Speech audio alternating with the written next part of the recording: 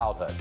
Plus, on the way in our My Pet Tale, our friend Judy Greer tells us about her great love for her dog. And then later, we're diving into some beloved shows Sabrina the Teenage Witch and Gilmore Girls. So fans get ready. All of that is just ahead. But first, let's see what we have up on Popstar Plus.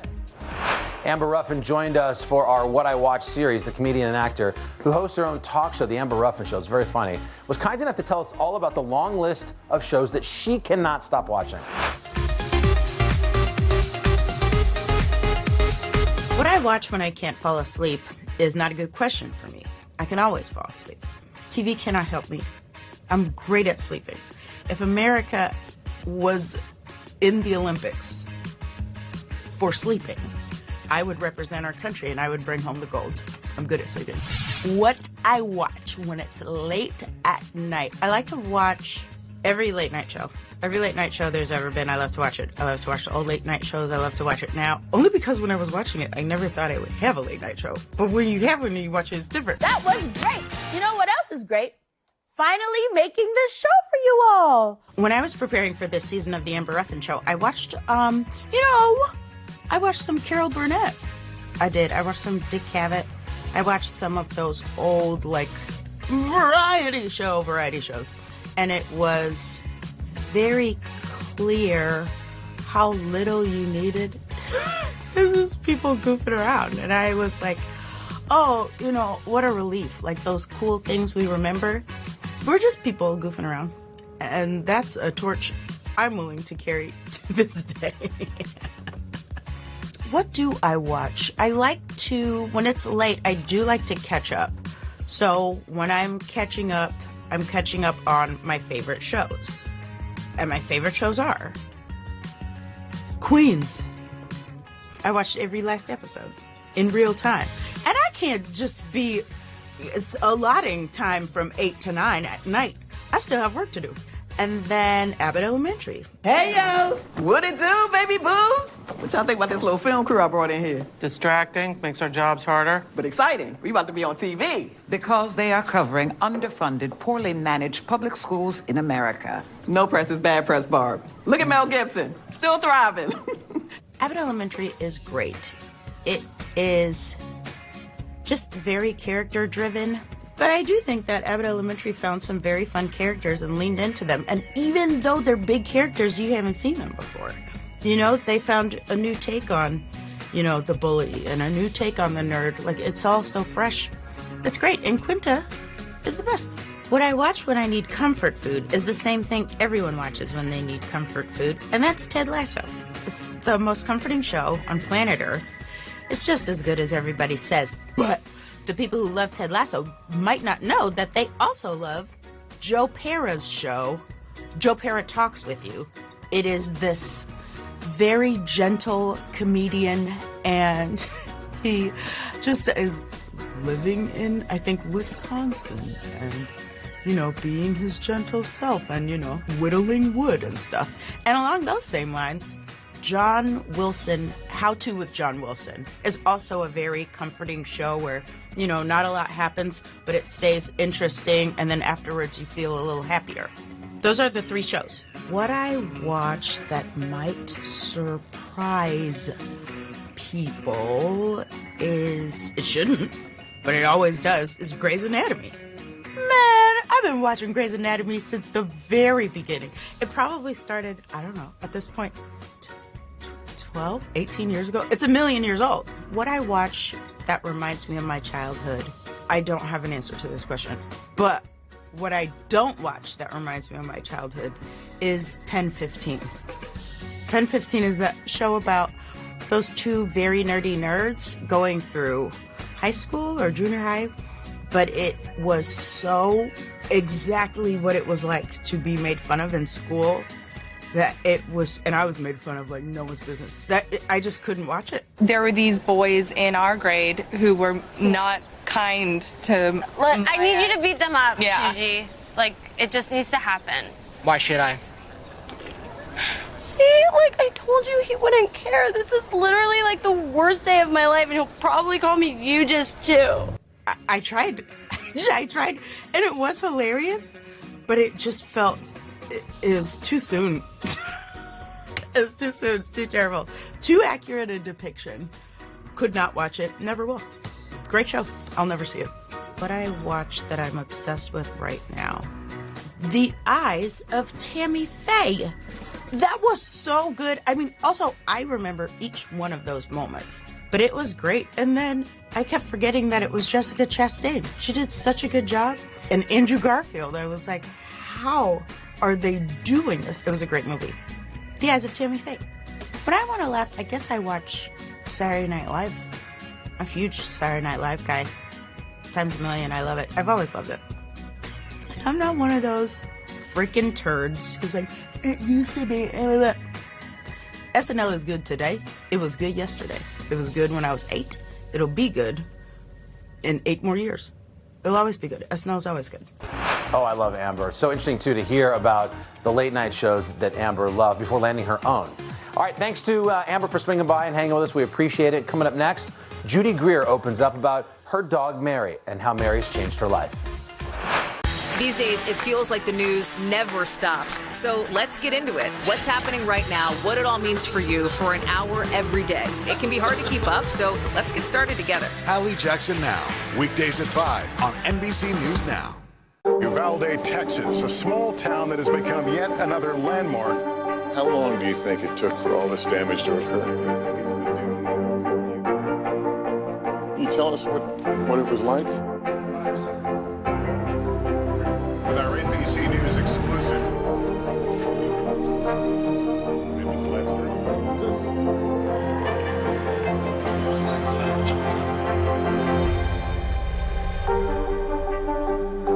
Welcome back to you today. We got a lot to celebrate on this Wednesday morning. It's good to have you along with us. You don't know when your moment's coming, but when it does, you take it.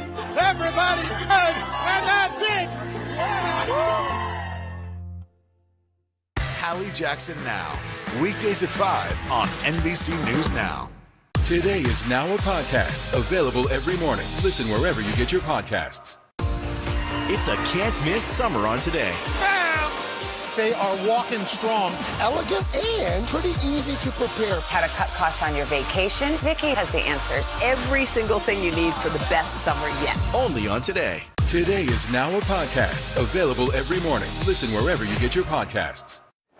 And welcome back to Popstar Plus. In our My Pet Tale series, we ask folks, of course, about their pets and how the pets that they've had have shaped their lives. Well, Judy Greer has a beloved dog named Mary, and we even learned just how much Mary helps Judy when she feels homesick.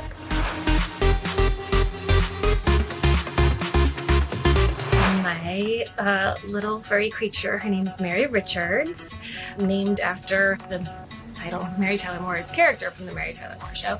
I'm too young to remember it being on television, but um, I watched it. I guess I saw it, you know, probably on like TV Land or one of the cable channels in some hotel room when I was on location working and feeling homesick, and it made me so happy. I ordered all seasons on DVD, and I used to travel with them so that I could watch them on my laptop when I was traveling for work because it was so comforting to me. I also really responded to the Mary Richards character because it was pretty groundbreaking when you think about it. I mean, this was a woman who broke up with her fiance, moved to the big city, Minneapolis, Minnesota, in order to pursue a career in broadcasting, which again, at the time was very unheard of. Well, I had the most uh, incredible male dog. His name was Buckley, and I had him for years, and he was my love and my roommate and my best friend. And, you know, like all animals, unfortunately, he had to go live on the forever farm with his mom. And about a year went by after Buckley left us, and my vet, Dr. Werber, who I loved, um, called me one day and was like, Hey, I think it's time. And I was like, It's not time. And he said, Just, I work with a rescue. They need a foster over Thanksgiving for this little dog. Would you just foster her? And so that's when I picked up Mary.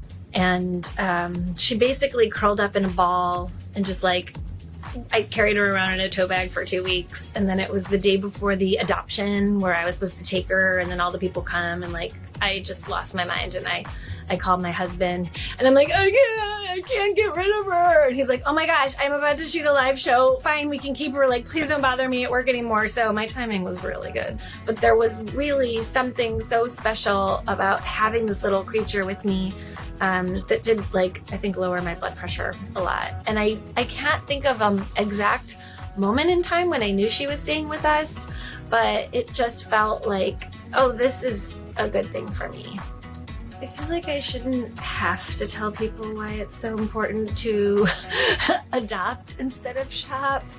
I mean, there's just so many animals that need homes, and there's even now so many like breed specific rescues that if you're like, well, I have to have this kind of breed of dog, or I need, you know, hypoallergenic or whatever, like you can find that. There's just so many animals that like are needlessly euthanized, I mean, every day that could easily be adopted into homes. And I think that, you know, fostering is such a great way to see how a pet's going to work in your family. I mean, you can find such great animals and they're so happy to have a home and to not have to live in those cages. And Mary's like this tiny little cute, like teddy bear sort of fox raccoon looking dog, but she's really scary if she wants to be. So that took some getting used to and a lot of training. And she has chilled out a lot. She's really feeling self confident. She's really feeling herself these days. Um, I started traveling with her when I go on location to shoot things, and I brought her with me to New Orleans to shoot the thing about Pam, and she went over everyone on set. And in fact, Renee Zellweger's character, Pam Hupp, has a dog. And I can't tell you how many of my friends texted me after that first episode aired, and they were like, Is Mary in the thing about Pam? It's like, no, there is only room for one actress in this family. Um, but Mary was there and she was like running around and she was such a cutie. Sometimes when she's like a little judgmental and mean, I like to think that she's like my alter ego. My favorite thing with Mary, I love, I love going on really long walks and Mary really loves to go on long walks. We've walked seven miles in one day together. I mean, she'll just walk and walk and walk. I think she would walk until she would drop. The thing about Mary that's funny, like the thing about Pam, I just realized I said that. But the thing about Mary that's funny is that she plays really hard to get, but she's so tiny and cute that people keep like, they just keep wanting more of her. They keep wanting her. If she lets, if she lets you pet her once, then you just like want to keep petting her, but like the next day she might be like, I don't really like, I'm not like feeling you today. She really does march to the beat of her own drummer, and she's uh, she's not someone that can be pinned down. You know, like she might like you one day, but then she might not like you ever again. Every day is a new day with Mary. That's what I always tell people. Mary has made my life better in every single way. I used to get so homesick when I was on location, and now, like when I have her with me, it's so much better. She's she's gives me a reason to get up in the morning and like on a day off and sometimes i'm like mm, i miss my husband and i'm homesick she like i think genuinely brings a lot of joy to work like she runs her all around hair and makeup when we're in the trailer and she loves it and everyone brings treats and gives them to her and she just animals bring a lot of joy and they definitely like calm people down i think and so um yeah she's just made my life better in every single way um minus the dog hair. That, but she's little and it's not that bad. But I do usually have a lint roller with me.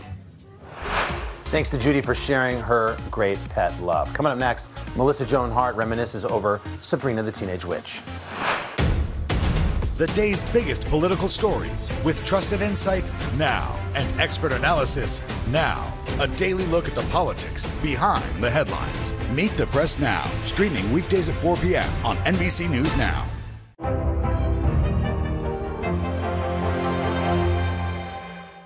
To cover the news, you have to be in it. This is how so many towns and cities are protecting themselves. They're pushing the gates open. Was there a school officer on campus? That's what we've been told. No. Top story with Tom Llamas. Weeknights at 7 on NBC News Now. Hallie Jackson Now. Weekdays at 5 on NBC News Now. For breaking news in our changing world, download the NBC News app. It's a can't miss summer on today. They are walking strong. Elegant and pretty easy to prepare. How to cut costs on your vacation? Vicky has the answers. Every single thing you need for the best summer yet. Only on today. Women's basketball has been systematically held back. After 49 years of Title IX, we still have work to do. In Their Court, a podcast from NBC News and NBC Sports that goes inside the issues of inequality in women's sports. Listen now. Let's go choke point for this fire.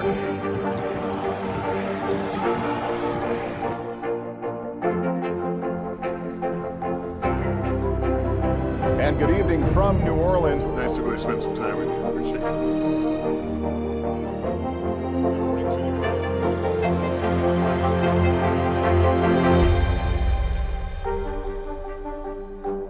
Hallie Jackson Now, weekdays at 5 on NBC News Now.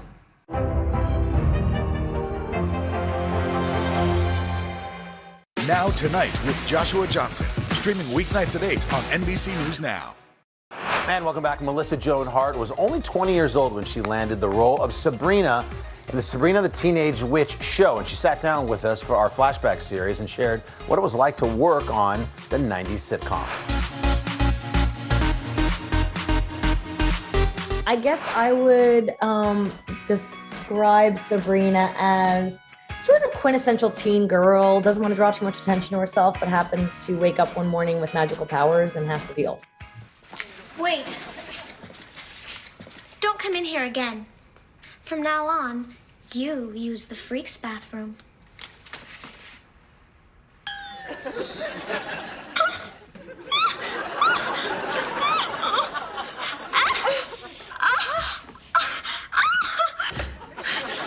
I was 20 when I started it, and I actually created it. Um, it was an Archie comic, and my mom found the Archie comic book on a playground, and she sold it to Viacom as a TV movie. And then my mom kept saying to Viacom, "This would be a great series," and they were like, "Okay, uh, we'll see." And she kept saying, "No, no, it'll be a great series." Like, all right. And she was like, "This would be a great series," and they cut it together. She cut it together into a uh, trailer and gave it to the network and they were like oh this is a great idea for a series. She's like yes i know. So the series came together that way. So uh, i never had to audition. It was my part created for me by my mother. The best part about playing her so any actor you know we like to be actors because we like to kind of slip into lots of different skins and pretend to be lots of different people. And so having a series on the air for seven years for a lot of actors can be kind of tiresome because you play the same character for so long. You you, you want to stretch out a little more. You want to do a little more. But with Sabrina, it was great because I got to be everybody plus Sabrina. I got to be Cyrano. I got to be a trapeze artist. I got to be Cinderella. I got to be Rapunzel. I loved when she would take on some kind of personality or some other um, you know, wardrobe, or I was a snowman. I, I skied on Mars, or you know, so stuff like that. So that made it really exciting and different, and the actor in me loved that part. We'll see how they like it when they don't have somebody to enforce the law. I swear, the first person I run into. Zelda? Congratulations. You're the new sheriff. With Sabrina, I was definitely acting because I was definitely playing um, against my type. I was never the wallflower. I was always the one doing a dance performance in the middle of the room, or you know. And here's Sabrina who just wants to be like left alone and quiet and don't let anyone see me. And I'm, you know, I'm gonna hide over here. And I just I didn't quite understand that. So for me, it wasn't the most fun. Like the things we were talking about before, like the playing the other roles or getting dressed up in fun costumes. That was all really exciting for me. But the actual character herself. I didn't necessarily identify with. Sabrina, you usually have good ideas. What sort of a fundraiser would you suggest? Pancakes!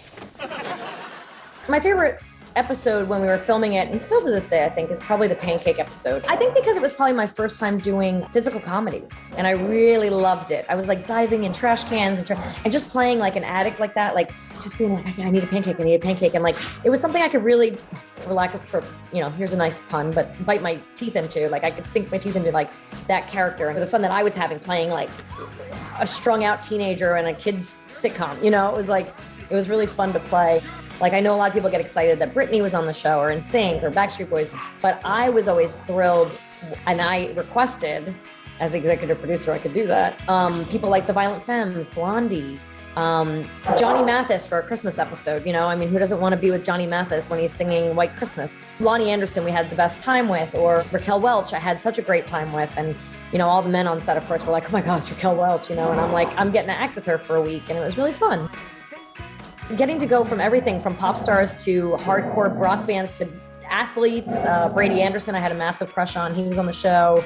Um, some of the guys from like uh, Baywatch and, you know, like all these like hot, amazing actors and actresses. And it, it was just such fun because everybody wanted to come play with us. Everybody wanted to be on a magical show. Everybody's kids watched the show and wanted them on it or something we had a great chemistry. Everyone was there for the right reasons. Everyone was there knowing that this was a great opportunity.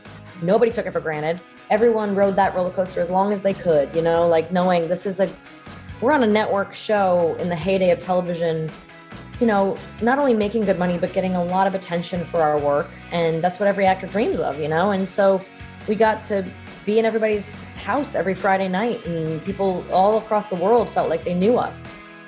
It's been decades of hearing, you know, I grew up with you. I heard Daniel Radcliffe say it, and I've heard like all these people say, I grew up with you, and you're like, what? Um, so it's uh, it's it's a it's the best compliment because it just means that they allowed me in their home and I was there with them. A lot of people, I was there for the hard times. I was there when they're in the hospital. I was there when they were going through depression and felt alone. I was there when they couldn't, you know, I mean, not just me, the whole show, you know, and a lot of the show, a lot of people identify with Sabrina uh, because of bullying or because of um, feeling like an outsider. You know, they might not have magical powers, but they feel like an outsider. And so I think that the show gave so many people hope, somewhere to turn to where they didn't feel alone and lonely. And I think that that was that was like everything, you know? Thanks to Melissa for chatting with us. Last but not least, up next, Gilmore Girls star Kelly Bishop and her love for Emily Gilmore's combative attitude. For breaking news in our changing world, download the NBC News app. Women's basketball has been systematically held back. After 49 years of Title IX, we still have work to do. In Their Court, a podcast from NBC News and NBC Sports that goes inside the issues of inequality in women's sports. Listen now. To cover the news, you have to be in it. This is how so many towns and cities are protecting themselves. They're pushing the gates open. Was there a school officer on campus? That's what we've been told. No. Top story with Tom Llamas. Weeknights at 7 on NBC News Now.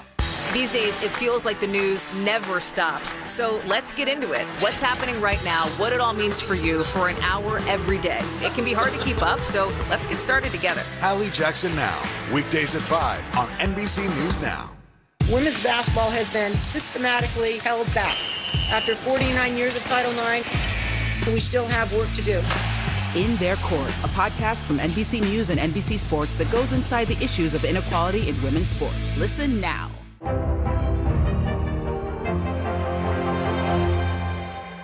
Now Tonight with Joshua Johnson. Streaming weeknights at 8 on NBC News Now. We'll meet Ukrainians who are defending their country one block at a time. When you still in Kiev, could you hear the bombing? My name is Lester. And who's this?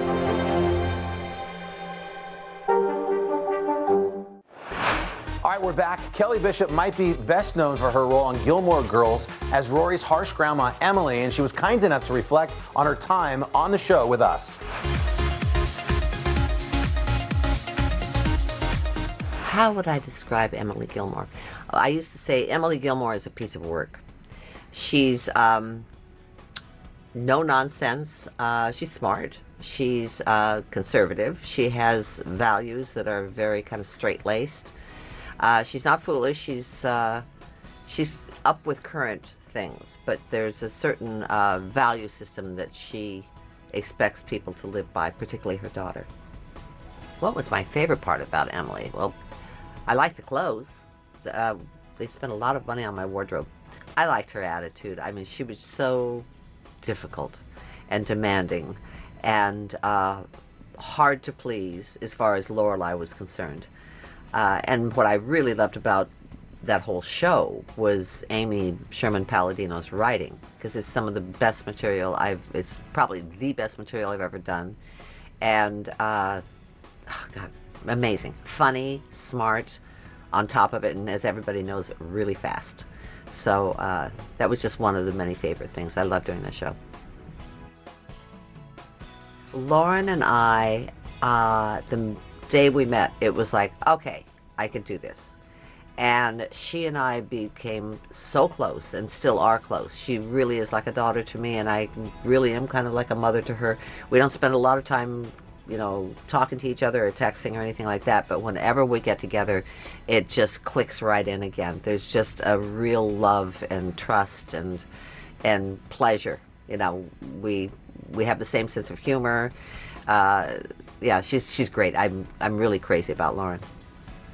My all-time favorite episode, actually the one that tickles me the most because it was so different. There was one uh, where uh, Richard, my husband's uh, mother, who was a very difficult woman, uh, had passed away, and uh, I found, if I recall correctly, I found a letter that she had written to him the night before our wedding, I think, begging him not to marry me.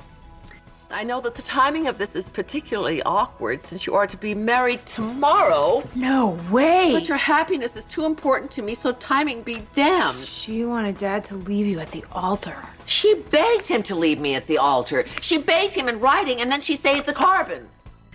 And uh, that sort of sent me off. He wasn't there to support me because he was so grieving for his mother. That during that episode, I was drinking. There, there was even one scene where I was smoking a cigarette. I, I called it my the Tennessee Williams episode for me. Who was that at the door? It was Jason. Dad needs to sign something. Uh huh. I mean, she was just out there. She was so on Emily. Uh, that was great fun. I really had fun doing that one. There were a few episodes that I really liked, but that one was just such a departure. The zingers and the put downs. Oh boy. Uh, actually, one of my first ones, one of the reasons I love the pilot script so much, I, I couldn't believe this pilot script when I got it. It was so funny. And I had no idea who any of these people were or, or who the writer was, anything like that. It's when uh, Lorelai comes to see her parents in the pilot script, obviously to ask for money for Rory's education. And uh, I opened the door and I said something to the effect of, Is it Christmas? Hi, Mom. Lorelai. My goodness, this is a surprise. Is it Easter already? or is it Easter? It was some holiday which was indicative of perfect writing of saying that's how often they saw each other. It was on, on holidays, Christmas, Easter, whatever it was. And then uh, Richard, my husband's character, comes in sometime later after we've done this scene, and he basically does the same thing with a different holiday. Hi, Dad. What is it? Christmas already? Lorelai was taking a business class at the college today and decided to drop in to see us. favorite moments with Ed Herrmann. I just loved working with him. Uh, We really liked each other so much. I know, I know. One of my favorite uh, scenes with him was when we did renew our vows, and he we danced to the song Bill, and he said today, I mean, that was your favorite, you know, your favorite song, and today you can call me Bill. Emily would tease me, saying, If only your name was Bill, then this could be our song. Well, Emily, for tonight, and tonight only, my name is Bill, and this is our song. that was wonderful. You know, uh, he was such a good actor and very generous, very professional, but just a sweet, good man. Why is it still cooking? First of all, it's very intelligent. I mean, if you the smarter you are, the more you get it, and it's fast. And so you got to pay attention. You don't have much time to laugh because you got to catch up with what's going on. Um, it's funny. I mean, it really is a funny show. But what I decided was that there's really an innate sweetness about it, which sounds kind of icky, but it's not that. There's a there's a decency about it. Um, and one of the things that men started when men started watching it, which they weren't inclined to because it was Gilmore Girls and all that sort of thing, uh, is that if you look at the male characters in that show, there's no nasty guy, there's no jerk, there's no misogynist, uh, there's no violence. They're just trying to make their way in the world like all the rest of us. And so there's uh, what there is basically is an innate decency about these people. They're good people. There's some of them are very strange, but they're they're good. And I heard a wonderful uh, story last year sometime. That very often um, when the troops come back from maneuvers in places like Afghanistan and places that we you know hear too much about they very often sit down and watch Gilmore Girls. And I think it's because it's a feel good place. It's like this is what America's supposed to be Great to revisit memories like that. All right, that's going to do it. Thanks for tuning in to Popstar today. As always, we're so glad you joined us. Come back tomorrow and hang out with us again. Same time, same place. See you then. I'm Shop All Day contributor Chassie Post, and each week I'm here with the must have fashion and beauty products at a price you'll like in Style Finder. I'm fashion and beauty expert Makho Ndlovu, and I'm bringing you industry insiders and those in the know to share all the buzzworthy products sweeping social media and influencer trends. And I'm Shop Today editorial director Adrianna Brach, and I know shopping trends. I seek out new and notable products so you don't have to in editor's picks. This is Shop All Day, Ready, Set, Summer. Hi, I'm Shop All Day contributor Chassie Post, and we're back today with another episode of Shop All Day. Now, today we're bringing you sunshine and all things summer style from matching swimsuits for the entire family, including the towel, to all of this season's sandal trends. And don't forget beauty and accessories for the warmer weather. We've got you covered. And remember, see that QR code at the corner of your screen? You can use the camera on your smartphone to scan it for instant access to the products on the show today. Or you can even text SHOP to the number below to shop all the products we're sharing with you today. So let's get to it. First, let's talk bathing suits. And newsflash, like many of you out there, I love, love, love a matching set. You can imagine my joy when I discovered these bold and coordinating beach towels from Old Navy with bathing suits to match. Oh my gosh, that would have been enough to make my entire week. But then, as I scroll down the page, I almost lost it. Turns out that there's even more matching to be had. Not only can you match your bathing suit to your towel, you can also match your bathing suit with your entire family. Yes! There are matching bathing suit styles for women, men, boys, and girls, and they're really, really adorable. How fun are these prints? Pink flamingos, bold sunflowers. I love the yellow and black, and the towels. It's so chic. And the matching trend is really big. And I think this would make such a cute family photo op and also a really cute idea for couples too. Next up, say hello to one of my favorite sporty trends of the season. Ta-da! It's the tennis skirt. Yes, tennis core slash all things tennis is shaping up to be one of the top trends of the summer. The beauty of the skirt, as you are likely aware, is that it is a skirt short hybrid. So it's a skirt with a built in biking short underneath, which makes it an excellent option for any outdoor activity. But here's the thing especially with this black one, we're seeing women wear their skirts not just for sporty endeavors, but pretty much everywhere, from shopping to lunch to lounging around the house. And how cute is this little skirt? This is a really flattering silhouette. It's got a high waist, which is elastic, and check this out. I mean, loving, loving, loving the little pleating. And look at the shorts underneath. It's got two pockets here, and it's also got a little hidden zipper pocket in the waistband. And the brand says it's made out of a really light and breathable poly spandex blend with a little compression. So who doesn't love that, right? And it comes in 20 fun colors. So game, set, and match. This sporty skirt is a real winner. Moving on to one of my favorite accessories for summer, the straw bag. Yes, natural woven bags are one of the hottest accessory trends of the season. And I really, really love this stylish bag from Amazon. It's an affordable take on the trend, and it's made of rattan, which is a palm vine that it's been hand woven in this really beautiful herringbone pattern. Plus, straw is the perfect summer neutral. You really can wear it with anything. And I love how versatile these little bags are. You can take it from the beach to brunch and beyond. It's big enough to carry your essentials, your wallet, sunglasses, computer, towels, you name it. And I love this pom-pom detail. And it even has a removable tassel. So this bag is gonna take you anywhere you need to go this summer in style. And if you were curious about what shoes I'll be wearing all summer, then look no further than these two bestsellers. They're part of a big trend out there called recovery slides, which are sandals originally designed to help you recover after workouts.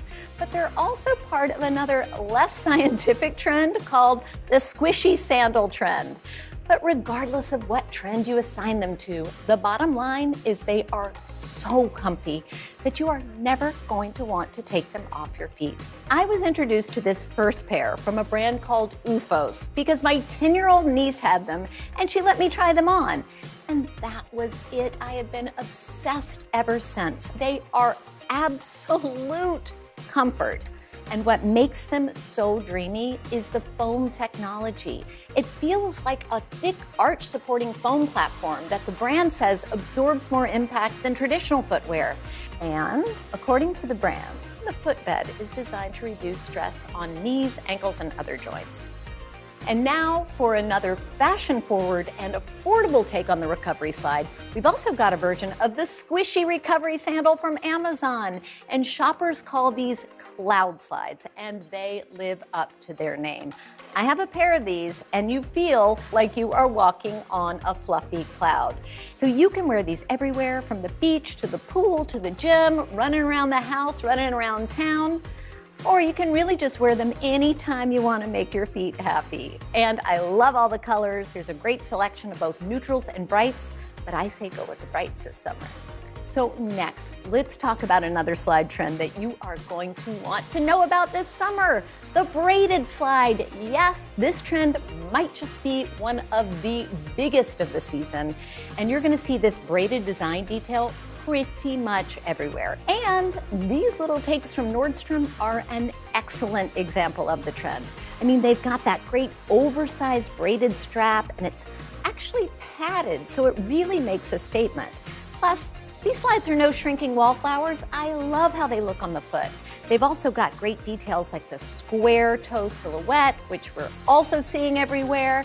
And they come in great neutrals, but I'm also really loving these new neutrals. Pastel yellow and purple are, in my view, the new neutrals of the summer. And surprisingly, they really do go with so much. So for the price, there is no better option for a wear anywhere on trend slide. And these really look expensive to me. Now, summer means sunshine and a perfect excuse for new sunnies. And I have one word for this pair chic. And these I think are beautiful. Check out the tortoise detail. Tortoise is a really big trend we're seeing out there this summer, as well as the oversized retro look. I've got to tell you, this fabulous oversized shape really does look great on pretty much every face shape. And I think they look really expensive. And my favorite thing about this brand is that every time I wear these, someone asks me if they're by a high-end designer. And I say, no, they're not. You can have them too for under $30. And last but not least, I have been trying to get this set of resin acrylic cocktail rings into an episode for months. In fact, I brought mine from home I'm wearing one right now. and big chunky acrylic or resin rings are a massive trend. And we've seen some very expensive offerings from major designers. So I was thrilled to find this set of five for such an affordable price. And what I think is so fun about a cocktail ring is they're sort of a statement look, right? But they're made out of acrylic or resin and they come in so many fun colors. I'm constantly wearing the clear or the black, but I can't wait to try out the white or the bright green this summer. I think they're gonna be so much fun. So let's run through all the products one more time. We've got the Old Navy beach towel and matching bathing suits, the pleated tennis skirt, the rattan bag with pom-poms, the recovery slides, the Luca Slide sandal, the Peepers Tokyo Square tortoiseshell sunglasses, and the resin cocktail rings. And just so you know, Today works with affiliate partners and earns a commission on purchases made through our links at today.com. That's it for Style Finder. Up next, Makho Ndlovu is talking to Flor de Maria Rivera, who went from TV reporter to shoe designer. She'll walk us through more of this summer's shoe trends. Stay with us. To cover the news, you have to be in it. This is how so many towns and cities are protecting themselves. They're pushing the gates open. Was there a school officer on campus? That's what we've been told. No. Top story with Tom Llamas. Weeknights at 7 on NBC News Now. Hallie Jackson Now. Weekdays at 5 on NBC News Now. It's a can't miss summer on today. They are walking strong, elegant, and pretty easy to prepare. How to cut costs on your vacation? Vicky has the answers. Every single thing you need for the best summer yet. Only on today.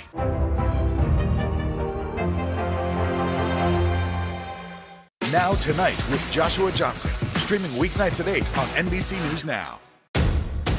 The day's biggest political stories with trusted insight now and expert analysis now. A daily look at the politics behind the headlines. Meet the press now, streaming weekdays at 4 p.m. on NBC News Now.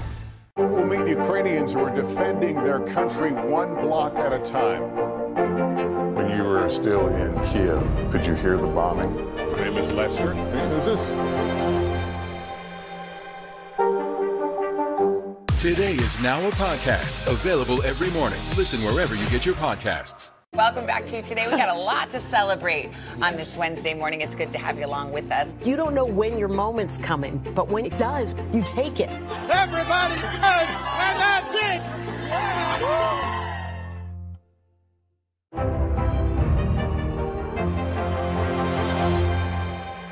Now Tonight with Joshua Johnson, streaming weeknights at 8 on NBC News Now. Top Story with Tom Llamas, weeknights at 7 on NBC News Now. Today is now a podcast available every morning. Listen wherever you get your podcasts. Top Story with Tom Llamas, weeknights at 7 on NBC News Now. Women's basketball has been systematically held back. After 49 years of Title IX, we still have work to do. In Their Court, a podcast from NBC News and NBC Sports that goes inside the issues of inequality in women's sports. Listen now. Hallie Jackson Now, weekdays at 5 on NBC News Now. Top Story with Tom Llamas, weeknights at 7 on NBC News Now. Now Tonight with Joshua Johnson, streaming weeknights at 8 on NBC News Now. Hi there. Welcome back. I'm Makho Ndlovu, and this is Influencer Trends, where I'll be talking to industry insiders and they'll share their favorite products and the must have items to shop for right now. And don't forget the QR code on the corner of your screen. Use the camera on your smartphone and scan it to shop these products. Summer is finally here, and warmer weather brings new styles. And I'm excited because we have TV reporter turned entrepreneur Flor de Maria Rivera, who has her own shoe line. How fun is that to design shoes for a living? I love it. She's here with her favorite trends for this summer. Hi, Flor. How are you? I'm good. Thank you. I'm so excited to be here with you, Mako. Wow, you're so talented. I mean, that goes without saying, but your shoes are some of the, no lie, some of the most beautiful shoes I've seen. Like, really? took my breath Oh, no, you're gonna make me cry before. I still get so emotional over my shoes because it's been such a long journey, you know, to get to where I am. But I feel so blessed because so many celebrities have worn it, and I'm self-funded, and I've switched careers so many times in my life, and. I mean, I'm 46, so people Girl. told me I was crazy to start the line in my 40s, but I never listened to anybody. You're doing it. You look amazing. The Oh. shoes are amazing. I've been in shoe heaven with my own shoes for the past two and a half years. So it just sometimes it just it still feels like a dream. Yeah, what a wonderful dream to be in. So let's talk about your pivot because I think your story is so interesting. You're a sports anchor, and then you decided to design your own shoe collection. Do you remember the exact moment that you decided you wanted to go down that path? I've always wanted to do it, but I just felt like I was never ready. And then one day I was actually at a lake. I was reading a book, and something in that book told me this is the moment. And that's when I say, I am finally doing my shoe line. I am never going to be ready. And this is just the time. And that was summer of 2017. And here we are. and here you are thriving and shining. Walk me through your inspiration, right? When you're designing the shoe, do you get the idea in your head first, or do you just kind of like jot it out as you go along? That's an amazing question because there's so many different ways. Like the first season, I actually had a mood board, and my first collection was inspired by Peru. That's where I'm from. That's where I was born, and those are my roots. But then later, when the pandemic happened, I just found myself not traveling as much, and I found myself at home. Honestly, if you walk into my house, you'll find a little notebook in every little corner. Sometimes I have ideas and I just start sketching away. And lately, I think that's what's happened. I don't even look at the mood board that I have. Inspiration just happened. The other day, I was watching a movie And I thought of something, and I think, Mako, it's going to be my hottest sandal yet. oh, your hottest sandal. I don't know how you can pop this because this is a big thing. So the theme of the show is Ready, Set, Summer, and I'm just curious to know, like, what are some of the themes that we can expect to see, or some of the trends that we can expect to see in the summer? As far as shoes goes, lace ups. Lace ups have been everywhere on the runways. You see one of my favorite styles. It was named after my grandma Raquel. This is a nude color, and it pretty much goes with everything. And when I'm talking about lace ups, this one can tie around the ankles, or you can also tie all the way up to your knees. Uh, so that's one choice. But then also I'm talking about lace up in the way that it just a sexy stiletto that just wraps around the ankle. So that's one of the biggest trends uh, this season. Also, Michael, I know you loved it, and it's this bold color right here. Uh-huh.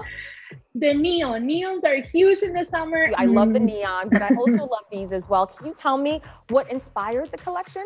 That one has a mixture of silk satin. It's got crystals and it also got pony hair. But then you usually are used to leopard in the brown and black shades. But I love going all out. I love a showstopper shoe. And that one is yellow with black leopard. I mean, I wish you guys could see the detail on this shoe, the straps. I mean, it's just so absolutely beautiful. How does it make you feel seeing celebrities wear your shoes? Because you were telling me earlier that you started, you know, later on in life in terms of designing shoes. What does it make you feel like when you see celebrities rocking your shoes? Uh, sometimes I honestly still can't believe it. And lately, I just get so teary eyed because it's not only about this moment, but for me, it's always been following my dreams. Especially my parents moved from Peru, left everything behind to give us a better life. And I want to honor that and I want to make them proud. So for me, it takes me back on time and all the sacrifices my parents have to do. And also, as a Latina, as a woman, as a minority, as a woman of color, I hope and, and pray that I can open doors for those that come behind me or those that come alongside with me. Oh my gosh, how inspiring. I know your parents, your community, mm-hmm. everyone is so proud of you. All right, the theme again is Ready, Set, Summer. So let's talk about sunglasses. These are so stylish, right? I love that they come in a bunch of different colorways, but they also have important functions. Can you tell me about them? Yes. So sporting sunglasses. Ooh, Marco, they look so good on you. Thank you, Flor. Thank you. Sporty sunglasses are one of the hottest trends that we've seen on the runway. The reason why I love this ones, you like this one, Marco? I love the white, first of all. I love the pop of color. They look great on you. And don't they feel great too? Oh my God, they feel so lightweight. And the best thing is that they cost less than $25. So it is amazing. You don't need to spend hundreds of dollars to look good. So this is more of an angular style that it's also a hot trend. But if you notice, these ones are blue with the white. They can also come with different color lenses. So it just depends what you like. And if you're like me, I will rock this with something neon. but it's also, if you're minimalist, you can wear this with more of a neutral outfit and you can let the, the sunglasses stand out. Speaking of accessories doing the talking, let's move on to this necklace. This necklace, Flora, just screams summer to me. How do you style it though? Do you wear it with like neutrals or you do pops of color? This is just beautiful pastel colors. So if you want to pick one of these colors, let's say the yellow or the coral, you can pick a dress or a top or anything that has one of those colors and you're set. And what I love about this necklace, it's a Y2K trend that has come back. It's all over our closet and now it's taking on to jewelry. So it's supposed to be a hottest trend for the summer as well. We saw it on the runway. This is a winning, winning necklace. Speaking of winning, uh, and TikTok trends. I've seen gua sha tools all over my social media, but Flora, tell me, what are the benefits of using gua sha? You know, I swear by this little stone. Even though when beauty gadgets we have become so popular and some of them can cost hundreds of dollars, do you wash Amako? You look like I you do, do. I do. I actually do. And I like that it like wakes up my face, especially when I wake up in the morning, right? So I usually do it in the morning. I do it, don't forget about the neck. So I love to apply a little bit of oil, right? And then you just start on the neck, move upwards, Nicole, right? I love this round one. And then like you did it before, I love to go around my jawline after the neck. And I just, when I get to the end, see, I just stay there. I do it at least five times in one section and then you work your way up. And there's so many videos if you want to learn nowadays. And I love like the one that you have, the rose quartz, but don't worry about trying different ones. The stone doesn't really matter. There's a jade and there's different ones. This one I just love because it pinks, it looks pretty in the vanity. So Isn't it so it's pretty? relaxing too. Like as we were trying it, I instantly felt like, oh my God, imagine coming home after a long day. Instant relaxation. So, Flora, I love that you brought the self tanner. Tell me how it's different from the other ones that are on the market. Yes, that's the Saint Tropez one. I tried different one, but I think that one has become my favorite because not only it dries fast, but it just gives you the perfect golden tone. It's not too light, it's not too dark. But if you're trying a bronzer, make sure you use a glove because if you get it in your hand, sometimes they turn orange and it can be yes, Makosi, you know, you know. it can turn your hands can turn orange and trust me, it can take days to get that rid of that. But I think that's a perfect one, you know, to just get your natural glow, like you just came back from vacation without having to go, you know, get a spray tan. That those can be really expensive sometimes, or you don't, you know, you're not at the beach, or you you want to take care of your skin. I think that's always a, a great option. That's such a great point. Well, Flora, we are ready for summer. Thank you for stopping by and giving us all these great selections. Have a great summer, okay? Thank you. Now, let's run through all the products one more time the Flor de Maria sandals, the sporty sunglasses, the multicolored necklace, the gua sha tool, and the Saint Tropez self tan bronzing mousse. And just so you know, Flor de Maria once worked for Telemundo, which is part of our parent company, NBC Universal. Up next, Adrianna Brach continues to soak in the sun with everything from accessories to keep you cool to solutions for slicing all that summer fruit. Don't go away. Live from Ukraine, from Uvalde, Texas, from Mayfield, Kentucky. To cover the news, you have to be in it. This is how so many towns and cities are protecting themselves. You can actually see they're pushing the gates open. Was there a school officer on campus? That's what we've been told. No. Do you remember any tornado as bad as this one? You look at this and you're thinking, we're not going to have power for weeks, if not months. Exactly. Every night, it's your news playlist. Top story with Tom Llamas. Weeknights at 7 on NBC News Now.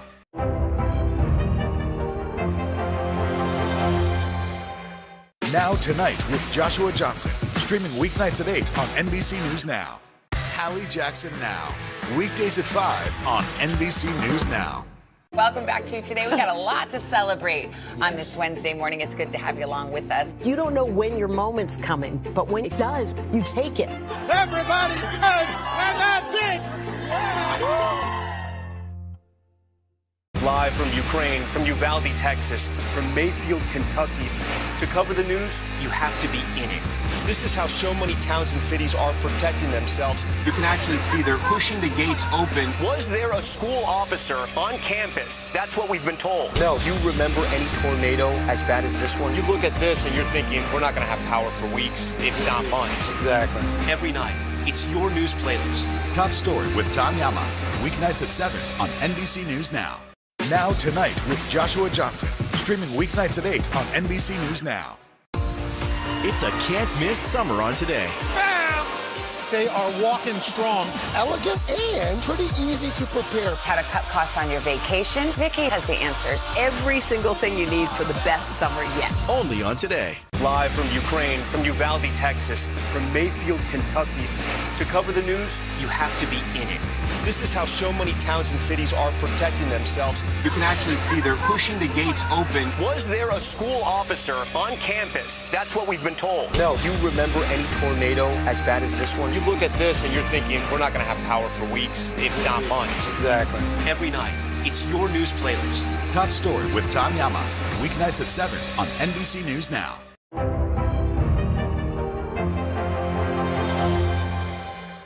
For breaking news in our changing world, download the NBC News app.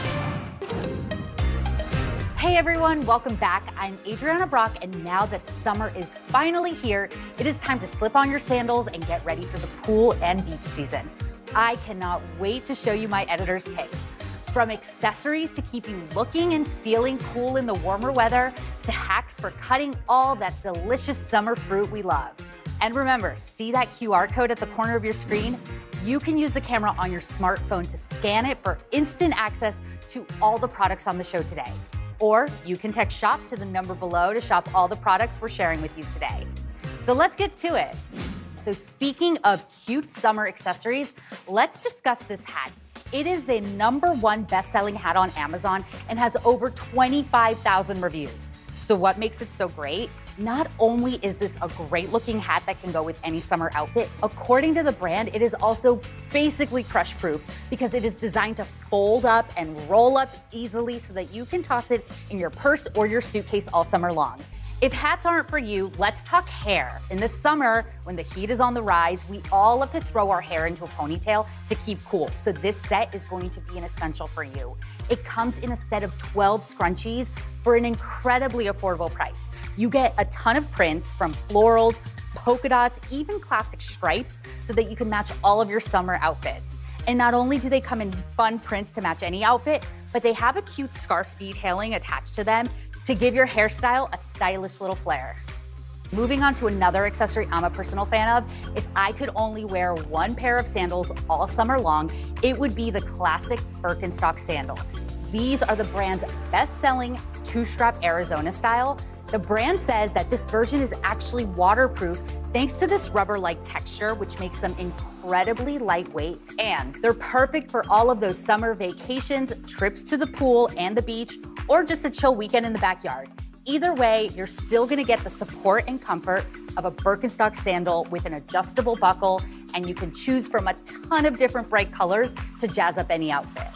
And with summer right around the corner, now is the perfect time to check those sunscreen expiration dates. You're gonna wanna stock up on new ones for those sunny days ahead. Today.com actually spoke with a dermatologist who recommends this very product. It also happens to be a favorite among the team. It's the CeraVe SPF 30 facial sunscreen that offers protection and doubles as a moisturizer, so there's no excuse not to use it daily.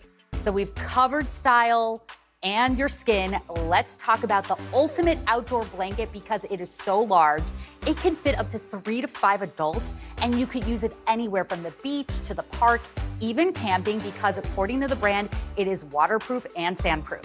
It also weighs less than one pound and easily folds right back up into a carrying case that it comes with. And once you fold it up, it's about the size of a tablet, pretty small, so you can pop it in your bag for on the go use. Plus, with all these bright colors to choose from, it's gonna be so easy to spot your crew from the beach. And it comes with four little anchors to keep home base in place. Speaking of home base, we found three incredible kitchen tools you're gonna wanna pick up if you're entertaining this summer.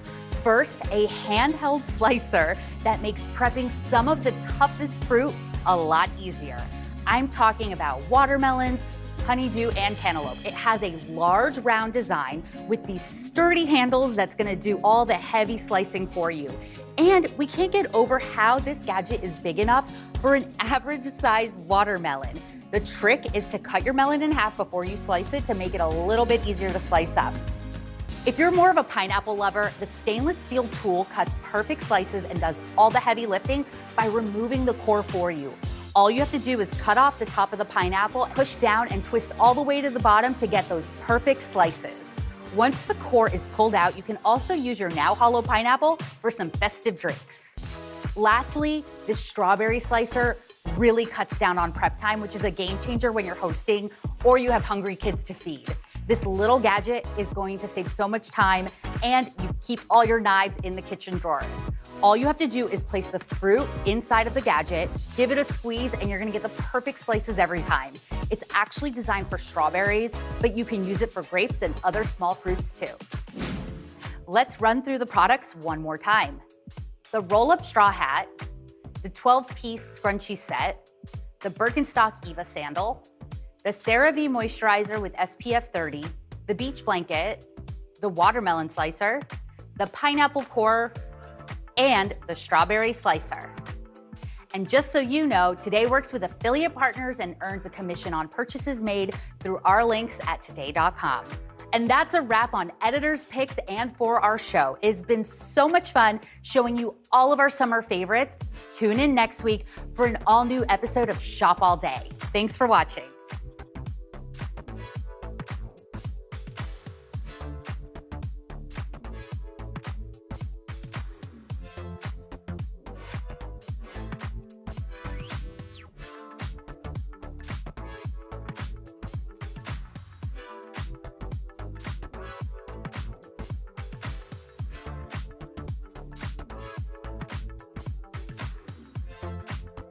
There are dozens of Chinatowns all across America with interesting architecture, diverse restaurants, and specialty shops. It's no wonder they're popular with locals and tourists alike. They also provide places for new immigrants and for families to create communities. But with gentrification and all sorts of problems from the pandemic, it's no wonder that all these Chinatowns are rapidly changing. It's time to head out of Studio 1A and hit the road for a new kind of culinary adventure. Follow me as I taste some of the most iconic foods around the country and meet the families behind them. Together, we're going to learn how a good meal has the power to connect us to our past, our future, and each other.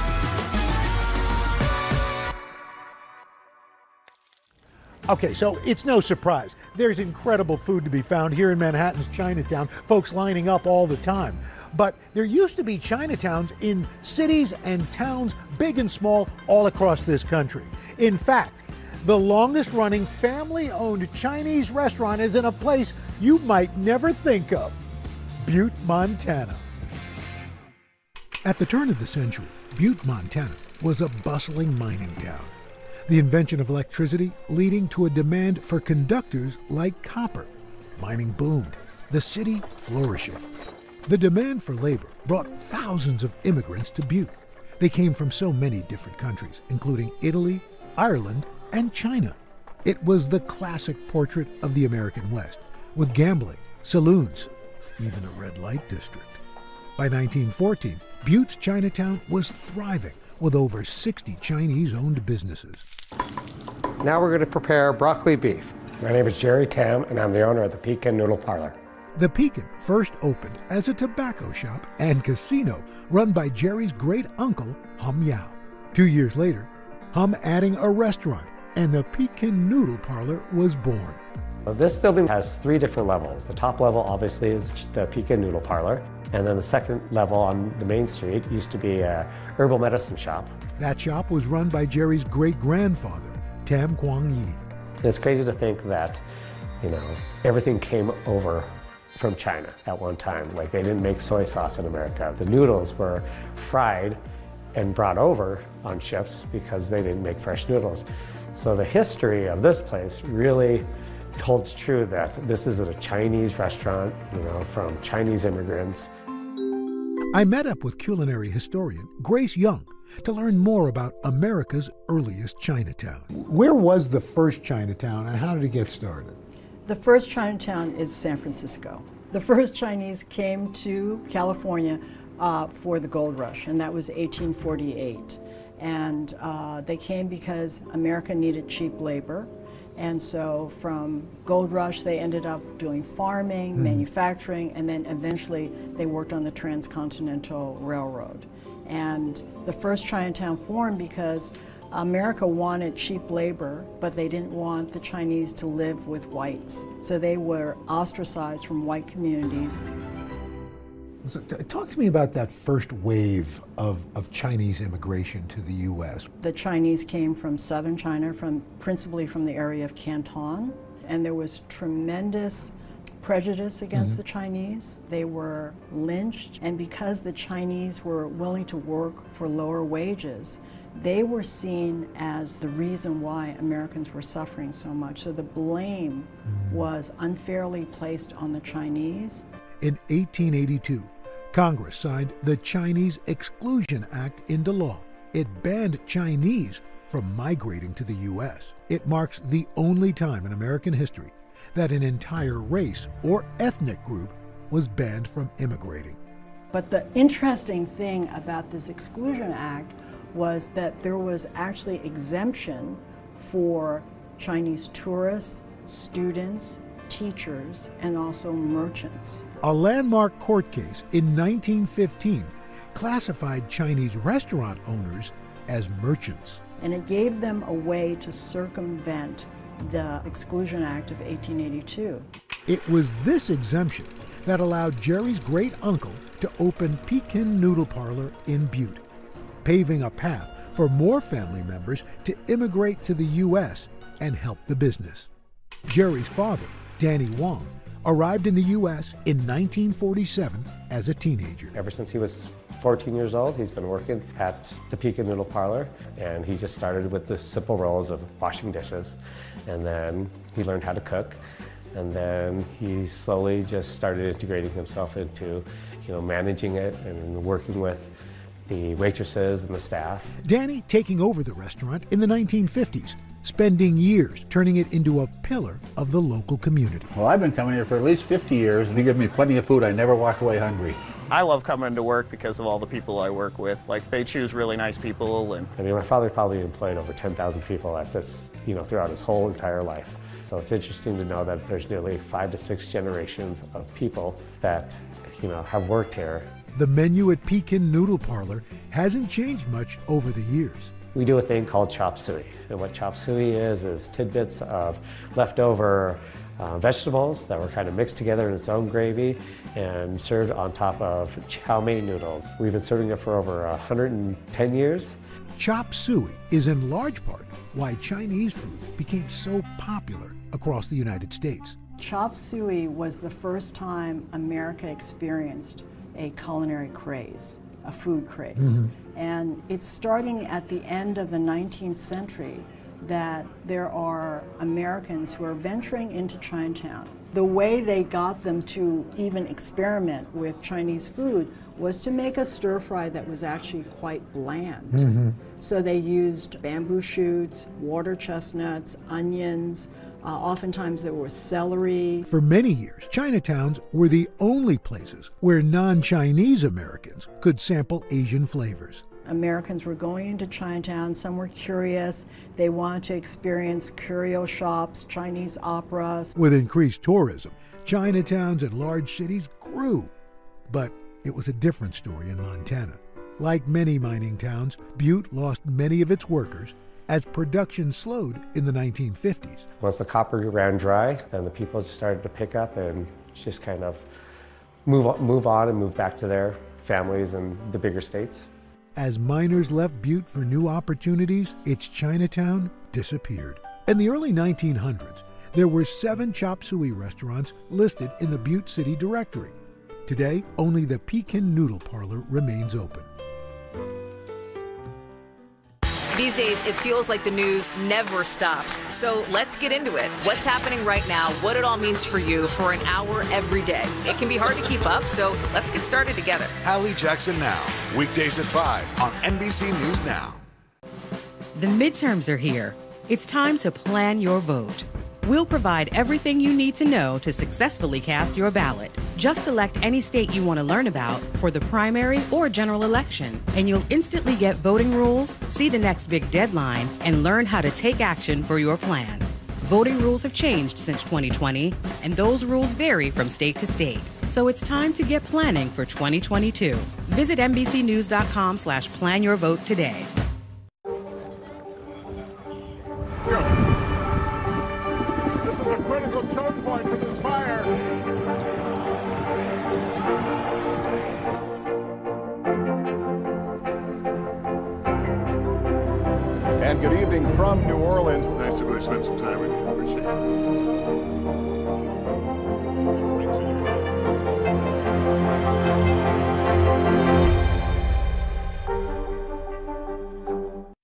Tonight with Joshua Johnson, streaming weeknights at 8 on NBC News Now.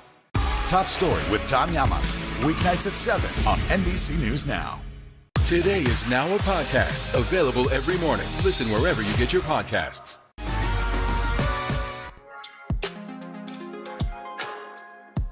Jerry Tam runs the Pekin Noodle Parlor in Butte, Montana. People may know this is the oldest Chinese restaurant in America, but below it is so much history. Despite Pekin's historic status, Jerry says he was never pressured by family to join the business. I never learned to cook until I came back, uh, back in around 2009, because like any Asian American, my parents wanted all of their kids to go to college, so we all went to colleges around the nation and to get a better education, to become a lawyer, a doctor, and what have you. But I went into fashion, and what was great about that is I got to see the world because of it. In 2004, Jerry even appearing on Bravo's Project Runway. But a few years later, family duty calling him home. And unfortunately, my mom had a stroke, so my dad needed help, you know, taking care of her and take care of the restaurant. I think it was really hard on my father because they were in a generation where they loved each other every day. And they were just best friends. After Jerry's mom passed, Jerry and his dad began operating Pekin together. He never stopped working, so he was working here all the way until 85, until he couldn't make up the stairs anymore. My father and I spent every day together. I made sure he was, uh, he was healthy all the way till the end, the best of my ability I can do. My, my father passed in November, and it was really, you know, heartbreaking. He didn't want to say goodbye to my sisters or me or this restaurant or the community. He loved Butte, Montana. Jerry now runs Pekin Noodle Parlor with his cousin Nelson. Together, they're working to preserve a family legacy and keep a piece of Chinese American history alive in an unlikely place. I've been asked the question, what is the future of the Pekin? And the best answer I can give you is let's just keep it the same. Let's not change anything because that's what people come here for. They need to have their parking spots, they have their booths, they have their favorite place to sit at the bar. I don't think they want any change because this is a place that feels like home. Now Tonight with Joshua Johnson, streaming weeknights at 8 on NBC News Now. Today is now a podcast available every morning. Listen wherever you get your podcasts. These days, it feels like the news never stops. So let's get into it. What's happening right now, what it all means for you for an hour every day. It can be hard to keep up, so let's get started together. Hallie Jackson Now, weekdays at 5 on NBC News Now. Top story with Tom Llamas, weeknights at 7 on NBC News Now. It's a can't miss summer on today. They are walking strong, elegant, and pretty easy to prepare. How to cut costs on your vacation? Vicky has the answers. Every single thing you need for the best summer yet. Only on today. Uvalde, Texas, a small town that has become yet another landmark. How long do you think it took for all this damage to occur? Can you tell us what, what it was like? With our NBC News exclusive.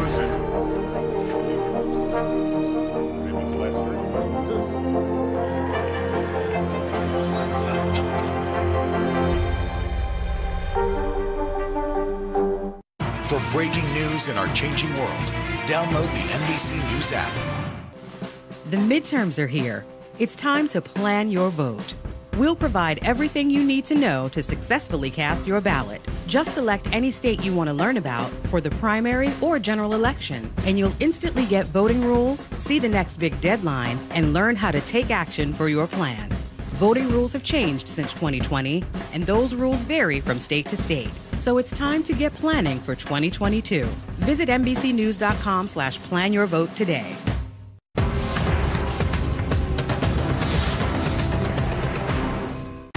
Jackson Now, weekdays at 5 on NBC News Now. While New York City is home to America's largest Chinatown, the honor of the oldest goes to San Francisco, and that's where the Far East Cafe is located. It is one of the last remaining historic Chinese banquet halls. After a two year hiatus, this celebrated venue hosted the 64th annual Miss Chinatown USA pageant, a Lunar New Year tradition. The occasion marking a triumphant milestone for this century old institution. Bill Lee has owned the Far East Cafe since 1999. His daughter Kathy working by his side as the manager. He brought me into the restaurant to kind of understand the roots of our culture. He wanted me to remember that, you know, Chinatown is about community, is about traditions, is about culture. For many in the community, Chinese banquet halls are more than just venues for special events. I feel that Far East is kind of like a second home for, you know, a lot of our patrons that come in because they feel so comfortable, so much history and so many memories, you know, A lot of patrons that have been here, they've told me, they're like, oh, my parents had my red egg ginger party. It's very similar to like a baptism. And that was like 50 something years ago. And that history is everywhere you look at Far East. The ceilings, the, like my dad mentioned, the high ceilings, the moldings, the moldings are all original. And the lanterns were all imported from China uh, in the 1920s. So they're over 100 plus years old. For the last few decades, there were five giant banquet style restaurants in San Francisco's Chinatown. But with rising rents and gentrification, most have since closed their doors. By early 2020, only two banquet halls remained. The Far East Cafe planned to celebrate its 100 year anniversary with a big celebration. Instead, it's now planning to close its doors. At the start of the pandemic, the restaurant stayed afloat by cooking meals for senior citizens and low income residents in Chinatown. We applied for a PPP loan and we got over $200,000. We also received money from the feed and fuel program. Then our landlord gave us six months of free rent. Beyond COVID, a different type of virus brought more harm to Chinatowns across the country. Anti Asian hate crimes soaring by nearly 340% in 2021. When this started happening, I felt very, very sad and also very angry because I'm like, why is this happening to Chinatown? Why is it happening to our community? You know, for these people to target elderly people, to push them down, to rob them, don't they realize that they have grandparents too, or they have parents that are that age? And if it happened to their parents, how would they feel? People saw the attacks when they watched the news and heard reports, and they got even more scared. They don't want to go out, even for special events like the Mid Autumn Festival. We tried to invite them, but they didn't want to come. We used to be open until 10 o'clock before pandemic. Sometimes we would stay out here until midnight if we had events. Now we can't. We can't do that. We changed the business hours to close at 7, 7:30 because safety is the most important thing. Business owners across Chinatown still face hostility. George and Cindy Chen opened China Live in 2017. We've been lucky. Uh, we've only had a couple instances where, you know, people scream uh, anti-Asian slurs. And we're concerned about our employees, you know, coming to work and, and being harassed. I, I think that ignorance is uh, very unfortunate. China Live is a massive marketplace with multiple restaurants. It's in a building that once housed a banquet hall like Far East. I remember coming to a wedding here when I was in college. And I think, I think literally 5,000 people in like six restaurants. But unfortunately, you know, real estate was getting very expensive, so it's not very cost effective if you don't have that business. But two years ago, the couple had to lay off 200 workers. However, with the support of partners, George and Cindy were able to pivot their business on a few fronts. We did, you know, the Ghost Kitchen was selling outside our box. So we have 10 locations in the Bay Area, from San Jose to Berkeley, and, uh, and they can order food from those ghost kitchens. Ghost kitchens prepare restaurant quality food exclusively for delivery or takeout. We sold so many Peking ducks, we didn't know what to do with all the duck fat. So what do you do? You make popcorn with it. So that's why we have a duck fat popcorn.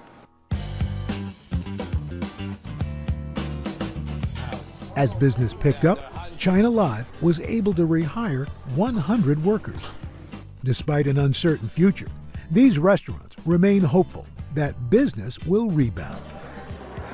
More police presence, people are more, as a community, standing up for ourselves, making sure that we have like the buddy system, making sure that we're together and we feel safe, that we're walking together, that we have each other's back. I mean, dining out is an essential part of life, right? I mean, uh, what more fun is to look forward to having dinner with friends you haven't seen at a new place or uh, old favorite place? But some old favorites just can't be replaced. During the pandemic, many restaurants have shut down. Far East is now the biggest restaurant in Chinatown. If Far East closes, there won't be space big enough to host large events for the community. We were overjoyed having that Miss Chinatown USA event here, a press conference, and just being able to reconnect with the community. It warmed my heart. And my dad was just like so overjoyed that people were coming in just to celebrate.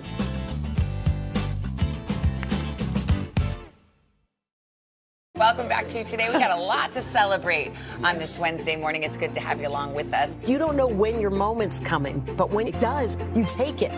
Everybody good, and that's it. Hallie Jackson Now. Weekdays at 5 on NBC News Now.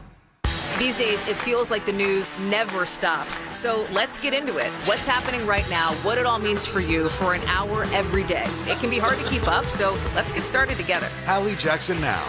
Weekdays at 5 on NBC News Now. The day's biggest political stories with trusted insight now and expert analysis now. A daily look at the politics behind the headlines. Meet the press now, streaming weekdays at 4 p.m. on NBC News Now. Welcome back to you Today. We got a lot to celebrate on this Wednesday morning. It's good to have you along with us. You don't know when your moment's coming, but when it does, you take it. Everybody's good, and that's it. We'll meet Ukrainians who are defending their country one block at a time. When you were still in Kiev, could you hear the bombing? My name is Lester. And who's this? Jackson Now. Weekdays at 5 on NBC News Now.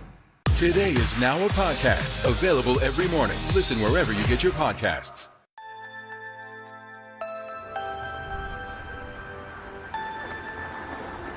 To learn more about the future of Chinese American restaurants, I went to visit Chef Lucas Sin in New York City.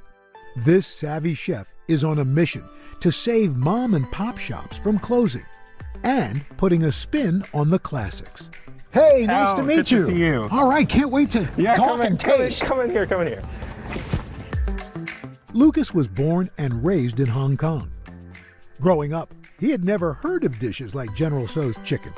What was your first experience with Chinese American food? Yeah. And did you go, what the heck is this? I was here for summer camp, and uh, on Tuesdays at 10 o'clock or so, right before bedtime, this van would pull up in the front of the school, um, and you could pick between sesame chicken, General Tso's chicken, orange chicken with broccoli and fried rice or white rice or whatever it was.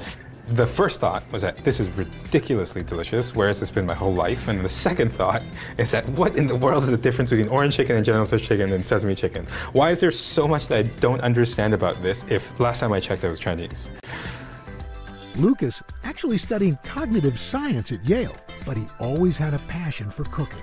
His summers spent training in award winning restaurants in Hong Kong and Japan. After graduating in 2015, Lucas opened his first restaurant with Yale classmate Yang Zhao. Junzi Kitchen is a fast casual chain that serves modern Chinese fare. But Lucas remained passionate about the Chinese American cuisine he first tasted as a boy. So, so how did Chinese American food, the food that we have become uh, familiar with, how did that develop? How Yeah. did that happen? Now, Chinese takeout is interesting, right? Because it's all over the United States. So these folks come in, they Yeah, yeah. apprentice in a restaurant, Right. they learn those recipes, and they then go somewhere else, right? To open their own exactly. restaurant. And then their cousins come from Fujian, and then those recipes are passed on. And there's a remarkable similarity to to to these dishes. Despite the popularity of Chinese American food, many family owned restaurants that once dotted Chinatowns and other urban areas have been closing for years. Opening restaurants is really difficult, and running restaurants is perhaps even more difficult. These moms and dads open these restaurants so that their kids can go to university and become lawyers and doctors and television hosts and whatnot. And now they're, they're finally able to do that. They don't need to run these restaurants anymore, right? The li- suddenly livelihoods have changed. That's a good thing. Lucas and Yang hatched an idea to help smaller businesses in 2019. Nice Day seeks out restaurants facing closure, then works with the owners to remodel the space and update the menus. The pandemic stalled the team's initial plans, but the second location in Long Island is slated to open this spring. It's important to me that these new Chinese American takeout restaurants that we're building called Nice Day work with the previous generation of owners because they have a lot of knowledge that Mhm. we don't. They know their customers, they know what sells, um, they know how to cook these dishes, they have recipes. You raise an interesting point, Lucas, in that you talk to these retired Chinese restaurant owners. Is that part of the, the, the sense of trying to memorialize mm-hmm. what could be lost? Now, preserving recipes is part of it, but the other important part is preserving the way business is done.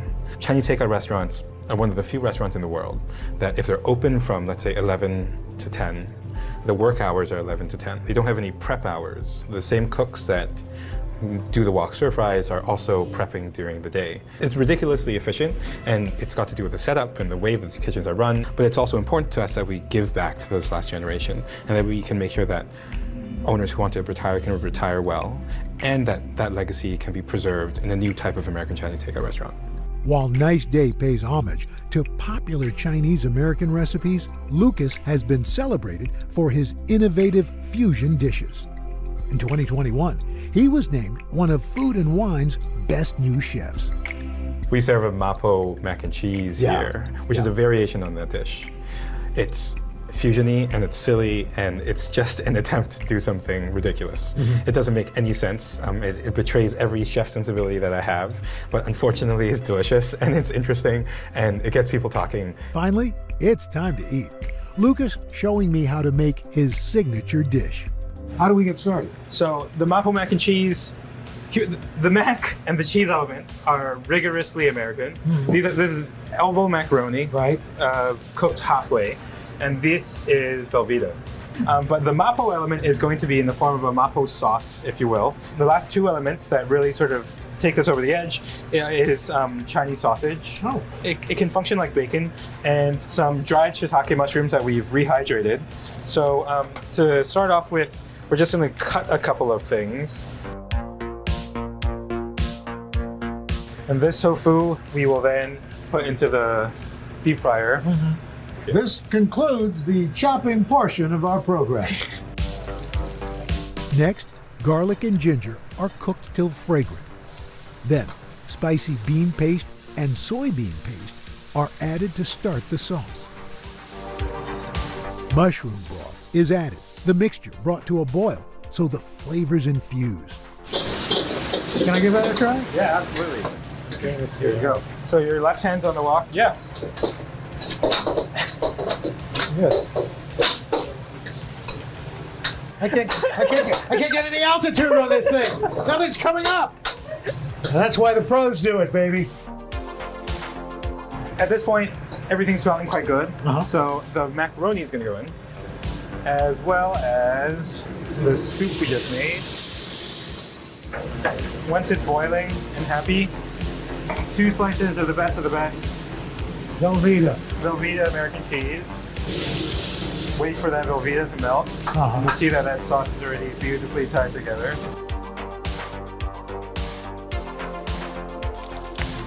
We like to play this dish in the Chinese takeout box. Oh, wow. Because it's silly. Well, why not? Fun. Boom. Some fried tofu puffs as croutons go over the top. That's a little bit of texture and the homage to the original mapo tofu. These fresh scallions are actually really important because they cut through the heaviness mm-hmm. of the original dish. Wow. Just a little spice, the creaminess, the crunch of the, the tofu. I hope you get yeah get a little, bit of uh, the little Chinese sausage. sausage. Yeah. Whoa. You've never had mac and cheese like this.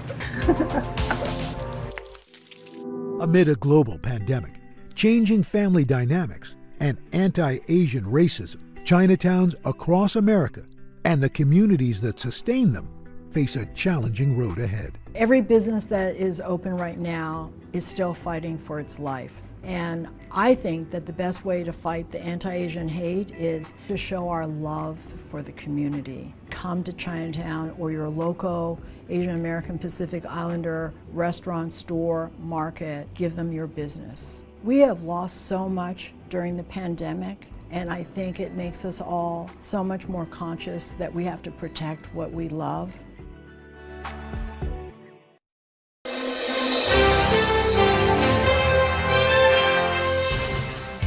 If you think you know Kim Kardashian from that reality show, Keeping Up with the Kardashians, I'm just here to say you don't know nothing yet about Kim. Kim Kardashian, she's a brand, a multi billion dollar brand with nearly 300 million followers on social media. She is the co founder of a perfume collection, a makeup line, and so much more. But the biggest seller for Kim Kardashian is herself. People cannot get enough of this woman, of her family, her lifestyle, her choices. And while, yes, she is in the midst of a hectic work schedule, and she's also in the middle of a divorce from Kanye West, the father of her four kids, she's calmer than she seemed in a decade. She is in a new relationship with comedian and Saturday Night Live cast member Pete Davidson. She just launched another campaign for her shapewear line, Skims, and her famous family, well, they're about to embark on a new chapter of the reality show, The Kardashians. This time it's on Hulu. So, what is Kim Kardashian making space for these days?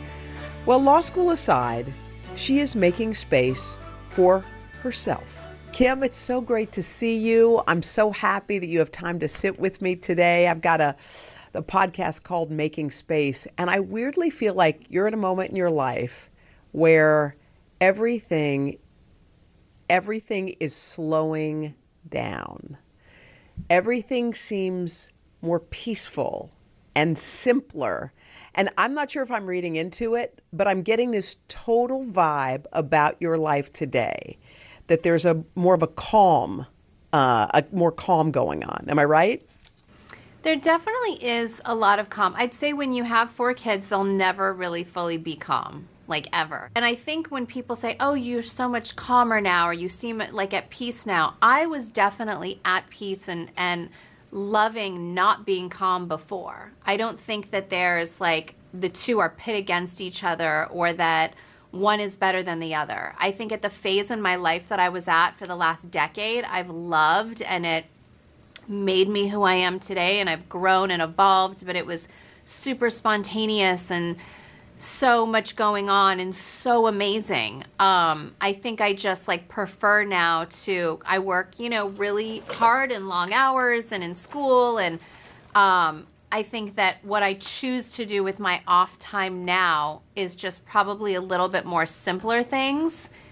And so I feel more of a sense of inner calmness, but it doesn't but my life definitely isn't calm. I think people around me would be like, "Do you ever take a minute?" You know, um, so yes, there there is a calmness for sure, but I loved every phase that I've been in in my life.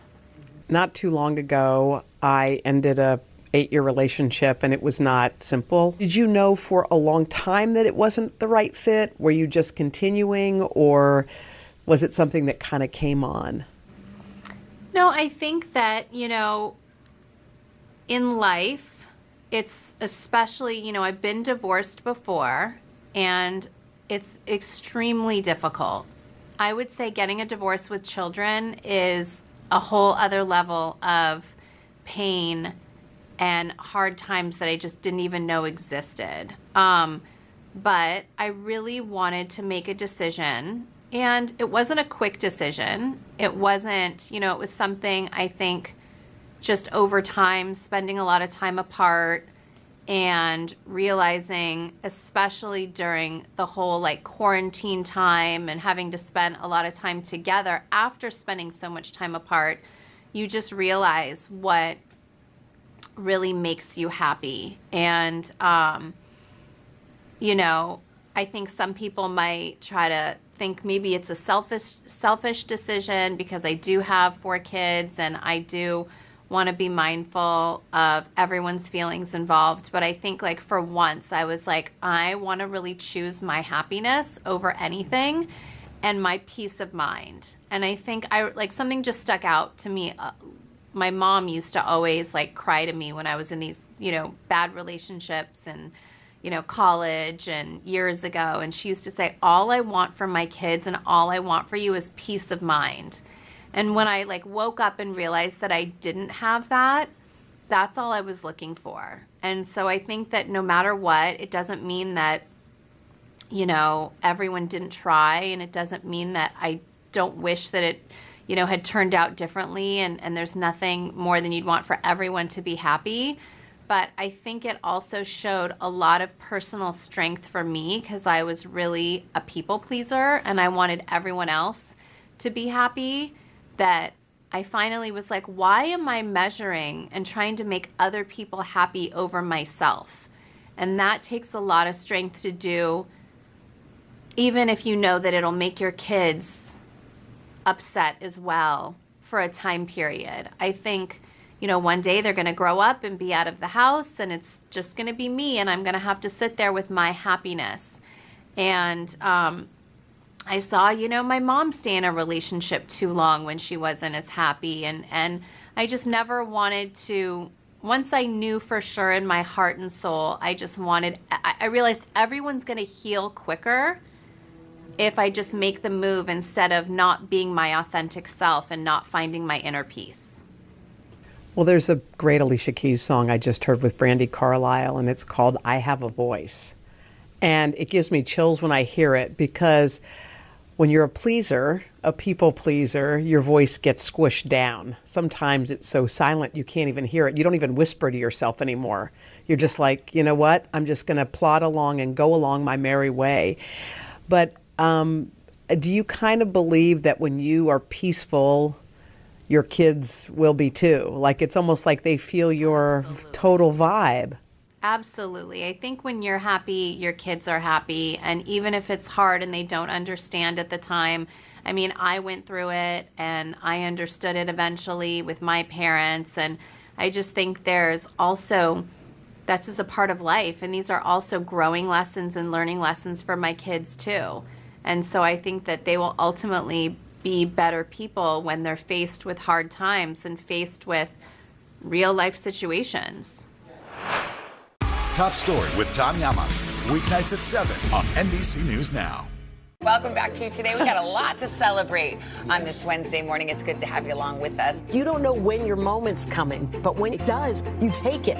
Everybody's good, and that's it. The day's biggest political stories with trusted insight now and expert analysis now. A daily look at the politics behind the headlines. Meet the Press Now, streaming weekdays at 4 p.m. on NBC News Now. For breaking news in our changing world, download the NBC News app.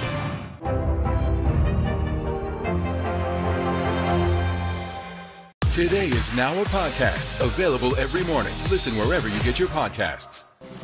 The midterms are here. It's time to plan your vote. We'll provide everything you need to know to successfully cast your ballot. Just select any state you want to learn about for the primary or general election, and you'll instantly get voting rules, see the next big deadline, and learn how to take action for your plan. Voting rules have changed since 2020, and those rules vary from state to state. So it's time to get planning for 2022. Visit NBCNews.com slash plan your vote today.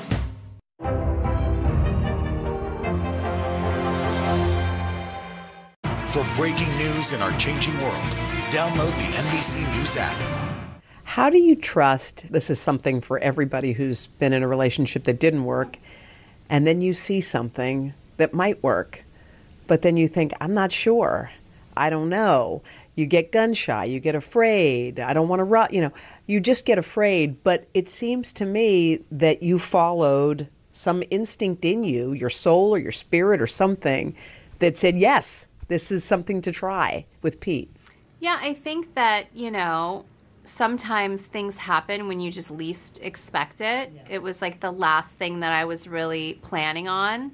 Um, and so when it did happen, we were kind of like, oh my God, I wasn't like planning on this. And this isn't even what I was thinking of. And like, it just makes it that much sweeter and so much more fun when you just sometimes you just can't plan everything out and you can't you have to be open to it and you have to like you know i definitely took my time i took like you know 10 months or something before i dated or talked to anyone. And I just wanted that time to really figure out and go through the motions. Am I making the right decision? How do I feel about this? Like, you'll never know until you're put in situations.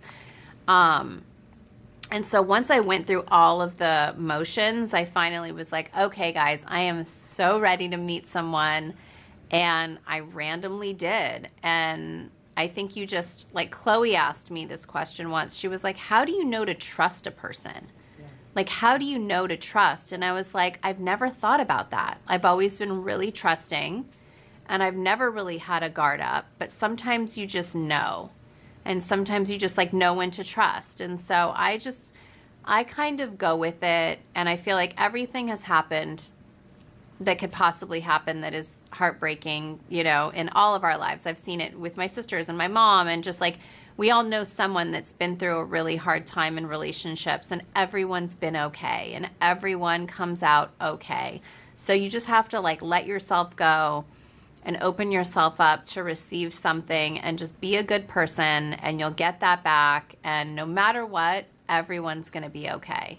That's kind of like my outlook on everything with life. It is. It is. Do you trust yourself again to get married again? I want to live in the moment.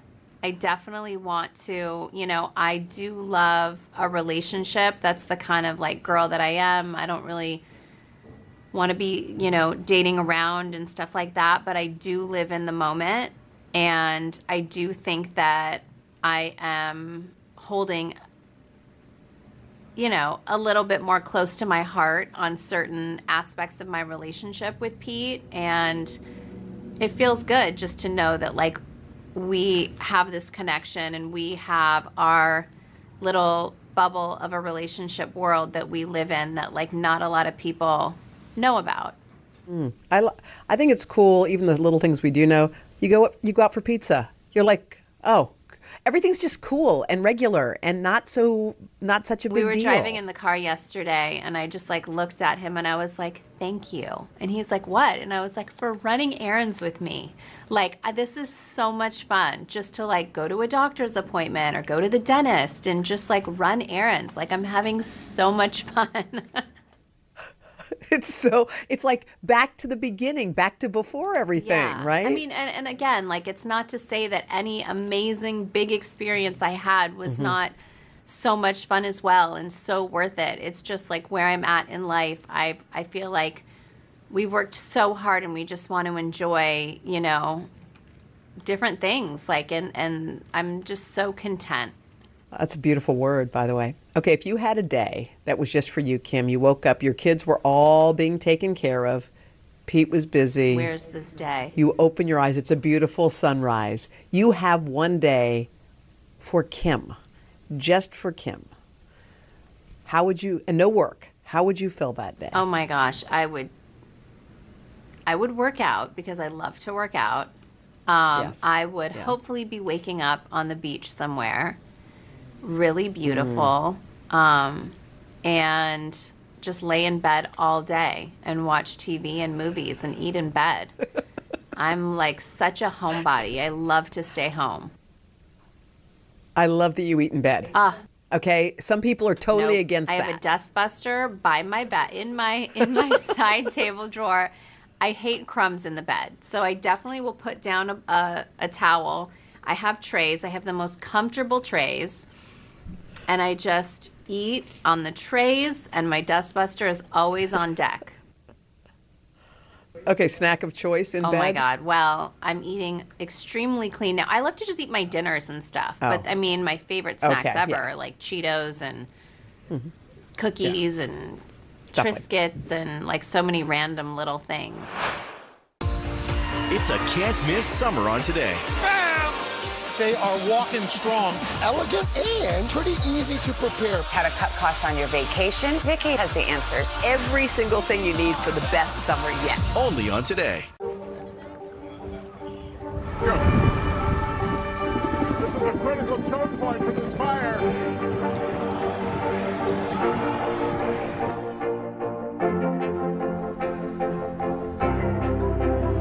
And good evening from New Orleans. Nice to really spend some time with you.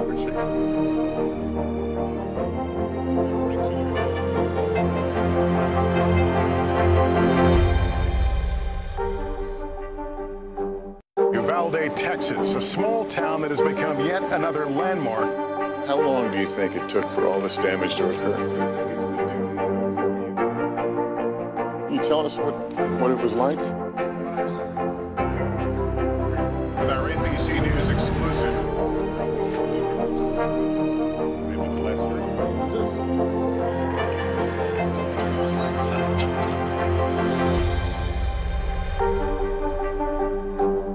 For breaking news in our changing world, download the NBC News app. To cover the news, you have to be in it. This is how so many towns and cities are protecting themselves. They're pushing the gates open. Was there a school officer on campus? That's what we've been told. No. Top story with Tom Llamas. Weeknights at 7 on NBC News Now. Hallie Jackson Now. Weekdays at 5 on NBC News Now. To cover the news, you have to be in it. This is how so many towns and cities are protecting themselves. They're pushing the gates open. Was there a school officer on campus? That's what we've been told. No. Top story with Tom Llamas. Weeknights at 7 on NBC News Now. Hallie Jackson Now. Weekdays at 5 on NBC News Now. Do you feel, I feel like your life is full. Are there things that you feel like you are missing? Any puzzle pieces that aren't quite there yet? If you say, if I just, I'm just working toward that. I feel like you have so many irons in the fire that it's hard to quantify, but is there, is there something that you feel like needs to snap into place? Yeah, I really gotta like get it together with law school. It's really hard. I gotta like, I gotta finish. I have like, you know, almost two years left and um, I have th- I study three hours a day every day, and it is really hard. And I just can't wait. I keep on saying like, okay, I can't even entertain this business thing or this that. I can't put another thing on my plate until school is done. I need to finish school, and once that happens, I will be a different human being. Do you kind of feel that sometimes you're underestimated when you walk into a room, Kim?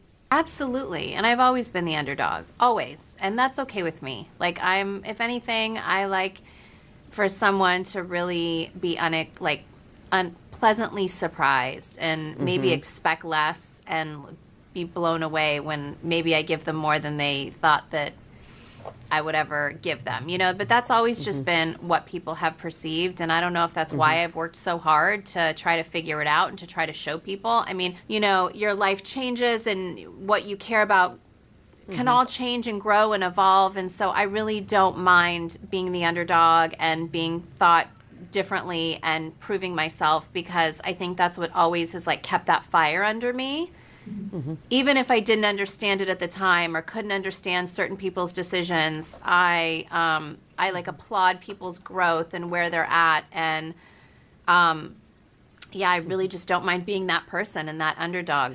I mean, people. can you just line out? Just give me one snapshot of a day, because I don't think I I know you and I know how hard you work. There's not a harder a person who works harder. Line out your day for me. You wake up and go. I wake up at 5:40. I go to the gym from 6 to 7. 7:05, get the kids up, get them all ready for school, all four of them. Help brush their teeth, get their uniforms on, eat breakfast, get them out the door, drive them to school.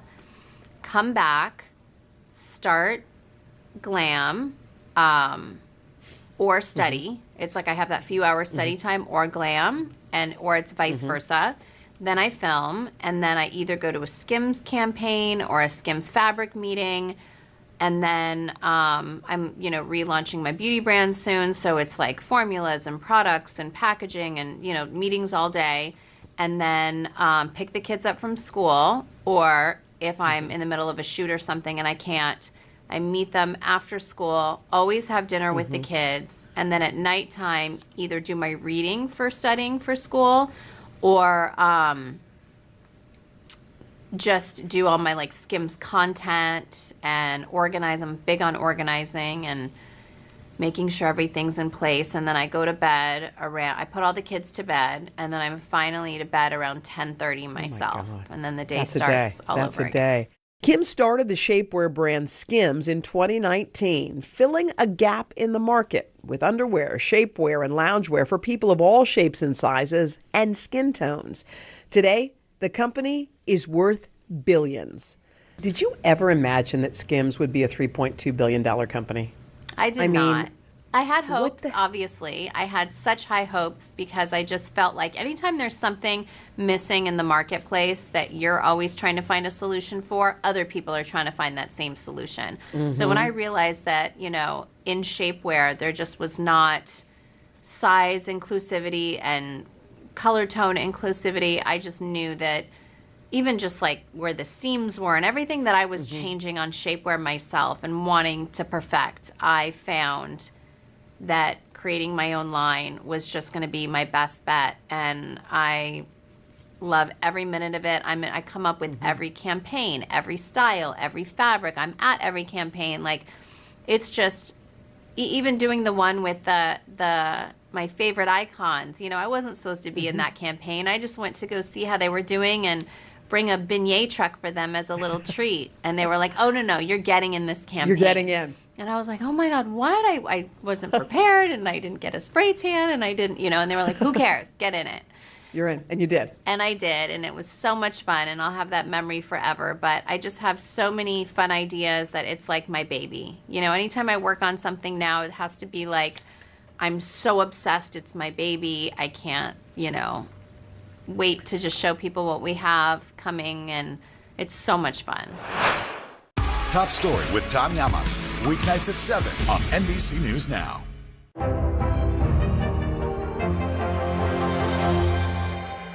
Uvalde, Texas, a small town that has become yet another landmark. How long do you think it took for all this damage to occur? Can you tell us what, what it was like?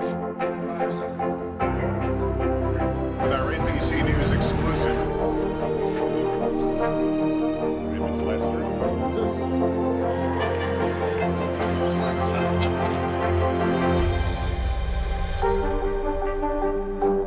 Hallie Jackson Now.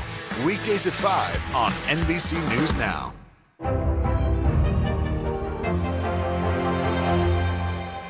Welcome back to you. today. We got a lot to celebrate on this Wednesday morning. It's good to have you along with us. You don't know when your moment's coming, but when it does, you take it. Everybody's good, and that's it. Top story with Tom Llamas. Weeknights at 7 on NBC News Now. To cover the news, you have to be in it. This is how so many towns and cities are protecting themselves. They're pushing the gates open. Was there a school officer on campus? That's what we've been told. No. Top story with Tom Llamas. Weeknights at 7 on NBC News Now. Hallie Jackson Now. Weekdays at 5 on NBC News Now. Well, keeping up with the Kardashians, we all saw, we watched as you bid that farewell. And sometimes when something's done, it's done. You just lock the box and say, that was a good ride. See you later, alligator. But something happened. This thing got another life. Uh, it's on Hulu. So, what was it that made you decide maybe we're not done yet? Um, in all honesty, a bidding war from streaming services came in, and we just were like, okay, how can we? We worked so hard for so many years, and like it was, you know, so it's the best lesson. But then it was just a really good opportunity, um, and we thought, you know what? Let's take a year off. Let's not film for a year and let's let life happen. And we did. Mhm. And then we all knew that we were going to miss it. Like, we just were like, it was a bittersweet thing where we just felt like our time on the network was up and our time just together, like that was up. And then just coming together again was so much fun. The first day of filming was so weird. We were just, we couldn't believe that we were filming again and, and just like the way that we film is a little bit different. I think the viewer would love to just see, or hopefully they'll love it, just how documentary style it is and just how individual it is. And you see Mhm. each sister and family member really on their own and kind of separate. And then we kind of all come together, where the last show was like all together all the time. So I think just knowing that it was going to be a little bit different, and that's such a scary thing, like to start over and to, you know, because keeping up was so iconic. We're so close to the Mhm. producers, you know, we loved everyone, and it was like, how do we start over? Is are we making such a big mistake? Should we have just left it there? But I think after seeing the edits and and seeing how it's shot, and we're so excited, and I'm just so excited for the viewer to see it. Well, I have to talk about just you and your sisters for one second because I remember it was years ago, but Kathie Lee and I went because Kendall was in a fashion show. Uh, she was walking the catwalk, and when we got there, all of you guys were there. There were no cameras, there was nothing. You guys were screaming like it was the first time you'd seen Kendall on the catwalk. Oh, I know. And I said in that minute, that's why the show's successful. Because they love each other. Camera lights on, camera lights off. They're supporting and they're screaming to her like like they had never seen her do it before. And I was cracking up, and Kathie Lee's like, "That's how they are, of course." But that's the magic, isn't it? Like that's the thing that makes people. Kathy used lean to in. say that all the time. She used to say Yeah. like, "You guys," when we were kids, like like Yeah. super young, she would be like. I, I was a teenager, and she would she would say like, "You guys are insane! Like, what? Where's the camera? like, reality TV was just starting out, and she was like, "You guys just have to have your own show. This is insane." Yeah. She Um, said it, yeah. But I think that we're the same, you know, cameras on, like you said, cameras off. I mean, there's not Mhm. one of my friends from high school that can say I'm any different now than I was back in high school. And Mhm. I think we've just always maintained that. And I feel so lucky that we've had each other as a family to come up together. I mean, to think about it, we Mhm. all got our first check together. We all bought our first car together. We all bought, you know, got our first play. Like we had each other. We all ran into our Mhm. first celebrity that we were freaking out over. Like we had every same experience together as a family. So it's like just different than one of us moving out here from you know, a different state and calling the other sister saying, "Oh my god, guess who I just met?" or "Oh my god, guess what I just got?" Like we just we kind of were able to share every experience together, which I think is pretty cool and has Mhm. kept us super grounded. But yeah, we support each other no matter what. We fight just like every family. I mean, I think that when we started filming, we couldn't have even imagined half the stuff that was going to happen and go on in Uh-huh. our lives Yeah. filming. I mean, we thought, how are we going to get to a season two? We have nothing to film about, Mhm. you know? Mhm. And so I just feel lucky that we're starting a, a new journey um, on Hulu, and, and I hope that the fans like it just as much as they liked keeping up. I feel like we're rushing 100 miles an hour.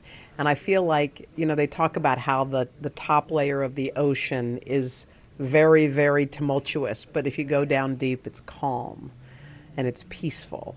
And up on the top layer, they say it's like it's the things you got to do. I gotta, I gotta pick up the kids. I gotta go to work. I gotta get to the meeting. I gotta check on the skims. But if you go deeper, it's calm and peaceful. What, what do you hope to make space for in this coming year in your life? I just hope to make as much space for my kids, to be honest. Mm. I try to spend as, so much time with them. I actually hope to make space for myself too, just to have, Hmm. you know, a little vacay without the kids, maybe, or Yeah. you know, just I think that's super important is to always make space for yourself, but but to make Mhm. space for your kids when they really need you and just make sure that you're there to do homework and all the little things add up to, to the big things. So I just, Mhm. um, I do make space for that and I just want to continue to do that. Yeah, my favorite parenting hack when I'm asking my kids something is the only thing I say to them is, "Tell me more." That's it. My only line to them, and then all of a sudden, out comes the entire day. Yeah. When I start That's asking them one. specifics, that they don't, they don't, they're like, "I don't know, nothing." Tell me more, and they go, "Let me think of some." Oh, guess what happened, Mom? And they tell me some beautiful story. Yeah. Oh, I love that. I'm going to use that. Yeah. I'm going to steal that from you. It's a good one. Kim, I love you. Thank you so much for hanging out with us. Oh my gosh. Love you. Thank you for having All right. me. You got it. We'll talk to you soon. Bye.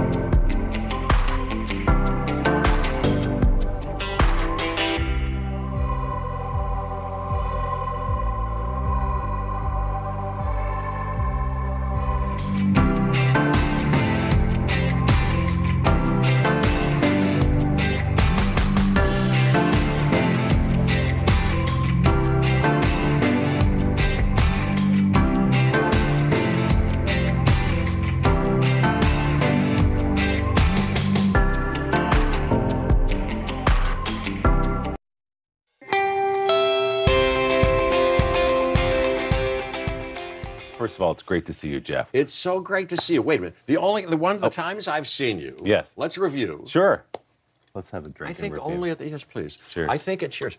I, now, is it incorrect to to to toast to to, to water with water? It is. It's bad luck, as a matter of fact. So we'll have to bring out some hard liquor if you have it. But I say break the rules. You- Let's do it. June 9th is the 29th anniversary of the premiere of the first Jurassic Park movie. Is that true? 29 Oh, years ago in DC. Does that feel like a lifetime ago? Does that feel like yesterday? What's your sort of perspective on this Jurassic run? I'll tell you, when Laura Dern mentioned it to me the other day, I had forgotten. As I sit here, I can't really remember. It's the truth of it. Washington, D.C., as distinct from anything else, I don't remember that we were there first. I don't know. It's kind of. Anyway, see, it must be a long time ago, or I'm going dim. Some bridges are. Well, no, you're forgiven. There were many premieres, I'm sure, to that movie, and it, it was a long time ago. It feels a long time ago and and kind of recent, you know, and, and kind of recent. Um, and I, I don't know that it it changed my life. Not not like you'd think professionally, I guess, in retrospect, but I don't have a recollection of feeling like, God, golly, my life has changed. You know what I mean? With all that said, though, Yes, sir. Jeff, what is it like to be back here now in in this movie? Something that was a long time ago doesn't feel like it. What's it like to be sitting here back in the world of Jurassic? Uh, privileged. I feel lucky. I don't take it for granted. It certainly wouldn't have been predictable or expected 30 years ago. When I was a kid, I was hot about the idea of being an actor. And I knew it was a long shot to ever get to do it. Uh, so, and I'm still aware of that, the fact that I've gotten chances to keep doing it kind of not uncommonly, continually over now a longish period of time, is I feel privileged and appreciative of it, and to be in a movie that, um, if nothing else, kind of uh, uh, you know gets people's attention, entertains them, and means something to them uh, here and there. You know, it's awful fun, and to work with creative people. Now, that's the thing that I really did focus myself on. I was hot to not only be an actor, but to have this creative adventure. And I had a good teacher, Sandy Meisner, who said, you know, here's here's a worthwhile way to spend your life, and you can keep getting better at it for forever. And so that's been important to, to me. And to be back with Laura, and to be back with Sam, back with that team, and conjuring such nostalgia for those of us who loved the first one, to seeing the three of you together. What was it like to walk on set with them? Fantastic. Fantastic. Uh, great. You know, I'd been prepared in my mind for some months and been working on it. And then we contacted each other over the phone.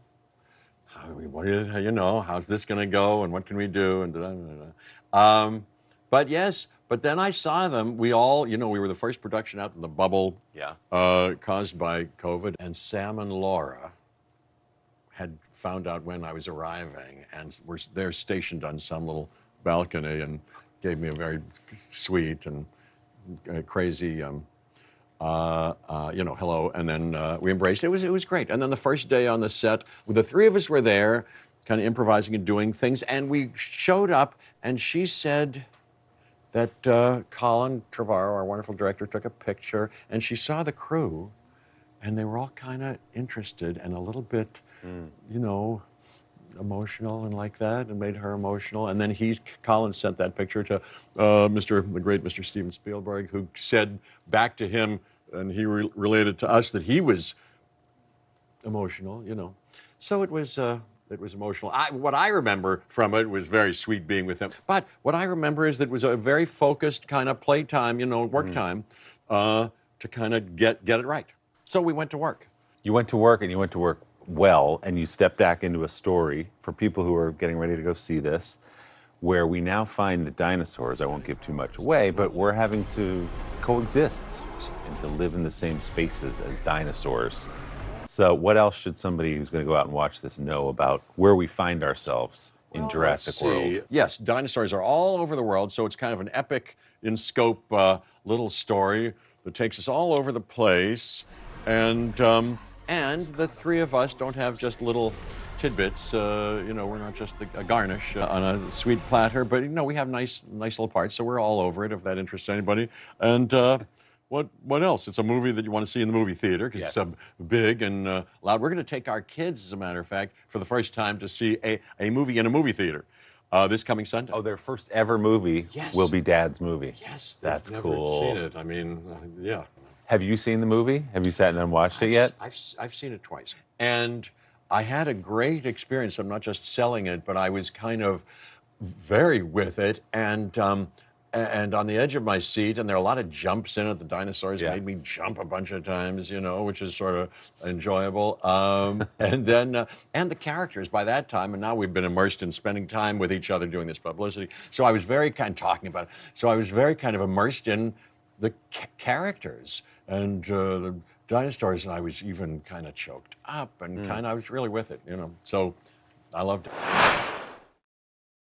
Hallie Jackson Now. Weekdays at 5 on NBC News Now.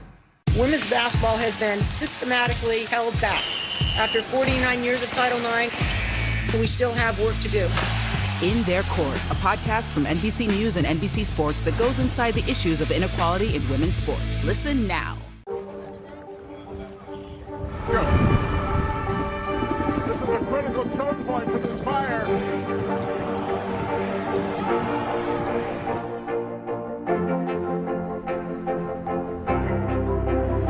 And good evening from New Orleans. Nice to really spend some time with you. Appreciate it.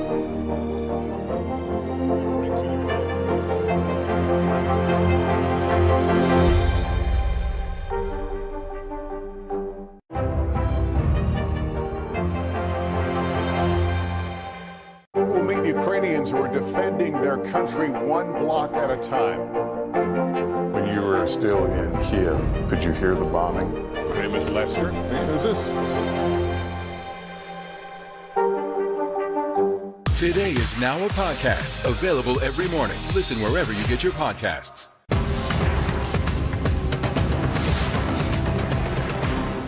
Today is now a podcast available every morning. Listen wherever you get your podcasts.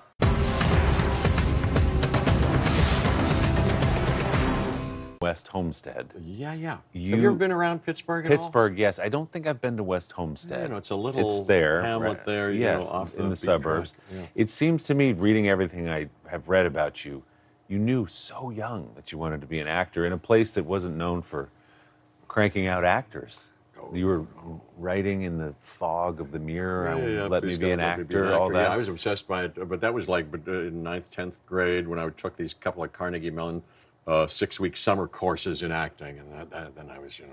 Where did that come from? That obsession? I think around 10 that happened. And it was that, you know, my dad had said if you find something you love doing, uh, that might be a vocational guide, guide post. And, uh, and then I was in this camp that I loved, that was different than the kids that I went to school with. And I loved it and came alive there. And there was a drama course there.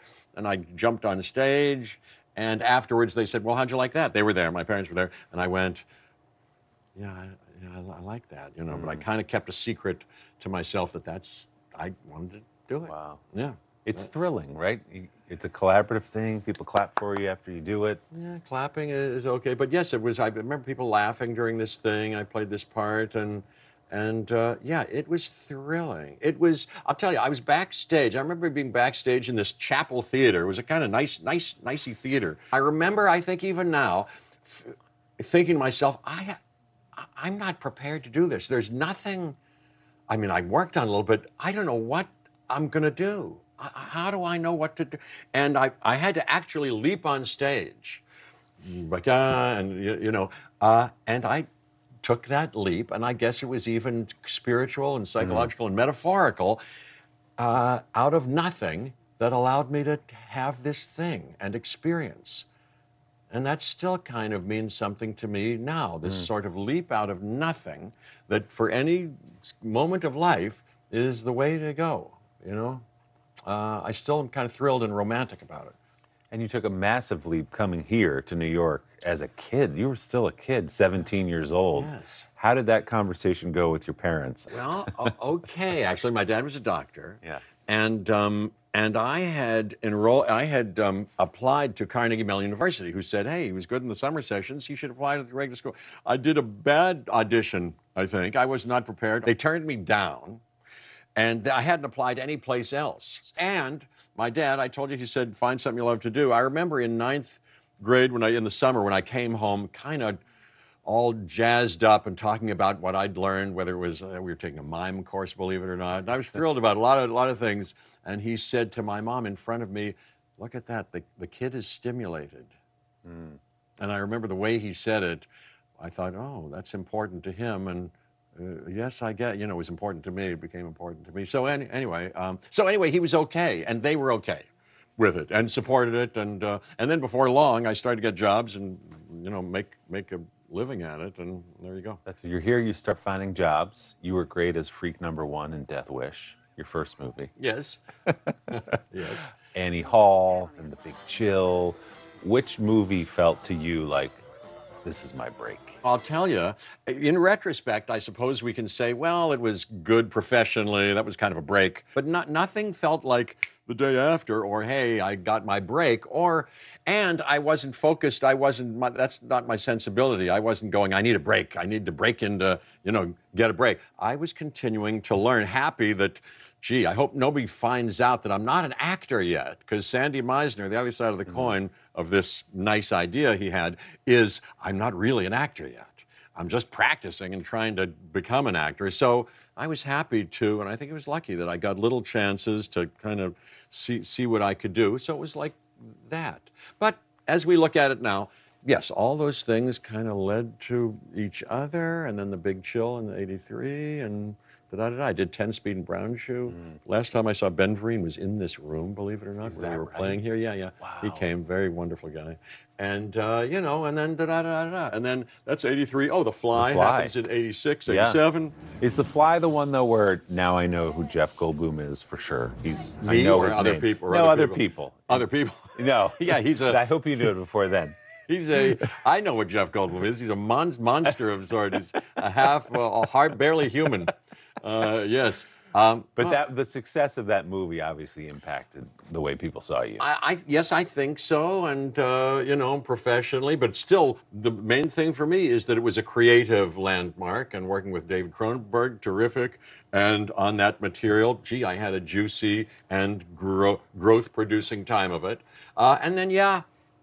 Yes, it, it, it was it was uh, nice for me, wasn't it? And It maybe had led to other things, but even now, I don't know that I could connect the dots and say that led absolutely to that. If it hadn't been for that, I would. I, don't know. It's tough tough to measure. So after The Fly, about seven years later, comes the first Jurassic Park movie. That's right. That's right. right. Well, you've got there's obviously some work in between there, Yeah. but this is a next step. I mean, I know you downplay how it changed your life and all those things, and that's fair, and you don't think about the commercial success of it, but Yeah, but it was a big deal. it was a big deal. Oh yeah, Uh, Jurassic Park. It's a very lucky thing, and uh, like I said, well, we've already talked about it. Steven Spielberg and the people with whom you work and doing this stuff. But yes, uh, people coming up to you, how the fans feel about it is nice, and that's a big deal. That's a sweet thing, and yeah, it's not. It's it's it's a good, nice thing for an actor to, for me to have ha- had, had gotten to do. That's true. Are you aware of the endurance of your line? Life uh, finds a way. I like you still it. hear it? Life uh, finds a way. Isn't it funny to think you delivered it the way you thought it would sound right 30 years ago, and here you're still seeing it on posts online and people saying it as they go about their lives? Yes, you know, it'll be forgotten soon enough, and all this, all our activities here will be fleeting and Well, will turn to dust.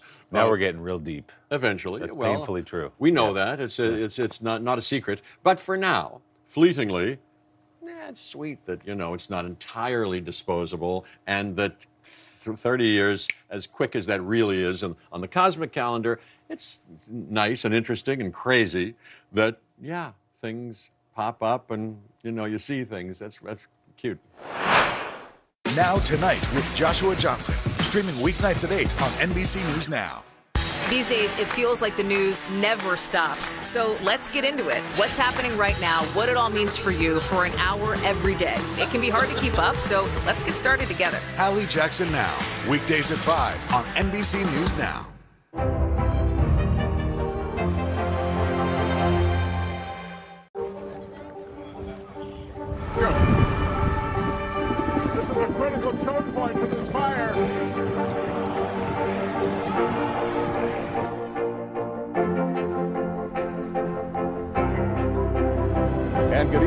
From New Orleans. Nice to really spend some time with you. Appreciate it.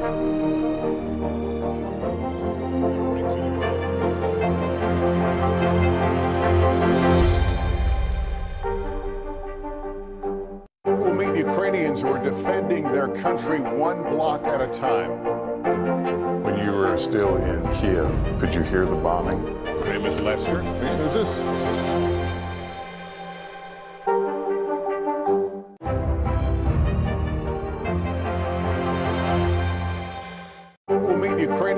Defending their country one block at a time.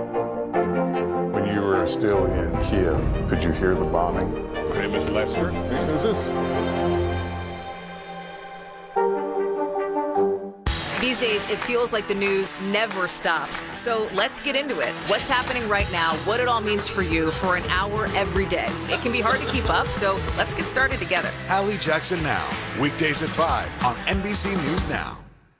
To cover the news, you have to be in it. This is how so many towns and cities are protecting themselves. They're pushing the gates open. Was there a school officer on campus? That's what we've been told. No. Top story with Tom Llamas, weeknights at 7 on NBC News Now. People watch you from the outside, and I get to see you up close in a way most people don't.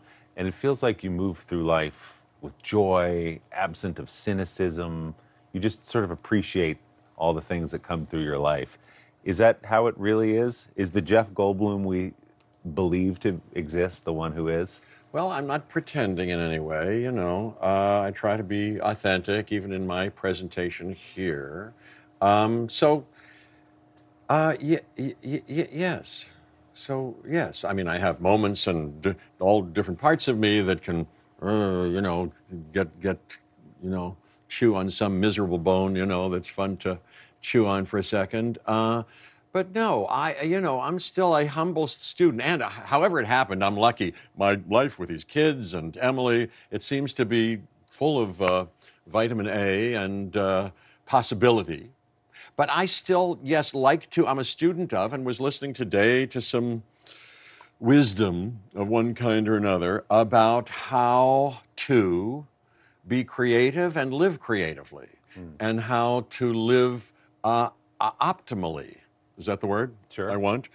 You know, and that's a good question. And I'm still engaged in it and uh, trying to do today better than I did yesterday with leaping uh, into life and and and and appreciating it, being grateful for it, and seeing what I can give to it, uh, and what's here, uh, you know, uh, which will be gone soon enough, uh, to appreciate.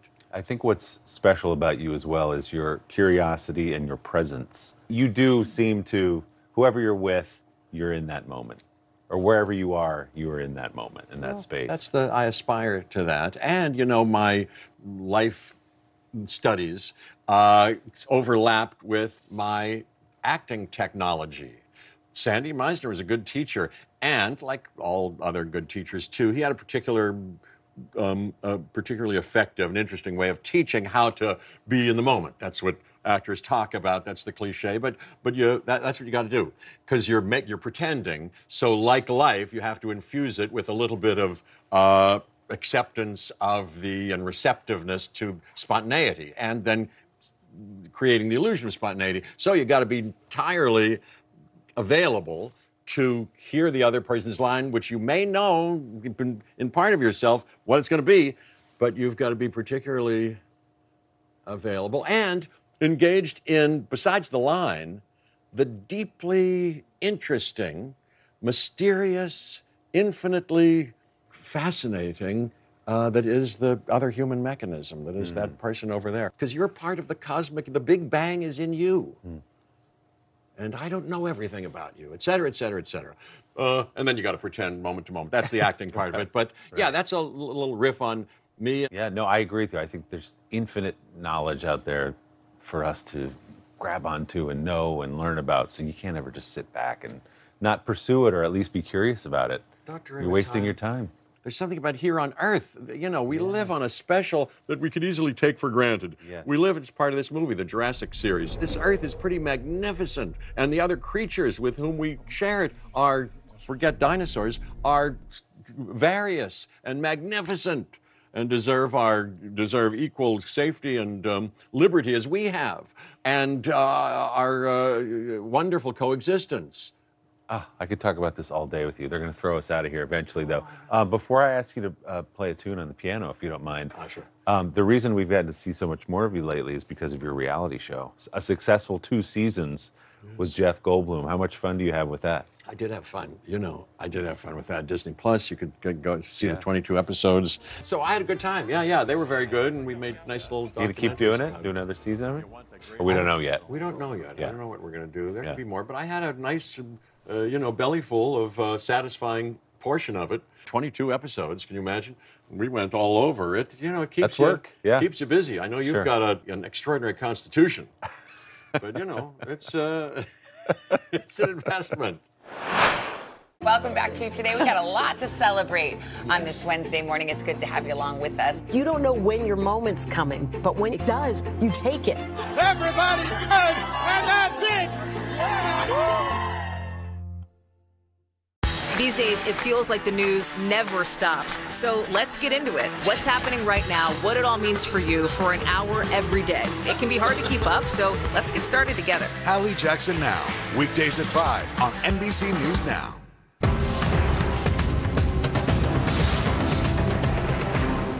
Uvalde, Texas, a small town that has become yet another landmark.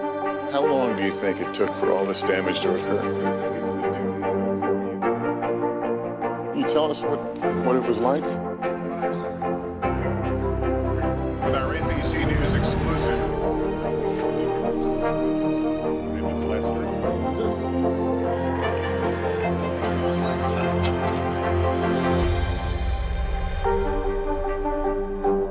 Now Tonight with Joshua Johnson, streaming weeknights at 8 on NBC News Now.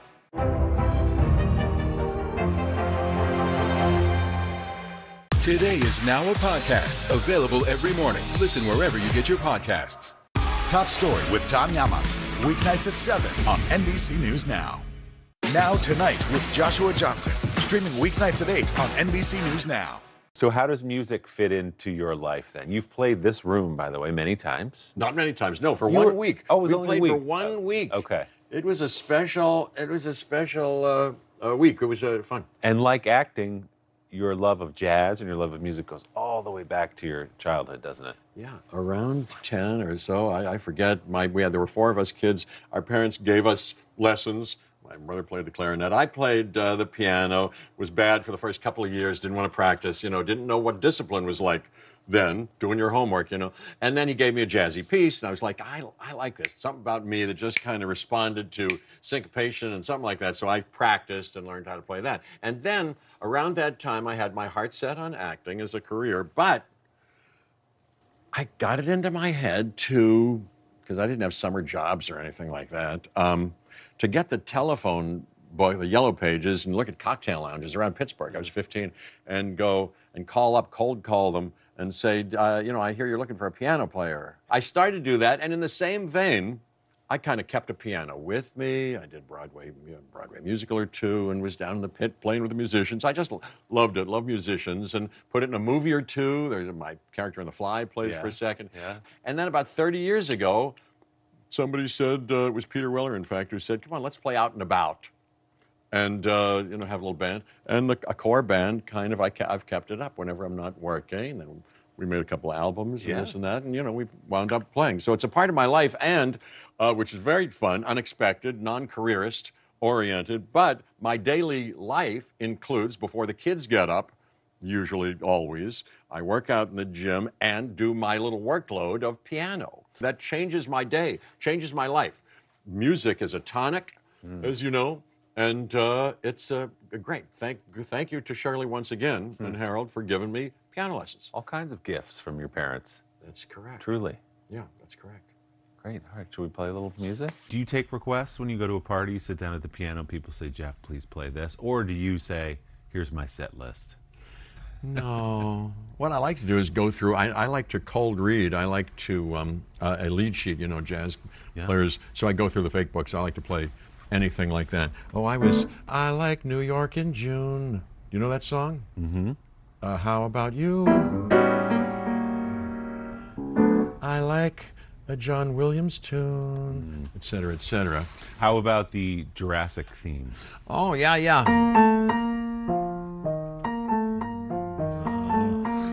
Go. Yeah,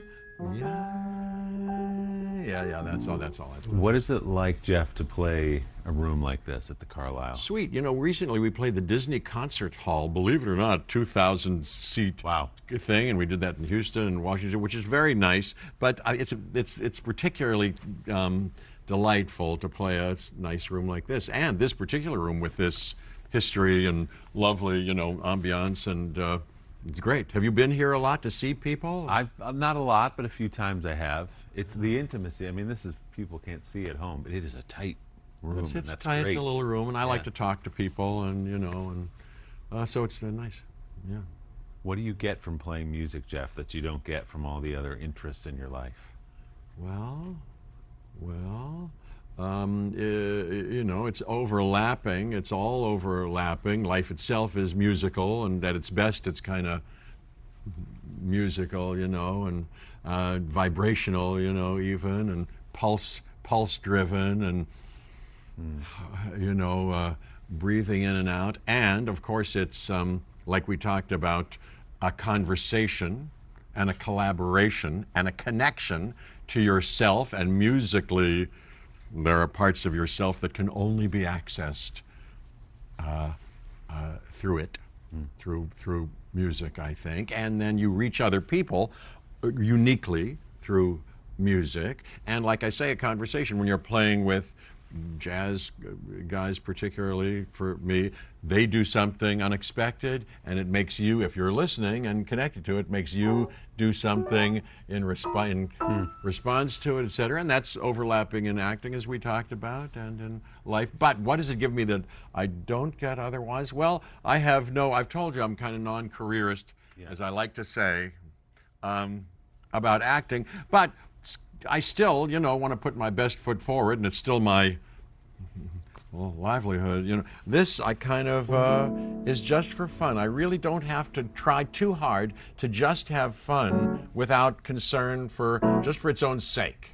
What will you sit down and play in the in the morning? Let's say you've just had your personal time in front of the piano. I and would tell you, I, I'm not going to bore you with that, but I run through. I run. Th- I don't need any music now for it. I run through my whole thing. I start with these days.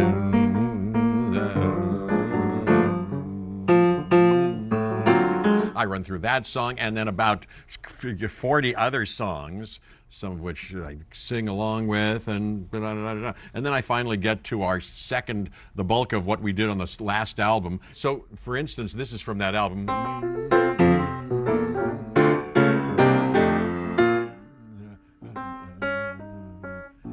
And I'm kind of making up this variation.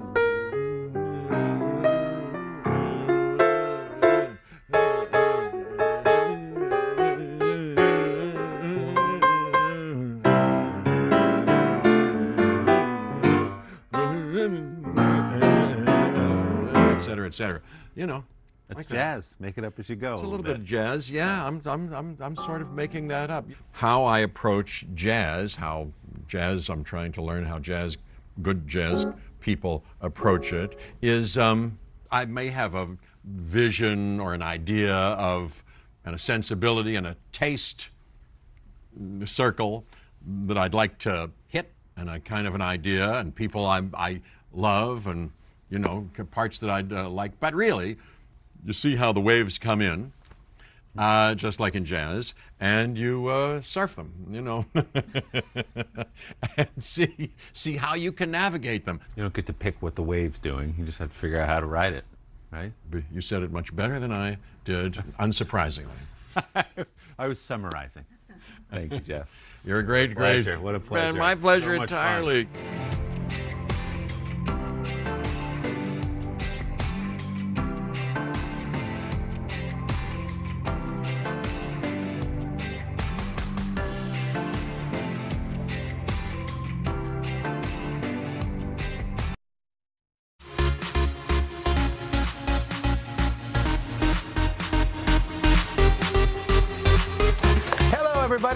To be back with you for a brand new Popstar Plus when we're gearing up for that final episode of Stranger Things with an interview with one of the show's stars.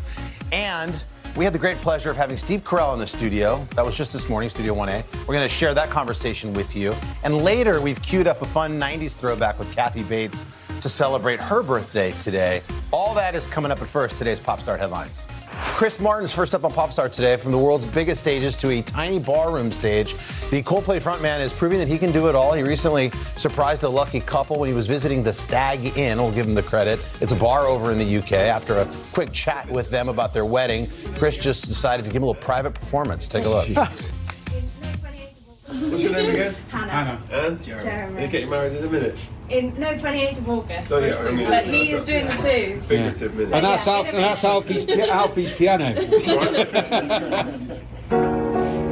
Cause you're a sky, oh, you're a sky full of stars. I'm gonna give you my heart. People walking by the bar like, yeah, the guy th- thinks he's Chris Martin. What's going on in there?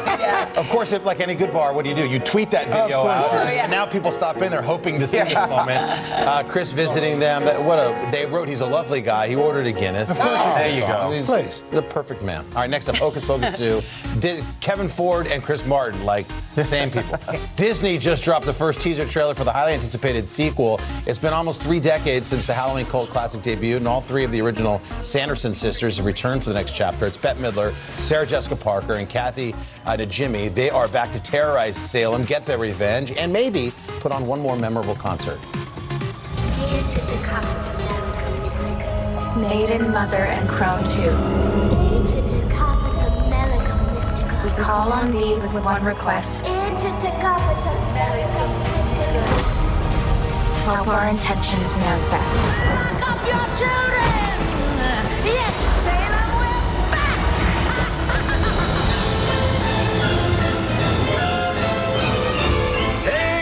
it's the Sanderson sisters. I bet you're looking for the stage. Always. I don't know if I ever saw the first one, but that reminded me of Light as a Feather, Stiff as a Board. Oh yeah. Light as a Feather. Did you So scary. My mom said never play that at Yeah, a but sleepover. you did, didn't she? What is Maybe that? once or twice. You don't know light as a feather, stiff as a board? No. You ever have Oh, a sleepover? It was like the try and sleepover. levitate a friend of Yes. yours. Really? Yeah, using Yeah, powers. that and the Hocus Ouija board. Pocus 2. Another That thing, never do the Ouija board. That's right.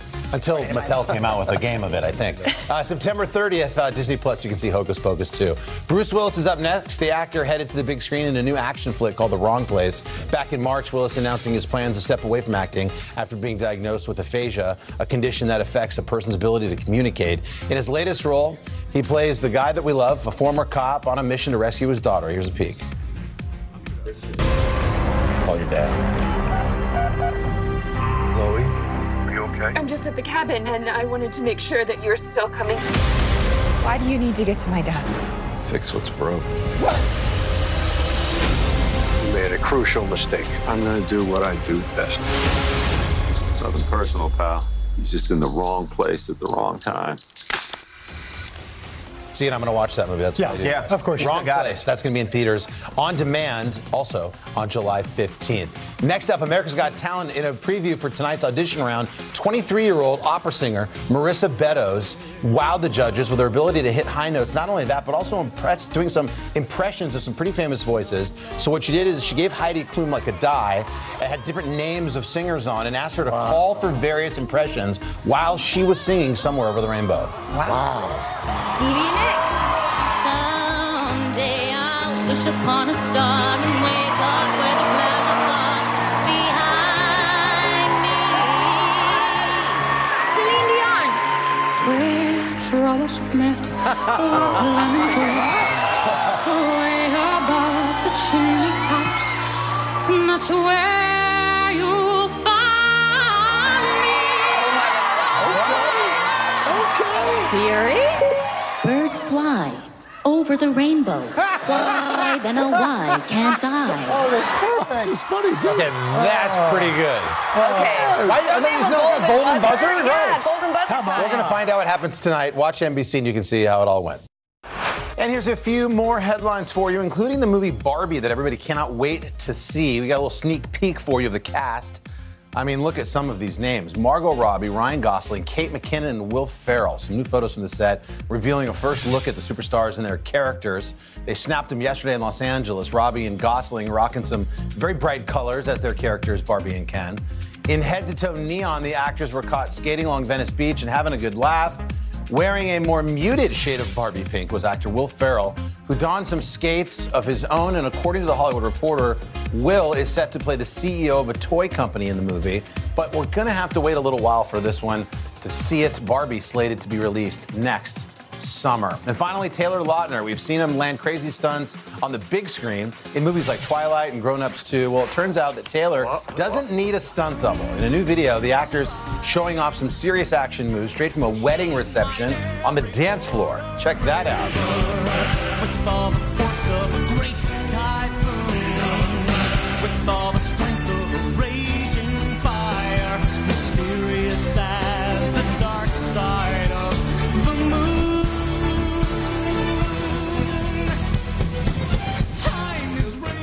Guys are into it, man.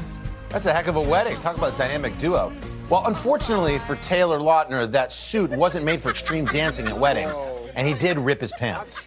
Everybody had a good laugh at it, but it looked like it was worth it. And there you have it, your Popstar Plus headlines still to come. That's why I don't go to weddings anymore. Brett Gelman's going to speak to us about working with Winona Ryder and, of course, all the young stars of Stranger Things. Today is now a podcast available every morning. Listen wherever you get your podcasts. We'll meet Ukrainians who are defending their country one block at a time.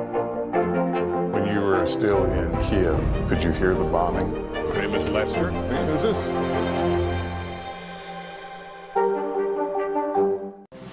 The midterms are here. It's time to plan your vote. We'll provide everything you need to know to successfully cast your ballot. Just select any state you want to learn about for the primary or general election, and you'll instantly get voting rules, see the next big deadline, and learn how to take action for your plan.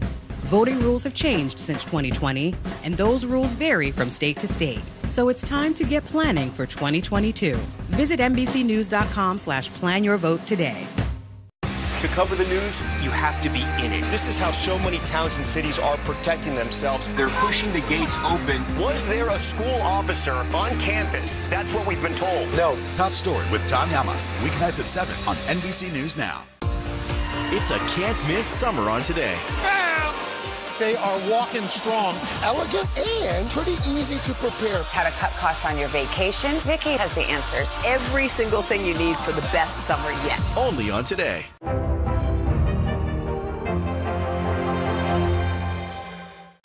Jackson Now. Weekdays at 5 on NBC News Now. And welcome back with the final episodes of the hit show Stranger Things set to be released on Friday. We thought we'd catch up with one of the show's stars, Brett Gelman, returns as Murray and spoke to us about working with the cast on this, the final chapter.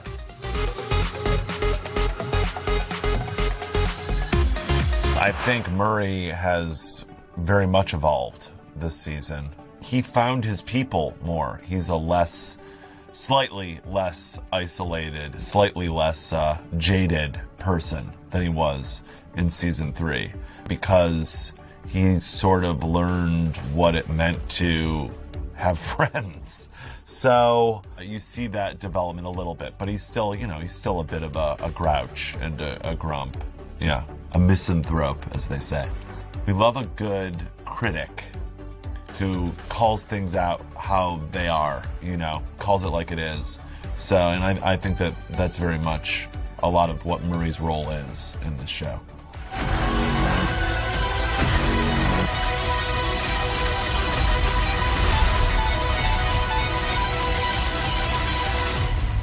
It's time. It is the darkest season. And I mean it the approach to Murray. I mean, you know, as I as I play him, you know, I get to know him more and more. So it goes deeper and deeper. But I mean, things are always bad. My favorite part about playing Murray is that I get to be sort of the like urban character amongst all these rural characters, and then he sort of brings like uh, a city vibe to it. Yet the Mojit Elisi А вот наручники на тебе, сволочь советская. Hi, Jim. That I get to be one of the, you know, a character of like somewhat comedic relief in this action, thriller, horror series, which is a kind of character that I grew up wanting to play, you know. And just, uh, I mean, getting to be in these like amazing action sequences and the intensity of it, you know, while still getting to really like delve into who he really is and and the humor of it is just uh, the best. You know, I mean, getting to be in the Duffer Brothers world that they created as this character. What? Do me a favor and move your lover's quarrel elsewhere, okay? Oh, No, no, no, this not a lover's quarrel, pal. Spare me! What is your problem? Please stop talking. No! I can't tell you much about what Murray and Joyce are up to in it, um, but uh, working with N- Winona is like, you know, it's a childhood dream. Uh, she's one of the greatest actresses and movie stars of all time, and uh, it, I, it's it's amazing to me that I can call Winona Ryder a friend of mine. You know, that's just uh, it's one of those just bizarre things of like pinching myself that this is my life, and she we have a lot of fun. We have a lot of fun when we work together. She is like one of the kindest people and so funny. And so getting to be you know, working with her uh, on this like almost every day that I, I worked on the show was uh, was just like an amazing treat.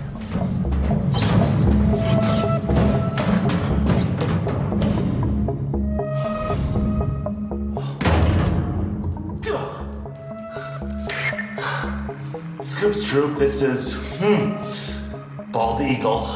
I've reached another junction. This is what? The fourth junction. All right, so if memory serves, this is right after the My Little Pony thesis. We went left, so he has to go right.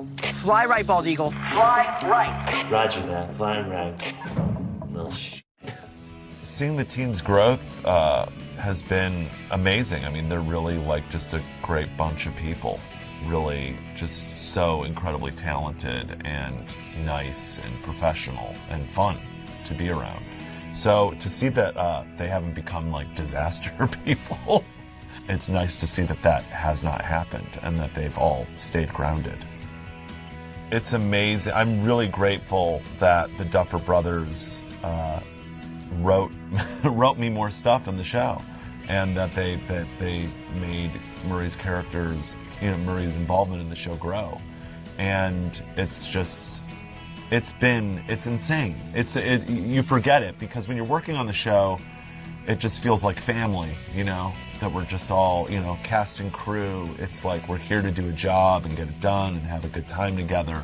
When you step away and you are reminded just how massive the show is. I am the most excited for people to see me, uh, you know, just do amazing acting in this season. It's just, it's really remarkable, and I think that uh, people will really, really enjoy my performance in a way that they haven't ever before. Uh, so that's very exciting to me. I'm no, I'm I'm really excited to. I, I just really this season I think it's the best season, and, I think the other three seasons have been amazing.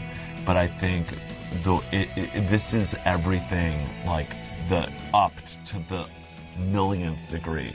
It is scarier, more action packed, and funnier than than previous seasons. And there is such an amazing balance of all of that. That uh, I mean, it's just like it's really, it's really awesome. Thanks to Brett for hanging out with us. And again, volume two of Stranger Things, season four drops on Friday. All right, coming up, Steve Carell, aka Gru himself, fills us in on the latest word from the world of minions. The midterms are here. It's time to plan your vote.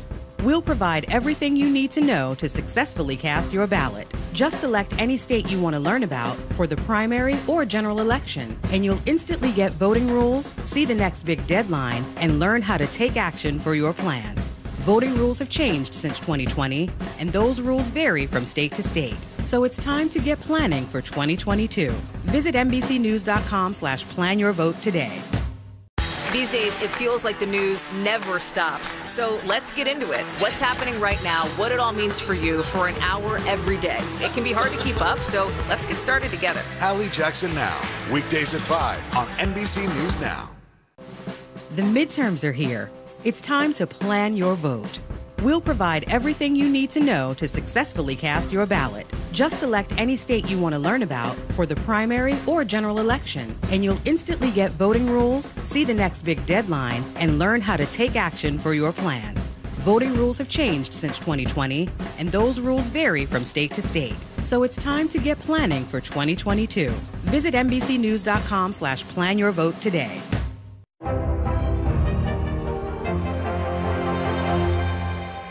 Today is now a podcast available every morning. Listen wherever you get your podcasts. The day's biggest political stories with trusted insight now and expert analysis now. A daily look at the politics behind the headlines. Meet the press now, streaming weekdays at 4 p.m. on NBC News Now. Today is now a podcast available every morning. Listen wherever you get your podcasts. Welcome back to you today. We got a lot to celebrate on this Wednesday morning. It's good to have you along with us. You don't know when your moment's coming, but when it does, you take it. Everybody good, and that's it. And welcome back to Pop Star Plus. Steve Carell's back as the voice of the villainous Gru in the new Minions movie, The Rise of Gru, and he stopped by Studio 1A to tell us all about it.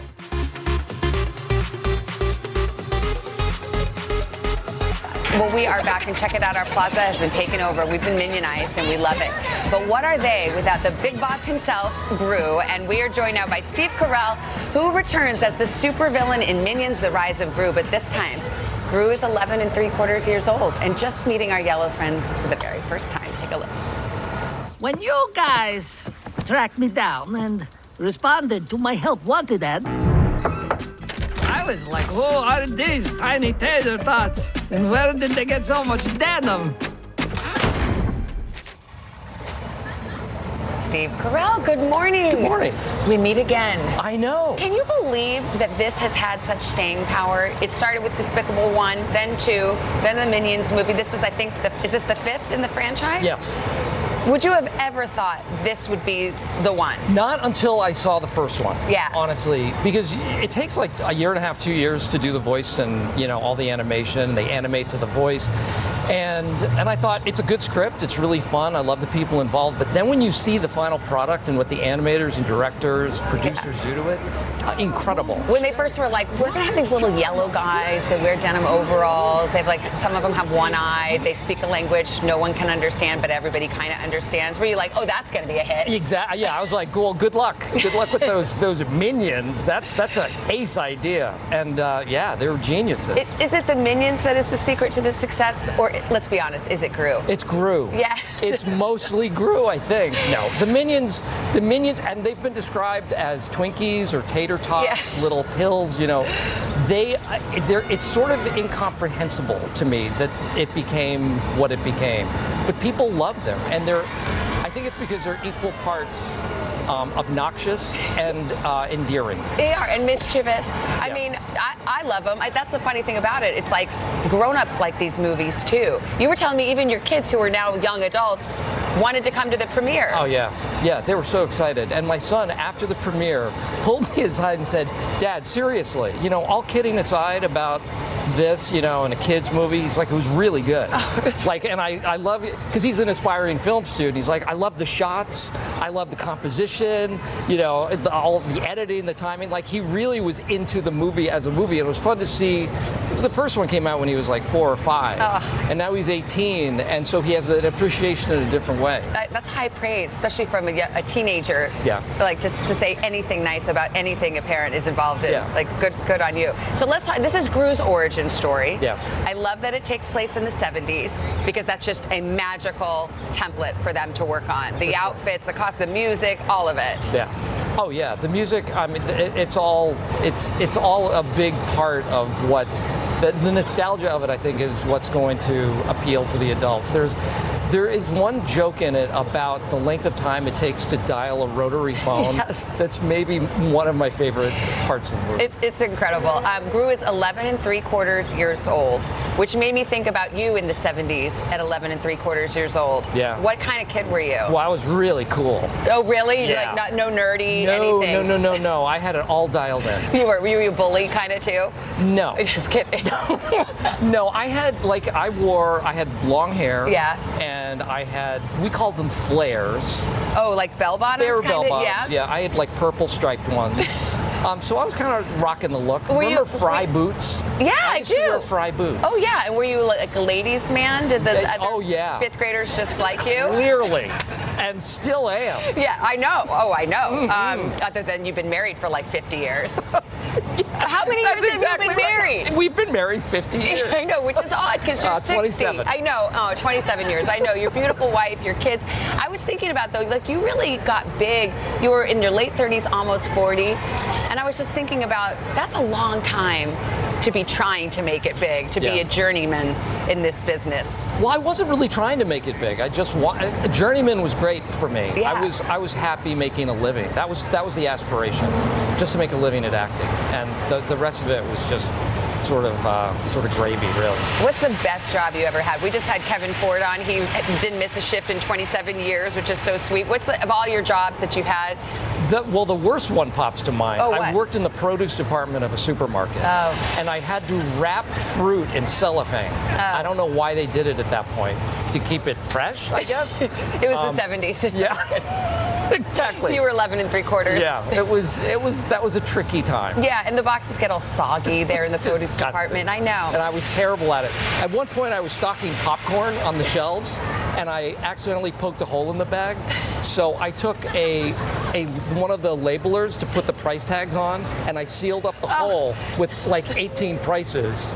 And then my manager said, "What's this?" And he peeled it off and popcorn over the floor. Clean up aisle five. Yep, that's exactly right. Thank you so much. It's good to see you. The movie is a delight. And it's because of you, Gru. It's your origin story. It's all about Gru. You're just saying that. No, I'm not. I love you, Gru, and I love the Minions. It's from our parent company, NBC Universal and Illumination.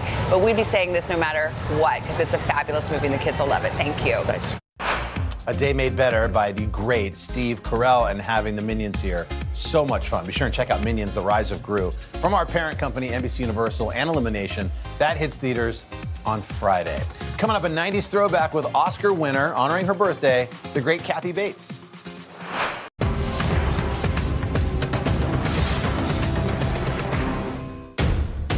The day's biggest political stories with trusted insight now and expert analysis now. A daily look at the politics behind the headlines. Meet the Press Now, streaming weekdays at 4 p.m. on NBC News Now.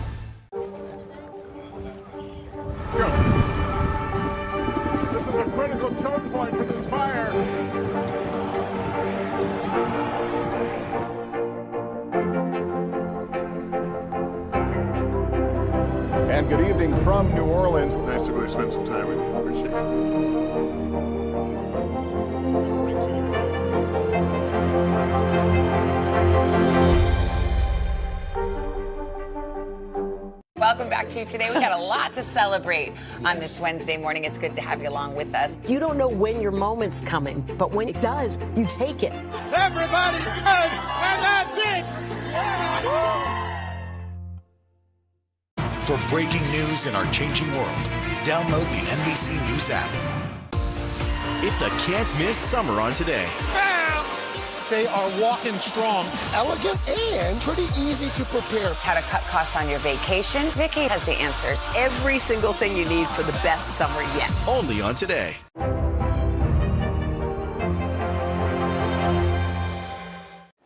Welcome back. The talented Kathy Bates, who turns 73 years young today, has played so many terrific roles in her career. And in her honor, we're taking a look back here to 1998 when she spoke with us about her characters in Titanic and Primary Colors. So this has been a great time for you, It's hasn't been a it? great year. Well, first really of all, we should probably Well, this introduce is Griffin. This is Griffin. I brought him with me. Uh, He's he's my sweetheart. He's my boy. So yeah, thanks you for letting me rescued bring him you rescued him a yeah, couple years ago. A couple years right? ago, oh, we he's, rescued. He's very fascinated by our interview. You're not allowed to yawn, Griffin. So, and I'm brought, I brought him to the to New York for the first time. He's he's more of an, an LA dog, so he's still getting used to the trucks and the traffic and the people and everything. And you so. get to follow him around with a plastic bag. That's right. A little, pink plastic bag on your hand. Oh boy! All right, well let's get back to the movies, shall we? Yeah. Um, tell me about how excited you were with the Titanic's incredible sweep of the Oscars. It's amazing, isn't it? I mean, so many people worked on the film. It was just an amazing experience. I think the the most incredible experience was working in the dining room, you know, going and being in that scene there and, and sitting down at your place and you'd see a plate that was an exact replica of what they brought up from the debris field and the silver had all the white star insignias stamped right. on it. It Even was the cards amazing. that had the menus. I mean, Amazing. it was just all so meticulously done, wasn't Yeah. it? Was did that make it eerie in a way? It was eerie. You know, Ken Marschall, who did the illustrated history of the Titanic, came and he just he was there the day we shot the dining room scene, and he just stood there with his mouth open and he said, "This it'll never be done like this again." He, it was as though he stepped into one of his own paintings. Yeah. Were you surprised that that Titanic did so well at the Oscars? No, I, I think everybody expected it. You know, it's just it's you, you you go and meet kids who've seen it like eight, ten, eleven times, and I get I get so many young kids, you know, coming up to me for autographs, but I realize it's not for me. It's because I was on the boat with Leo. I mean, let's face it. You know, What their is- eyes just glaze That over. is so amazing. I guess he's this generation's Davy Jones or whatever, whoever was my David Cassidy, I'm not sure. But it's crazy, isn't Yeah, it? Isn't it a bit insane? It is insane. He's such a talented, talented. I, I fell in love with him when he did who, uh, What's Gilbert eating Grape. What's eating Gilbert? Was he not magnificent in that role? And I thought, wow, I this did guy too. is so gifted. He's amazing. He's amazing. He's a real phenom. He's a chameleon. Yeah. You know, and lovely to work with. Really sweet, Yeah, isn't he? Yeah. Um, before we talk about primary colors, Yes. which I think is one of the main reasons we're here, I have to ask you about Molly Brown. How did it happen? You play, of course, the unsinkable Molly Brown in Mhm. Titanic. How did it happen, uh, Kathy, that she just just happened to have a, a, a dinner suit that that fit Jack perfectly? You know, that required a little more suspension of disbelief that I was capable of. I know it's true. well, we figured out that maybe you know she was shopping in Europe and, and It was for her, her son, son. right? She was bringing it back I for her like, son. sure. You know, like, Why did you well. say change that, huh? Did you think that was a know. little far fetched? it was a little far fetched, but you know, it's the movies. so. Yeah, you're right. You're, I guess I shouldn't take it so seriously. Well, let's talk about primary colors because I I confessed to you during the commercial that I haven't seen it yet. I'm really looking forward to seeing it. But from what I hear, you steal the show. Well, it's a great part. It's a plum part. I play Libby Holden, who's one of his um, political operatives, and from the moment I read it, I, I just I knew it was a, a terrific part. It's Why? the best. What- It's the best part I think I've had to come down the pike in a long time. Better than Misery, or well, it's as good as. Yeah. I think. What makes it so good? Well, because you get to do the whole thing. You, it's it's the whole arc. She's crazy. She's funny. She's you know, but she's also She's profound outrageous, and she's she? outrageous. But she's also got a lot of uh, depth and and she's. Uh, sh you got the pathos as well as the comedy, you know, and it's it's it's it's everything. It's the whole ball of wax, and and to work with somebody like Mike Nichols, who, you know, is great taste and smart, and Elaine is so smart, Oh, huh? he's just amazing. And not to mention John Travolta, John and Travolta. Emma Thompson, who I adore. Yeah, talk about great. smart. I, know mean, she's so supportive too. We had our first rehearsal, we were sitting next to each other, and there's like a big long aria at the end that Libby has. And after I did it, she kind of reached over and grabbed my hand and was real supportive and friendly, and it's just great working with everybody.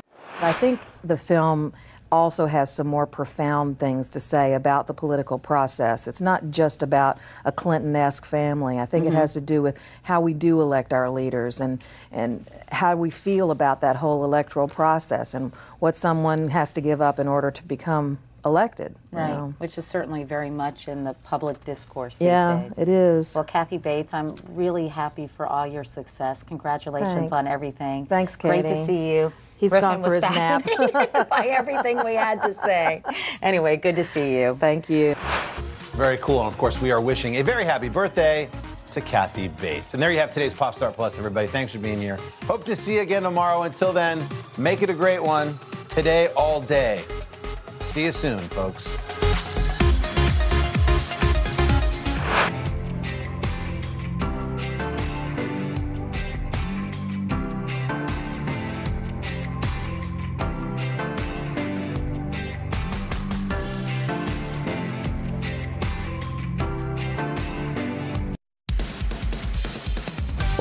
Look at our friends from Today All Day Land. And guess what? It's your favorite day of the week. Friday, baby. That's what they call it. It's your favorite, too. Yeah. Uh, welcome to Today in 30. This is our half hour wrap up of everything from the show this morning. One major highlight the amazing Charlie Puth rocked our plaza. Hmm. Epic concert. We're going to hear from him in just a bit. But we are going to start with that breaking news out of Japan. The country's former prime minister shot and killed while he was in the middle of a speech at a campaign event. We're going to have more on the investigation straight ahead. And then we actually have some good news for drivers, something we have not been able to say in quite a while. After months of record highs, gas prices finally starting to come down. We're going to let you know what's causing the decline and more importantly, whether it's going to continue through the summer. And then on the fourth hour, we are chatting with one of Hollywood's hottest stars. Her name is Lola Tung. It's a name you won't forget because everyone is talking about her new binge-worthy show, The Summer I Turned Pretty. It was her very first television appearance Wow. with us ever. Okay. So all of it's coming up on Today in 30. We are going to start this morning with that breaking news out of Japan. The former Prime Minister Shinzo Abe shot and killed overnight while in the middle of delivering a speech at a campaign event. The shooter has been caught, but they still don't know what the motive is. Yeah, Abe, of course, Japan's longest serving prime minister. He retired for health reasons back in 2020. While in office, he formed close relationships with Presidents Obama, Trump, and President Biden. Secretary of State Antony Blinken speaking out just a short time ago at the G20 meeting in Bali. We really, really deeply mourn a loss, a lo- a loss for his family, a loss for his friends, a loss for the people of Japan, a loss for the world. With gun violence headlines front and center right here in the United States, we should point out incidents like this are extremely rare in Japan.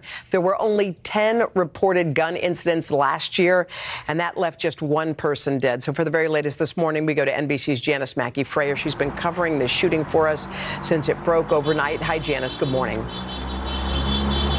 Hoda, good morning. Former Japanese Prime Minister Shinzo Abe died after being shot in the chest and neck.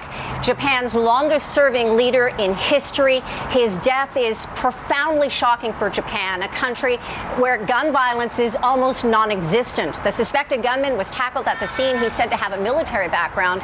The assassination was all captured on video. A warning it's disturbing. This morning, a shocking attack with ripple effects across the world.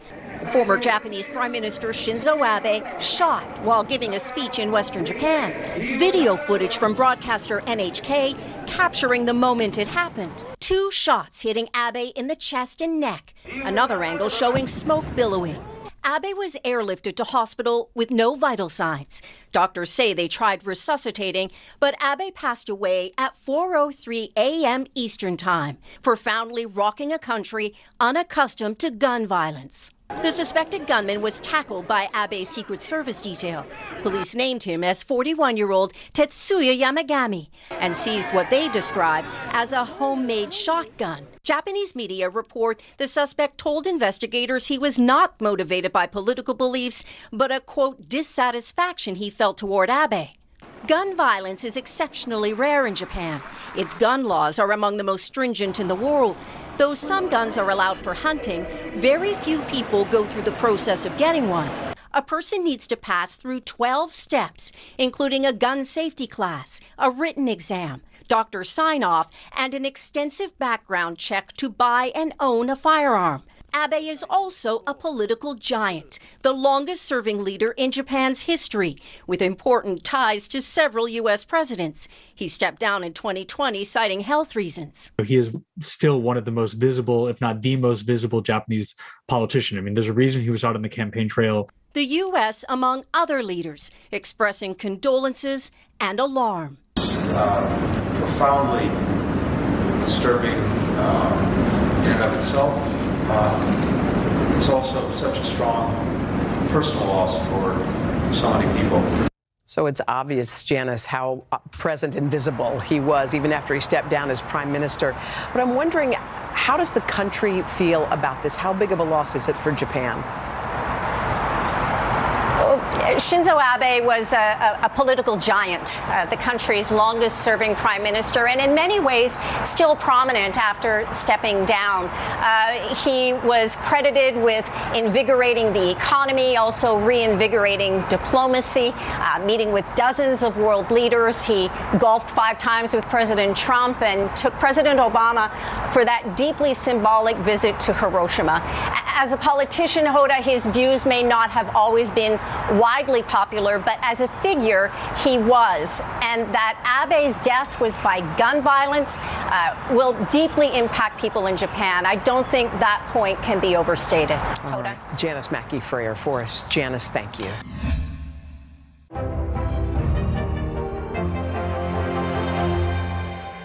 Uvalde, Texas, a small town that has become yet another landmark. How long do you think it took for all this damage to occur? You tell us what, what it was like? With our NBC News exclusive.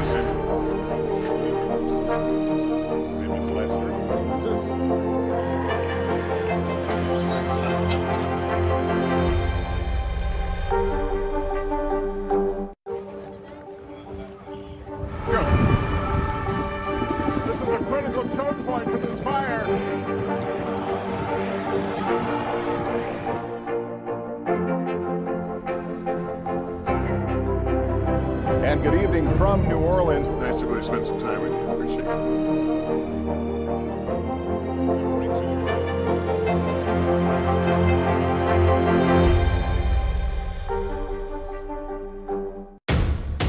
The day's biggest political stories with trusted insight now and expert analysis now. A daily look at the politics behind the headlines. Meet the press now, streaming weekdays at 4 p.m. on NBC News Now. Today is now a podcast available every morning. Listen wherever you get your podcasts. For breaking news in our changing world, download the NBC News app. Feels like a good time for a Mm, boost. I think it's always a good time for a boost. Don't you? Here we go. A group of young guys were hanging out by a lake in Texas. One of them found himself in a tight spot, so he got stuck on a rock.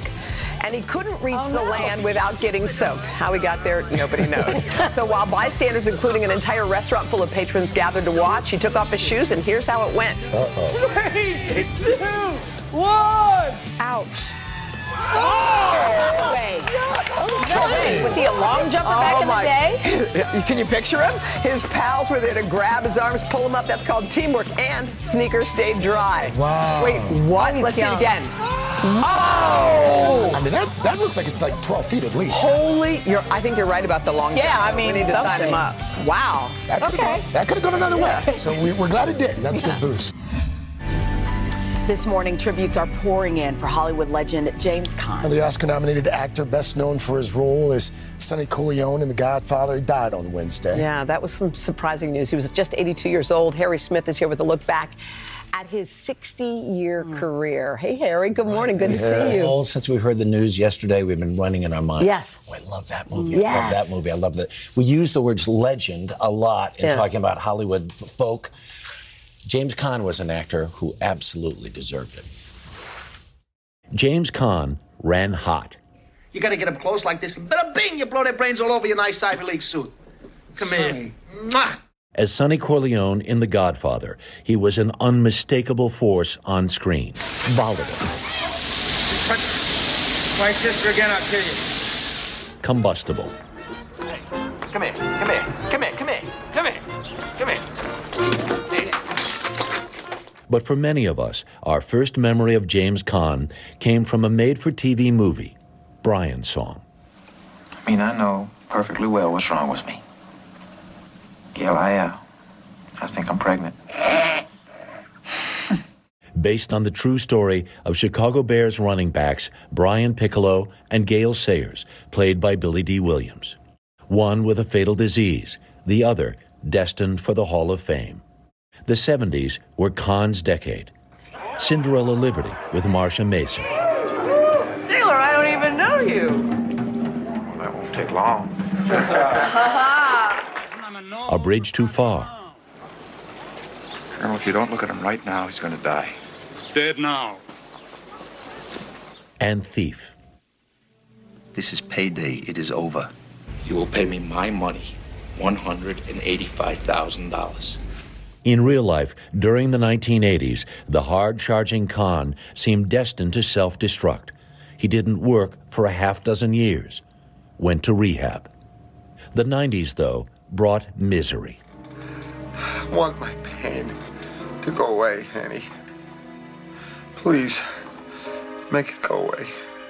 From the Stephen King novel, directed by Rob Reiner, with Caan and Kathy Bates. I know Rob did this on purpose. He said, I'm going to get the most neurotic guy in Hollywood and put him in bed for 15 weeks. A cable favorite we can't not watch. I love you. I love you too. Honeymoon in Vegas is also a fave. I raise 8,000. Tommy, I thought we were playing for fun. This is fun. And Elf. Dad! Oh, how we love Elf. I walked all day and night to find you. You look like you came from the North Pole. From Godfather to Elf. They said, We're sending you a script called Elf. I said, No, you're not. Caan's all business demeanor versus Will Ferrell's inexhaustible exuberance has made it a Christmas standard. Who sent this Christmas gram? What's a Christmas gram? I want one. I think we should call security. Good idea. I like to whisper too. Bringing the talent of James Caan to a whole new generation of fans who are remembering today the actor and his legendary career. Ah, oh, hair. Wow. Faves? You have a I, I was just going to say, Oh, I was going to ask you what your fave. What do you love? You know, when I first, I first heard, heard, the, heard the news because as a kid Yeah. growing up in Chicago, Yeah. A Chicago Bears fan. Oh, you love the Brian's Brian song. Piccolo and Yeah. sure. Gale Sayers story Yeah. because especially back then that these guys were friends. Yeah. Mm. Black player and a white Absolutely. player, Yeah. and they were like this. Yeah. That had so much so much resonance with me. I'll see your Brian yeah. song and Yeah. Go other end of the spectrum and and Elf. Elf. Elf. Oh, Oh, wow. uh, because it's just shows his range. How about you? Elf is a class. Elf is my. These are my. By the way, you guys both mentioned my two favorites. Yeah. Right. I loved Brian's song. I remember weeping. Yes. Like a baby. Yes. Watching Brian's song, and the fact I forgot it was a TV thing. I, I Made didn't for remember. TV Made movie. for Yeah. TV. Look at all of these pictures I here on know. the wall. I mean, you talk about a life well lived. Yeah. It just, it's And he, remarkable. and he was a New? Yorker through and through to the core. Well, I and he tells the story, right? Yeah. Because his Godfather runs, Yeah. runs, runs, runs, runs. Yeah. There were people his whole life who said who thought he was an actual mobster. Oh. and he's a Jewish kid from Queens. and they're like, "You're a, are you a made guy? What's your deal?" What's your deal? Good. Harry, that was fun. Thank Thank, you, you, so much. This morning on today's Consumer Confidential, something we haven't been able to say in a while. Are y'all ready for this? we got good news for drivers. So, after months of record highs, gas prices have finally started to come down. National average now about 29 cents below the record high that was set back on June 14th. And NBC's Erin McLaughlin joins us with more on why this is happening and what we can expect over the next few weeks. Hey, Aaron. Hey, good morning, guys. That's right. The national average is now 12 cents lower than just a week ago.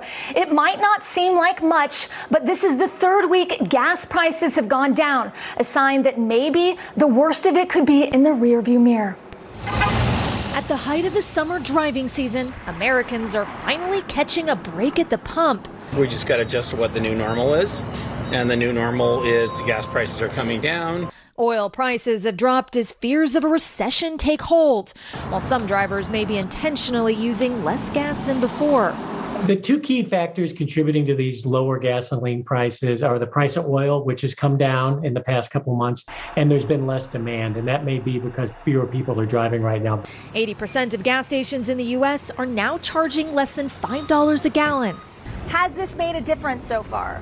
It's made a slight difference, yeah. Every little bit counts. Prices are lowest across the southeast and highest out west. In California, where about 12% of Americans live, the average gallon is still above 6 bucks. I haven't noticed. It's still the same for me, you know, it still burns really fast. And even in the state with the cheapest gas, drivers are still paying $1.38 a gallon more than they did at this time last year. because stations are probably sitting on thousands and thousands of gallons of gasoline that they bought at a far higher price. So they're going to want to sell through that. Then they'll get access to some of the lower prices. While people may be cutting back on their day to day driving, AAA says many families are still hitting the road for summer vacation, with a record number of travelers taking to the highways over the 4th of July week. You'd think with these high gas prices, folks might have chosen another way of traveling. But it also came at a time where people also looking at the issues with the airlines, with the long lines, delays, and cancellations. And they may have figured, you know what, forget about it. I'm just going to go on the car. In March, 75% of people surveyed told AAA they would definitely change their driving habits or lifestyle when gas hit $5 a gallon. This morning, those changes may finally be making a difference. Hopefully, we'll get out of needing gas someday. Finally, some good news, Erin McLaughlin. Slightly less pain at the pump. So, I mean, if prices continue to drop, how low are they expected to go? Do we know? Well, according to GasBuddy, we should see gas prices dropping a few cents a day over the next few weeks, and some analysts expect a drop to 4.50 per gallon nationally. It just might take a little longer than we'd like, guys. All right. Yeah. well, at least right. it's starting. At least it's starting. You know what? Sometimes you don't. thank Sometimes you don't notice small increments, Yeah. but we're going to pay this- pay yes, attention. I think this is good. Finally, I mean, just the fact that we just said good news and gasoline Right. in the same sentence, We'll Erin, take it. made us feel good. This is a critical point for this fire.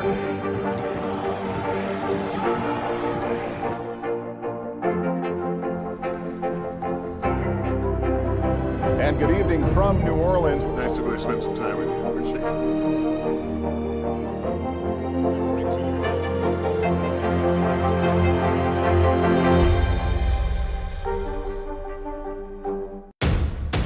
The day's biggest political stories with trusted insight now and expert analysis now. A daily look at the politics behind the headlines. Meet the Press Now, streaming weekdays at 4 p.m. on NBC News Now.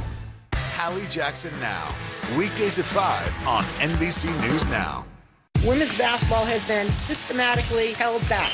After 49 years of Title IX, we still have work to do. In Their Court, a podcast from NBC News and NBC Sports that goes inside the issues of inequality in women's sports. Listen now.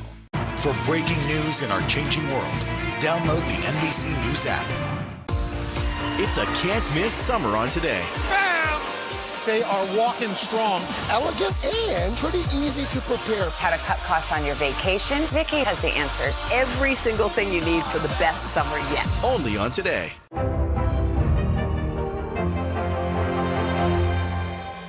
Live from Ukraine, from Uvalde, Texas, from Mayfield, Kentucky. To cover the news, you have to be in it. This is how so many towns and cities are protecting themselves. You can actually see they're pushing the gates open. Was there a school officer on campus? That's what we've been told. No. Do you remember any tornado as bad as this one? You look at this and you're thinking, we're not going to have power for weeks, if not months. Exactly. Every night, it's your news playlist. Top story with Tom Llamas, weeknights at 7 on NBC News Now. The Citi Concert Series on today is proudly presented to you by Citi. Our next guest has been rocking and getting people on the plaza to sway all uh-huh. morning long. Charlie Puth, Grammy, Golden Globe nominated singer and songwriter, 15 billion streams, eight multi platinum singles. A lot. He has a new album coming out in October. It's called Charlie, and he's with us this morning. Good morning to you. Good Charlie. morning. I told you I feel like a proud auntie. Yeah? we co-hosted together how many years ago? I know we did. I'll never forget that day because attention went straight to number one after. Oh, really? Right when we had a. Can I get a royalty check? Just kidding. But, You're right. That's here. But no, his That's funny. parents were That's here, whatever. funny. Now you're all fancy. So how does it feel, though? I mean, seriously, you've had a journey. I, I, I have had a journey, and it doesn't feel like work when I come here anymore. It does feel like very family oriented. I, I think this is my seventh It is. time. That's awesome. Seventh That's time on here. So Good idea.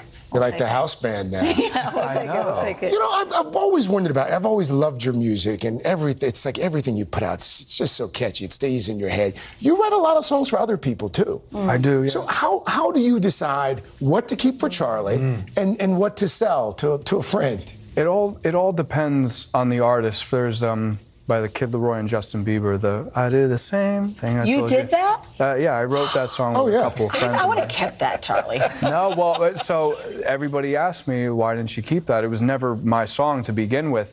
I had been listening to a lot of Chicago records from the 80s the night before, and uh, when you slow that piano part down, bum bum bum bum bum bum. If you slow it, dum dum dum dum, it sounds like sugar, whatever. Oh, yeah. This- And I was like, I'm gonna make something like that. So I went to my keyboard, and LAROI walked in and started singing the melody that I was playing. And usually, it, with a complex melody with a lot of notes, you want to counterbalance it with Mm-hmm. like a little amount of notes.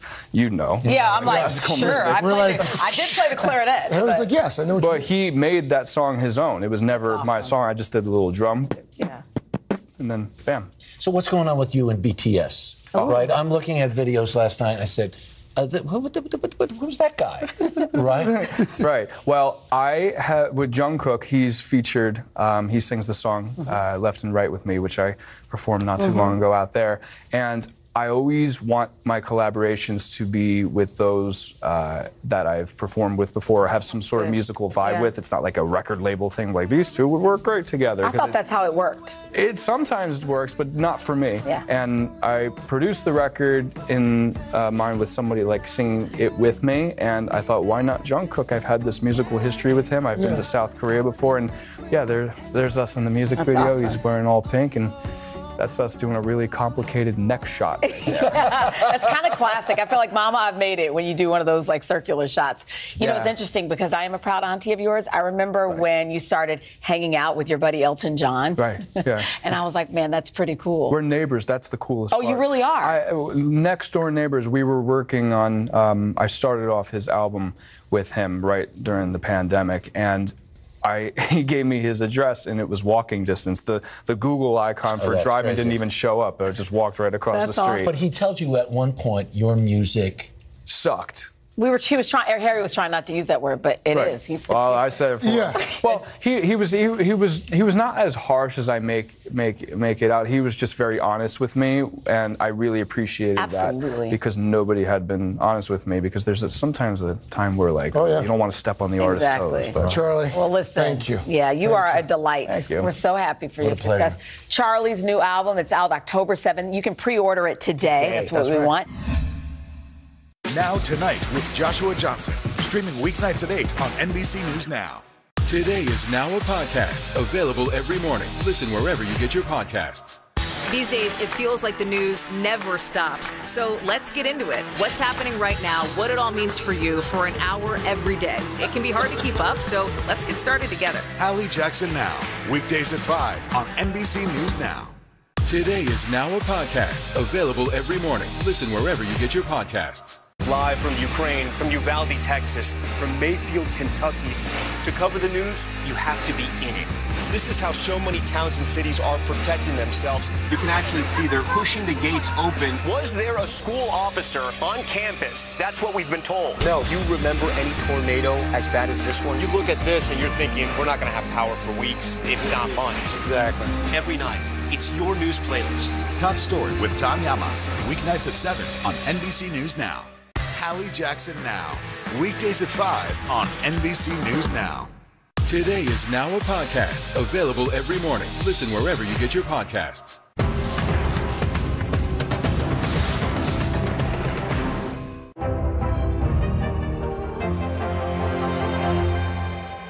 Today is now a podcast available every morning. Listen wherever you get your podcasts.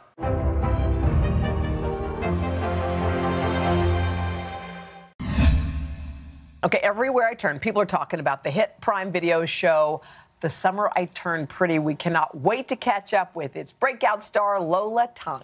Okay, Lola plays Isabel, a teenager navigating a drama filled summer with childhood crushes, beach bonfires, and the occasional dip in the pool. Take a look. One, two, three. How's the water? Guys, I hurt my ankle. Come on. Yes. Good to go, girl. Lola, hi. We should point out before we get started, this is your very first acting role, and is this your very first television appearance? It is, yes. Wait, what? Very excited to be How do you feel in this Uh, moment that oh you're my in? gosh, I'm so excited. I'm thrilled. How I'm excited happy are to be you that I'm here? Yes. It's really the question. You must be over the moon. That's great. well, Lola, we're so excited for you. So every now and then, like a moment happens in your life. You're busy going to college, doing your thing, and all of a sudden, in a minute, your life changes. What happened? Yeah, I mean, I was uh, in my second semester of my first year of college at, at Carnegie Mellon in Pittsburgh, and um, I had just started working with my manager, and she sent me this audition and was like, I think, you know, you'd be really right for it. And I uh, sent in tapes, but I, you know, was very focused on school and my What education. I was studying acting. Acting. Okay, okay, you know. good, good. But um, yeah, I was I was very focused on school, and um, I sent in these tapes, and then I heard that they wanted me to test for the role and to read for the role, and I was like, oh my god, this could you know really be something possibly. Change your life, I feel. Yeah. How jealous were your freshman classmates that you got an Amazon show? I have to imagine they were furious. I no, mean, everyone was so supportive and so wonderful. Yeah. I watched the teacher- show. Yeah, It's- tell me. I have to say, it made me feel young. I, I felt like I was in camp, like it was like high school summer. I mean, how, I want to ask, shooting it. Yeah. Had to do, like, feel as fun shooting it as it felt to watch it. Yeah. Absolutely, absolutely, and everyone in the cast is amazing and wonderful, and we we had the best time on and off set. Well, by the way, it's two hunky guys are fighting over you. That's kind of a cool role to be in. Yeah, you know. Tell me about that part. Yeah, I mean, both Chris, who plays Conrad, and um, Gavin, who plays Jeremiah, are wonderful people and um, so easy to work with and, and so much fun to just be around. So I, I feel very lucky that, you know, we had such a wonderful friendship and um, it worked out great. I think gorgeous. And you think everyone would want to date on the show after? Well, that's Is the it- thing. I mean, really fun. yeah, right? well, sometimes it can get, you know, but, you know, That's we're what I want to know about. See, that's why you're so good. What happened backstage, like behind the scenes? We all just hung out together, and we really like. I made some incredibly close friends who I think I'll be nice. close with That's for a really really cool. long time. I was just imagining what your folks might say, your, or think. Your mom is here. She's actually in the building. She's downstairs. What does she think of this turn of events? And were they all for you leaving college and taking this role? Yeah, both of my parents and, and really my whole family have, has just been so supportive Yeah. throughout the entire thing, and they know that I, I love it and that I'm passionate about you know acting and about the show, and so they were incredibly supportive. And By the way, this show, which I've never heard of this happening, got a second season pickup before it even aired. How was that possible? I mean, I don't get it. you know, Jenny Han's incredible. You know, writer, showrunner, uh, creator. She's she's amazing, and uh, So you're in acting school and you're learning all the things that actors need to know, and then you get tapped in the middle of acting school to actually go act. You have to memorize the lines. Mm-hmm. And I don't know, do you have a photographic memory? How do you Ooh, no. how do you remember lines? Um, I mean, I think it's just a matter of, of running through them, and we usually get new sides, or I mean, you know, sides every morning, and uh, you kind of work on those in the morning. Do you have a technique that you use? I feel like not really. Nothing's but oh. Yes, yes, yes. I do like to juggle to help me go. memorize. Okay, Oh so tell me how that works in your brain. So you are juggling and I don't know if it's just like the repetition of it that sort of helps So it. show me how you- how do you do? Oh gosh, okay. That's okay. Oh, now I'm nervous. No, no, no, there's no pressure. Okay, this is amazing. You're very, very You're good. very I, good. I can't believe The lights. No, but yeah. So you're thinking of the lines as you're doing yeah, it? usually How I'm did- kind of just in my trailer, just going over the lines, and I don't know, maybe it's just. Do just people kind of. watch you when you do it, or are you like Not private? usually. It's yeah, I kind would of think just private. Yeah. We're I'm private. so excited. By the way, this is such a fun moment in your career, and we feel so lucky that we got to have your very oh, first Oh, Yeah, television so- interview. Thank you so much. Well, we're so proud of you. It's a great show. You're Congratulations. on it. Very likable. You know, you watch her, you like her. You can tell right, now. here in this moment. The Summer I Turn Pretty is streaming right now on Prime Video. Be sure to join us Monday. We're going to kick off another big week. So much to discuss. Have a great weekend, y'all. Bye.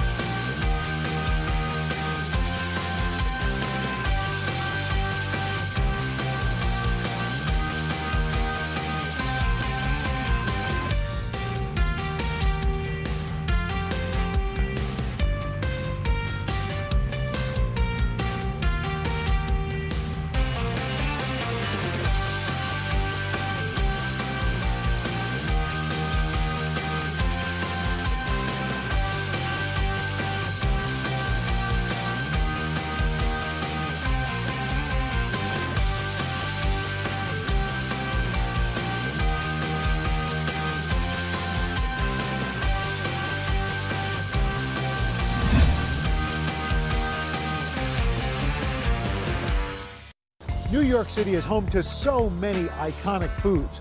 But when the city that never sleeps wakes up for breakfast, they want a bagel with a cream cheese schmear piled high with lox.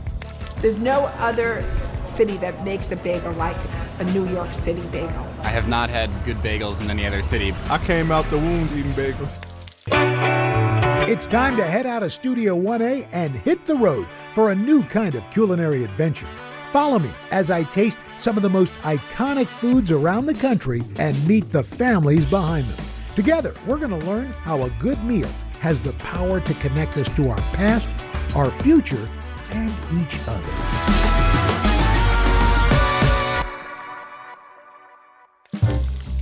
If New York's known for anything, it's its bagels.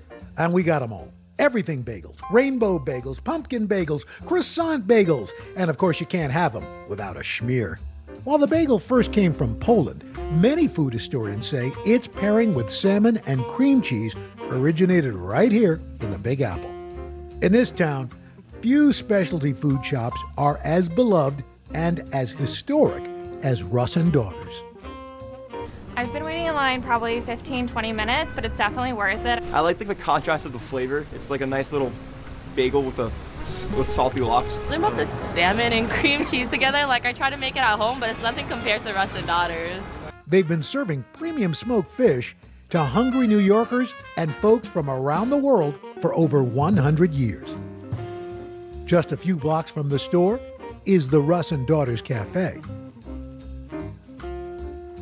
Hi, Al. Hey, how are you? Welcome to the Russell Daughters Cafe. Nice to see you. great to guys. have you here. Thanks for having us. This is beautiful. Thank you. Niki Russ Federman and Josh Russ Tupper are the grandchildren of the original daughters. These cousins are fourth generation owners, carrying on their family's culinary legacy.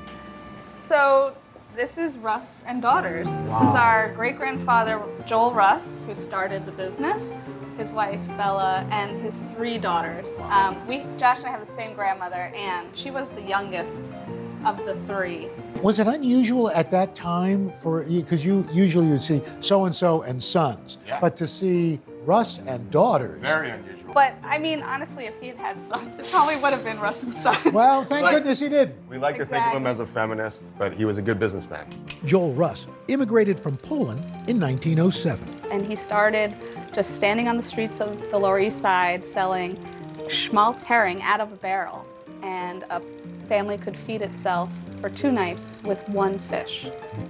In 1914, he opened his first brick and mortar shop, J. Russ National Appetizing. Joel and his wife had three daughters, Hattie, Ida, and Ann. When they turned 11, each daughter began working with their dad. What was their relationship like with him? I, because uh, he's your dad, but he's also Your boss. Your boss. Yeah. And I think he cared more about being the boss and the shopkeeper.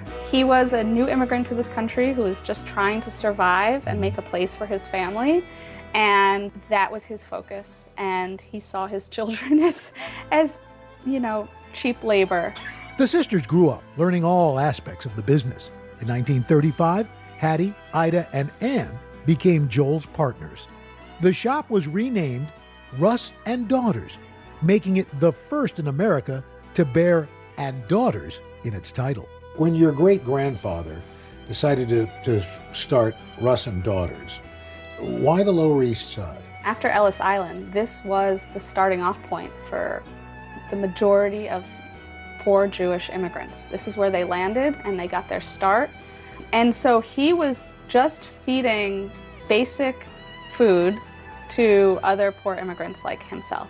At the turn of the century, this neighborhood was one of the most densely populated places on the planet. Many immigrants from all around the world lived in overcrowded tenement buildings, the conditions having a profound impact on their diets. One of the things about Lower East Side Jewish food is that a lot of food wasn't made at home. When you don't have running water and when you don't have uh, electric or gas stoves, it's really hard to do very much cooking. And so for, for women who are responsible for feeding their families, they had to get food from push carts, from restaurants, from bakeries. Joel Russ was one of many vendors catering to this new population. I've, I've always been curious how did it come about, or from what you've heard, that somebody thought, hey, you know, here's this round bread. We'll put some fish on it. But oh, by the way, before we do, let's put some cream cheese, some dairy on it. Yeah. First of all, Russ and Daughters is the torchbearer of what's called appetizing.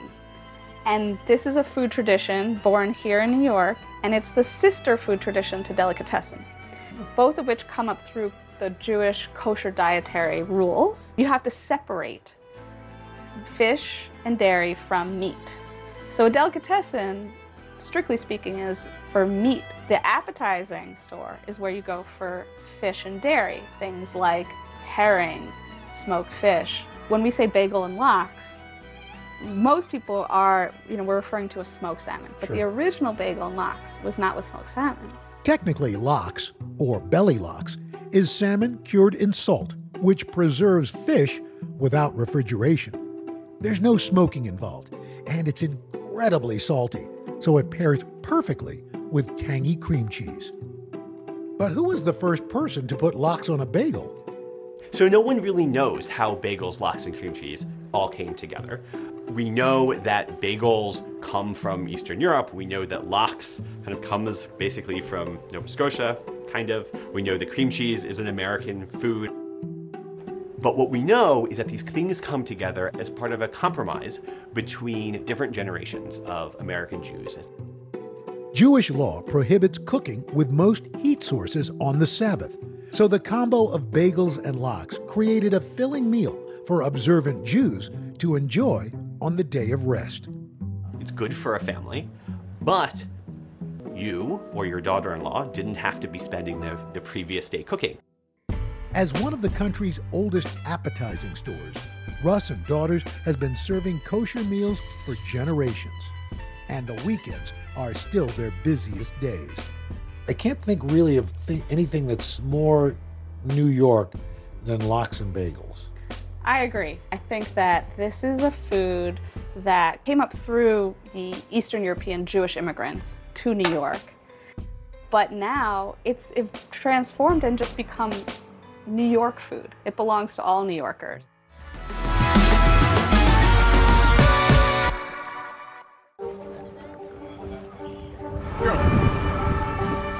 This is a critical choke point for this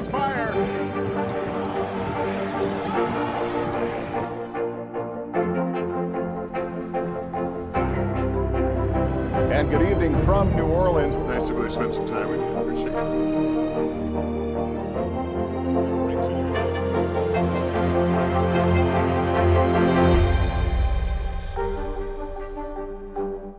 To cover the news, you have to be in it. This is how so many towns and cities are protecting themselves. They're pushing the gates open. Was there a school officer on campus? That's what we've been told. No. Top story with Tom Llamas. Weeknights at 7 on NBC News Now. The midterms are here. It's time to plan your vote. We'll provide everything you need to know to successfully cast your ballot. Just select any state you want to learn about for the primary or general election, and you'll instantly get voting rules, see the next big deadline, and learn how to take action for your plan. Voting rules have changed since 2020, and those rules vary from state to state. So it's time to get planning for 2022. Visit NBCNews.com slash plan your vote today. It's a can't miss summer on today. They are walking strong, elegant, and pretty easy to prepare. How to cut costs on your vacation? Vicky has the answers. Every single thing you need for the best summer yet. Only on today. In the United States, women own less than 20% of all businesses. At the iconic Russ and Daughters, co owner Niki Russ Federman is building on the legacy of her grandmother and great aunts. Growing up, you, you followed in the footsteps of, of strong women who may not have chosen this, but took it on and obviously made it really successful. What is it like for you following in those footsteps? It's a tremendous feeling to be now the and great granddaughter. Justice Ruth Bader Ginsburg was a good customer of ours. Her family came from the Lower East Side, and she once said that before she knew the word feminist, When she looked up at the sign, Russ and Daughter, she understood that women could have an impact. Your family's business, Russ and Daughters, has survived two world wars, a depression. Uh, you're here in the, the shadow of the World Trade Center. Yes. Why has this place been able to not just survive, but thrive? I think because in each generation there has been someone who wanted to do this. This is food that people turn to for comfort in hard times. And during the pandemic, we saw that you know, people were shipping Russ and Daughters all over the country to their loved ones because they couldn't be together. And so sending, you know, bagels and lox and babka say, you know, I love you, I miss you. Here, let me feed you. Having a schmear over Zoom. Oh, there was a lot of that. okay, so you can get smoked fish pretty much everywhere these days, but not quite like this. The salmon sold at Russ and Daughters is prized for its high fat content, from the milder Gaspé Nova to the smokier Scottish. And this gourmet fish is all sliced by hand. When you hold it up, I mean, it's it's almost translucent. That. Yeah, I think we should show you how we get it that then. Yeah, me and a sharp utensil. What could possibly go wrong? It takes up to six months of training to master the slicing technique here. So, Al, I hear you have some knife skills. Well, I've been in a fight or two, but uh, it's uh, probably nothing like yours. Josh. How, how long have you been slicing salmon? I've been at the store for 20 years. Wow. Um, so I've been slicing for a while. All right. So, so uh, I watch people slice, and I, I'm amazed at, at how patient, because it seems like that's part of the, the skill. The reality is, when you know how to slice, Mm-hmm. it is one of the most relaxing things you can do. Very zen. Very zen. Ooh. Meditative, right? Mm. The trick is don't look anywhere on the fish. You have to really feel the fish. Be the fish. Be the fish, which is a very difficult concept to train someone. Understood. Um, and particularly the first couple slices are. Don't be upset. Okay. If they don't look great. The idea is to make a consistently thick slice. You making So- faces at me, Al? No, I'm just watching you not watch the fish. All right. Okay. Here we go. Be the fish. Not looking. You should you should look. I should You got a sharp knife in your hand, Al. And you can see that as you change the angle of the knife, it changes the thickness. Yeah. Right? So now that's drastically a very more that's than a- you think. That's more than oh my gosh, that's a very we thick. call slice those chuletas. chuletas. Yeah. Chops Ah, in Spanish. I was going to say that sound that, that didn't sound Yiddish. not- not that did not sound Not Yiddish, to me. Does the way you cut it affect the taste of it or the texture of it? The texture, which uh, uh, affects the experience of the salmon. It's almost like you're eating the essence of salmon, not salmon. It's very delicate. It's a very appealing Mm-hmm. texture and, and mouthfeel. Yeah, the thinner. Josh, thanks so much. Nice meeting you. Such a pleasure to have you. Ah, smoke them if you got them. Up next, how fresh salmon gets turned into lox.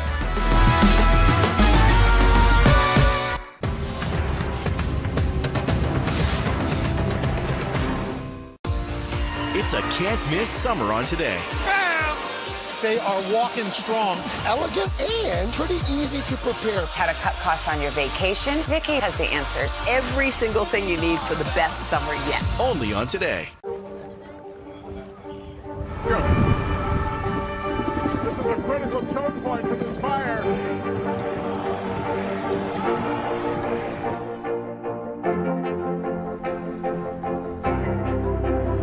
And good evening from New Orleans. Nice to really spend some time with you. Appreciate it.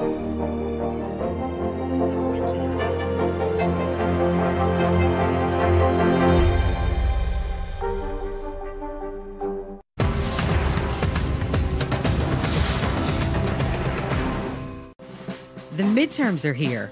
It's time to plan your vote. We'll provide everything you need to know to successfully cast your ballot. Just select any state you want to learn about for the primary or general election, and you'll instantly get voting rules, see the next big deadline, and learn how to take action for your plan. Voting rules have changed since 2020, and those rules vary from state to state. So it's time to get planning for 2022. Visit NBCNews.com slash plan your vote today. Today is now a podcast available every morning. Listen wherever you get your podcasts. Hallie Jackson Now. Weekdays at 5 on NBC News Now. Women's basketball has been systematically held back. After 49 years of Title IX, we still have work to do. In Their Court, a podcast from NBC News and NBC Sports that goes inside the issues of inequality in women's sports. Listen now. Today is now a podcast available every morning. Listen wherever you get your podcasts. Hallie Jackson Now. Weekdays at 5 on NBC News Now.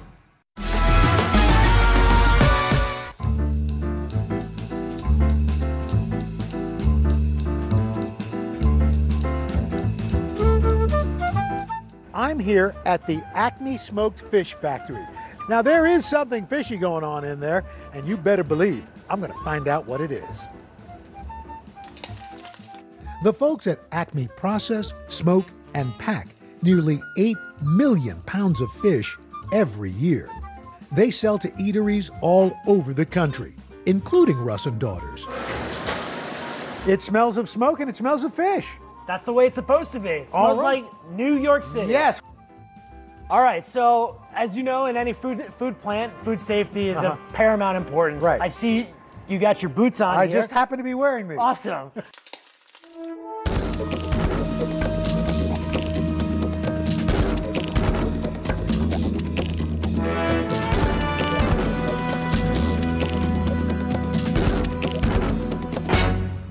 I'll walk you through the process of how salmon turns into smoked salmon. Adam Caslow is the fourth generation owner of Acme Smoked Fish. His great grandfather, Harry Brownstein, started selling fish after immigrating from Russia to Brooklyn. Harry started in the smoked fish business in the early 1900s, in 1906 to be exact. Out of- would- out of a push cart? Out of a, a, a, a horse-drawn wagon. Wow. He would go around buying fish from different smokehouses throughout Brooklyn and Queens and had himself the sales route. You know, he worked close to 45 years. I mean, his dream was to open up his own smokehouse, and it took him 45 years to finally achieve that. Adam now runs a massive smoked fish empire, supplying many of New York City's popular bagel shops, from H&H to Ess-a-Bagel. Acme also selling to national grocers like Trader Joe's. At the end of the day, it's all about the fish. We bring in fish from all over the world. Uh-huh. Smoked salmon is probably the most popular thing that we make, and our salmon come from different places Norway, Scotland, Chile, and Alaska. It can take up to five days to make smoked salmon. Every order is made to the buyer's tastes, from the type of salmon to the curing method. The first step, cutting a whole fish into fillets. Whoa! Yeah, so this is a 12 kilo whole salmon Gee. that I caught over here in Long Island Sound. No, I'm just kidding. this is an Atlantic salmon. It's Uh-huh. farm, farm raised. We use Atlantic salmon because it has the, the most fat, and fat equals flavor when making smoked, smoked salmon. Right. So what are you cutting out the like the backbone there? Yeah, just do the bone. Uh-huh. Carving into a fish this size requires expert hands. After the fish is filleted, it's preserved with salt. The fish is then treated with a wet brine or a dry cure. Okay, so let's dry dry cure some some salmon. Good. First thing, we're gonna get it onto the uh, raft. Okay. So, see if you can pick up this salmon, grab it by the by the, the tail, Okay. grab with your other hand, Underneath. and we're gonna lay it onto this the, the screen. Okay.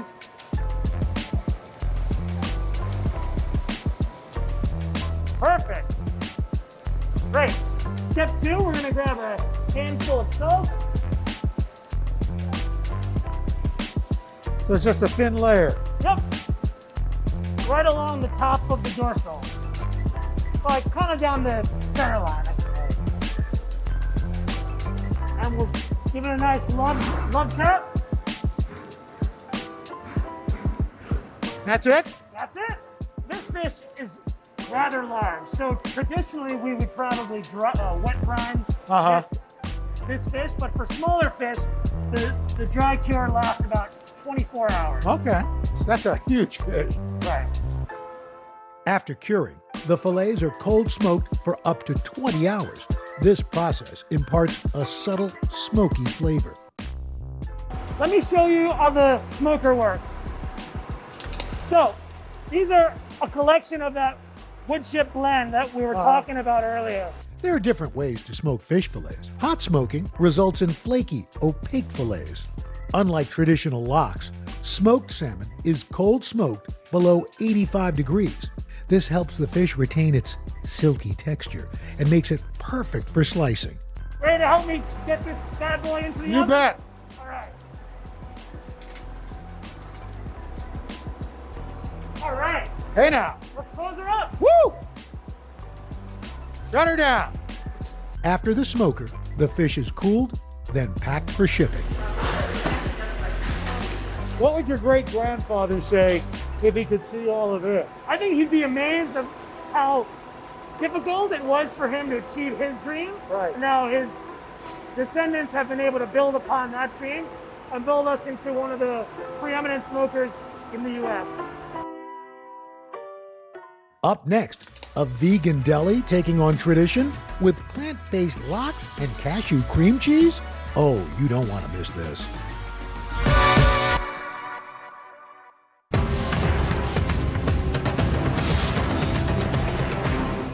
Women's basketball has been systematically held back. After 49 years of Title IX, we still have work to do. In Their Court, a podcast from NBC News and NBC Sports that goes inside the issues of inequality in women's sports. Listen now.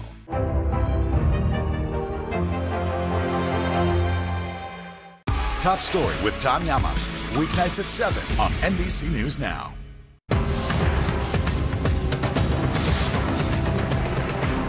Welcome back to today. We got a lot to celebrate on this Wednesday morning. It's good to have you along with us. You don't know when your moment's coming, but when it does, you take it. Everybody good, and that's it. It's a can't miss summer on today. They are walking strong, elegant, and pretty easy to prepare. How to cut costs on your vacation? Vicky has the answers. Every single thing you need for the best summer yet. Only on today. Hallie Jackson Now. Weekdays at 5 on NBC News Now.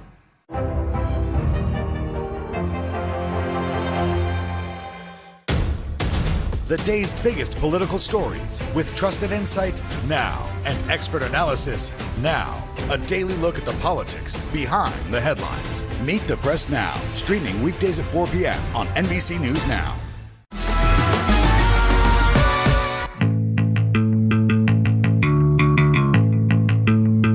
Back on the Lower East Side, two sisters, inspired by their Jewish heritage, are on a mission to make the food they loved growing up in a more sustainable way.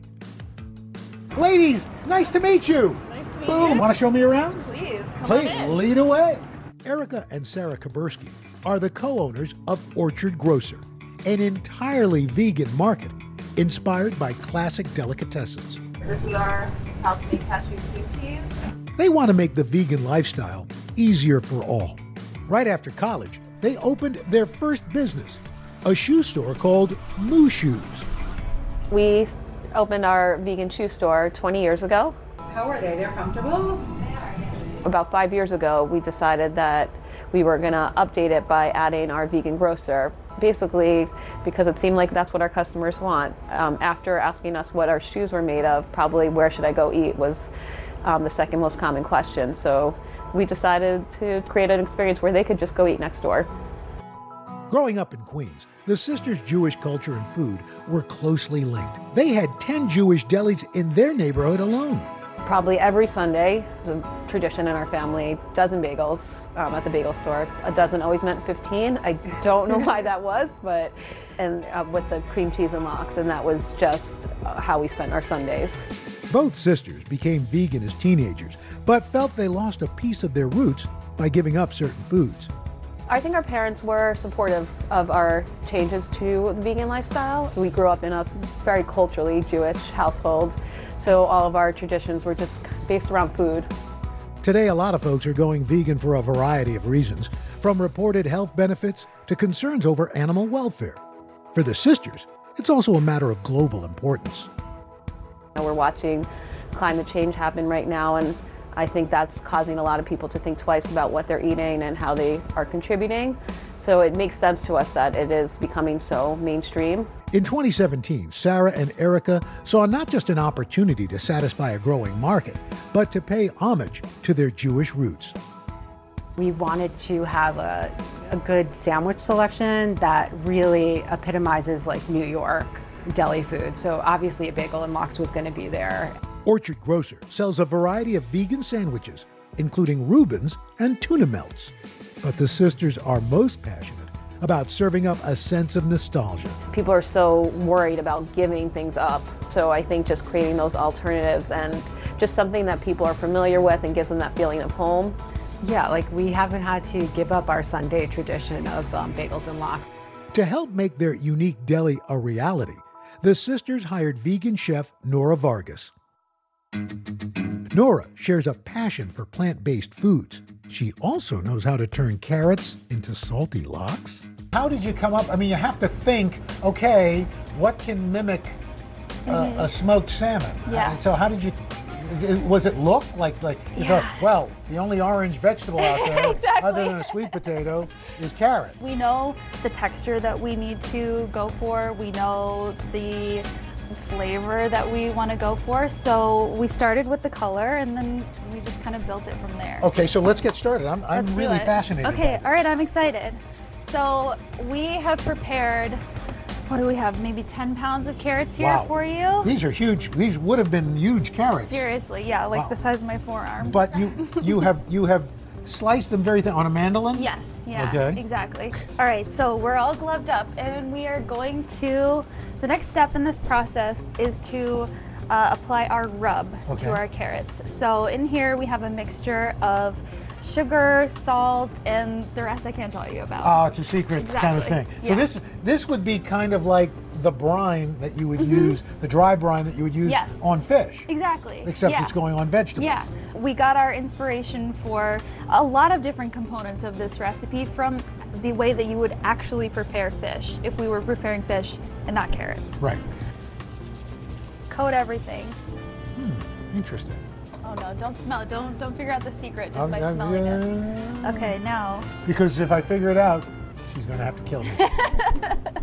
So I'm just gonna start rubbing, just smushing everything in there. Once we get everything coated, we would let this sit for three to six hours, Mhm. probably. Okay, great. So I think we've, I think we nailed it. okay. In here, Another secret ingredient. definitely. Jeez, yeah, a but I can tell a lot you. of secrets here at Orchard. I'll tell you a little bit. Okay. Okay. So it's a combination of olive oil Mhm. and aquafaba. Aquafaba. Yeah. Are you familiar with that ingredient? I don't know. You know when you're opening up a can of beans Right. and you gotta drain them? Yes. The stuff that you drain out, that's aquafaba. It's like- Aquafaba. It's, bean water. It's bean bean juice. Yes, exactly. Okay. Yeah. So I'm gonna pour, Okay. and then you can kind of do the same process. Okay, same before. process. Just squish it all in there. Okay. Yeah, perfect. After we had let our carrots sit for three to six hours, um, we toss them in the oven. So they bake. We like to call it cold smoking Ah. to sound like classy. like the process of making smoked salmon. Exactly, yeah. That does look very much like smoked salmon. and what would a bagel and lox be without the cream cheese? This vegan spread is made with raw cashews, salt, some secret spices, and coconut oil, all blended together with soft tofu. Should we make a bagel? Sure, let's do it.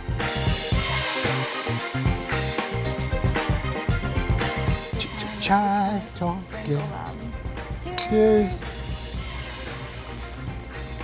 This is a really terrific idea. Thank I'm- you. Thank you for opening my eyes. Oh, thank you so much. I appreciate it. That yeah. was fantastic. Okay, a great way to finish things up. I mean, we've we've seen the history, we've gone to the past, we were in the present, and you have brought us the lox and bagels of the future.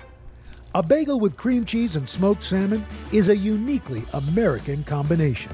Born from Jewish roots, transformed by local ingredients, and carried on by new generations, this breakfast tradition has truly stood the test of time when it comes to food in New York City.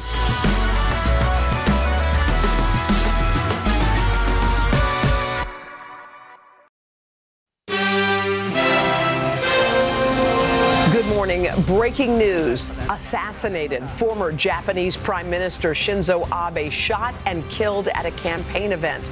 The shocking attack caught on tape. This morning, what we know about the motive and the investigation into how it happened in a country where gun violence is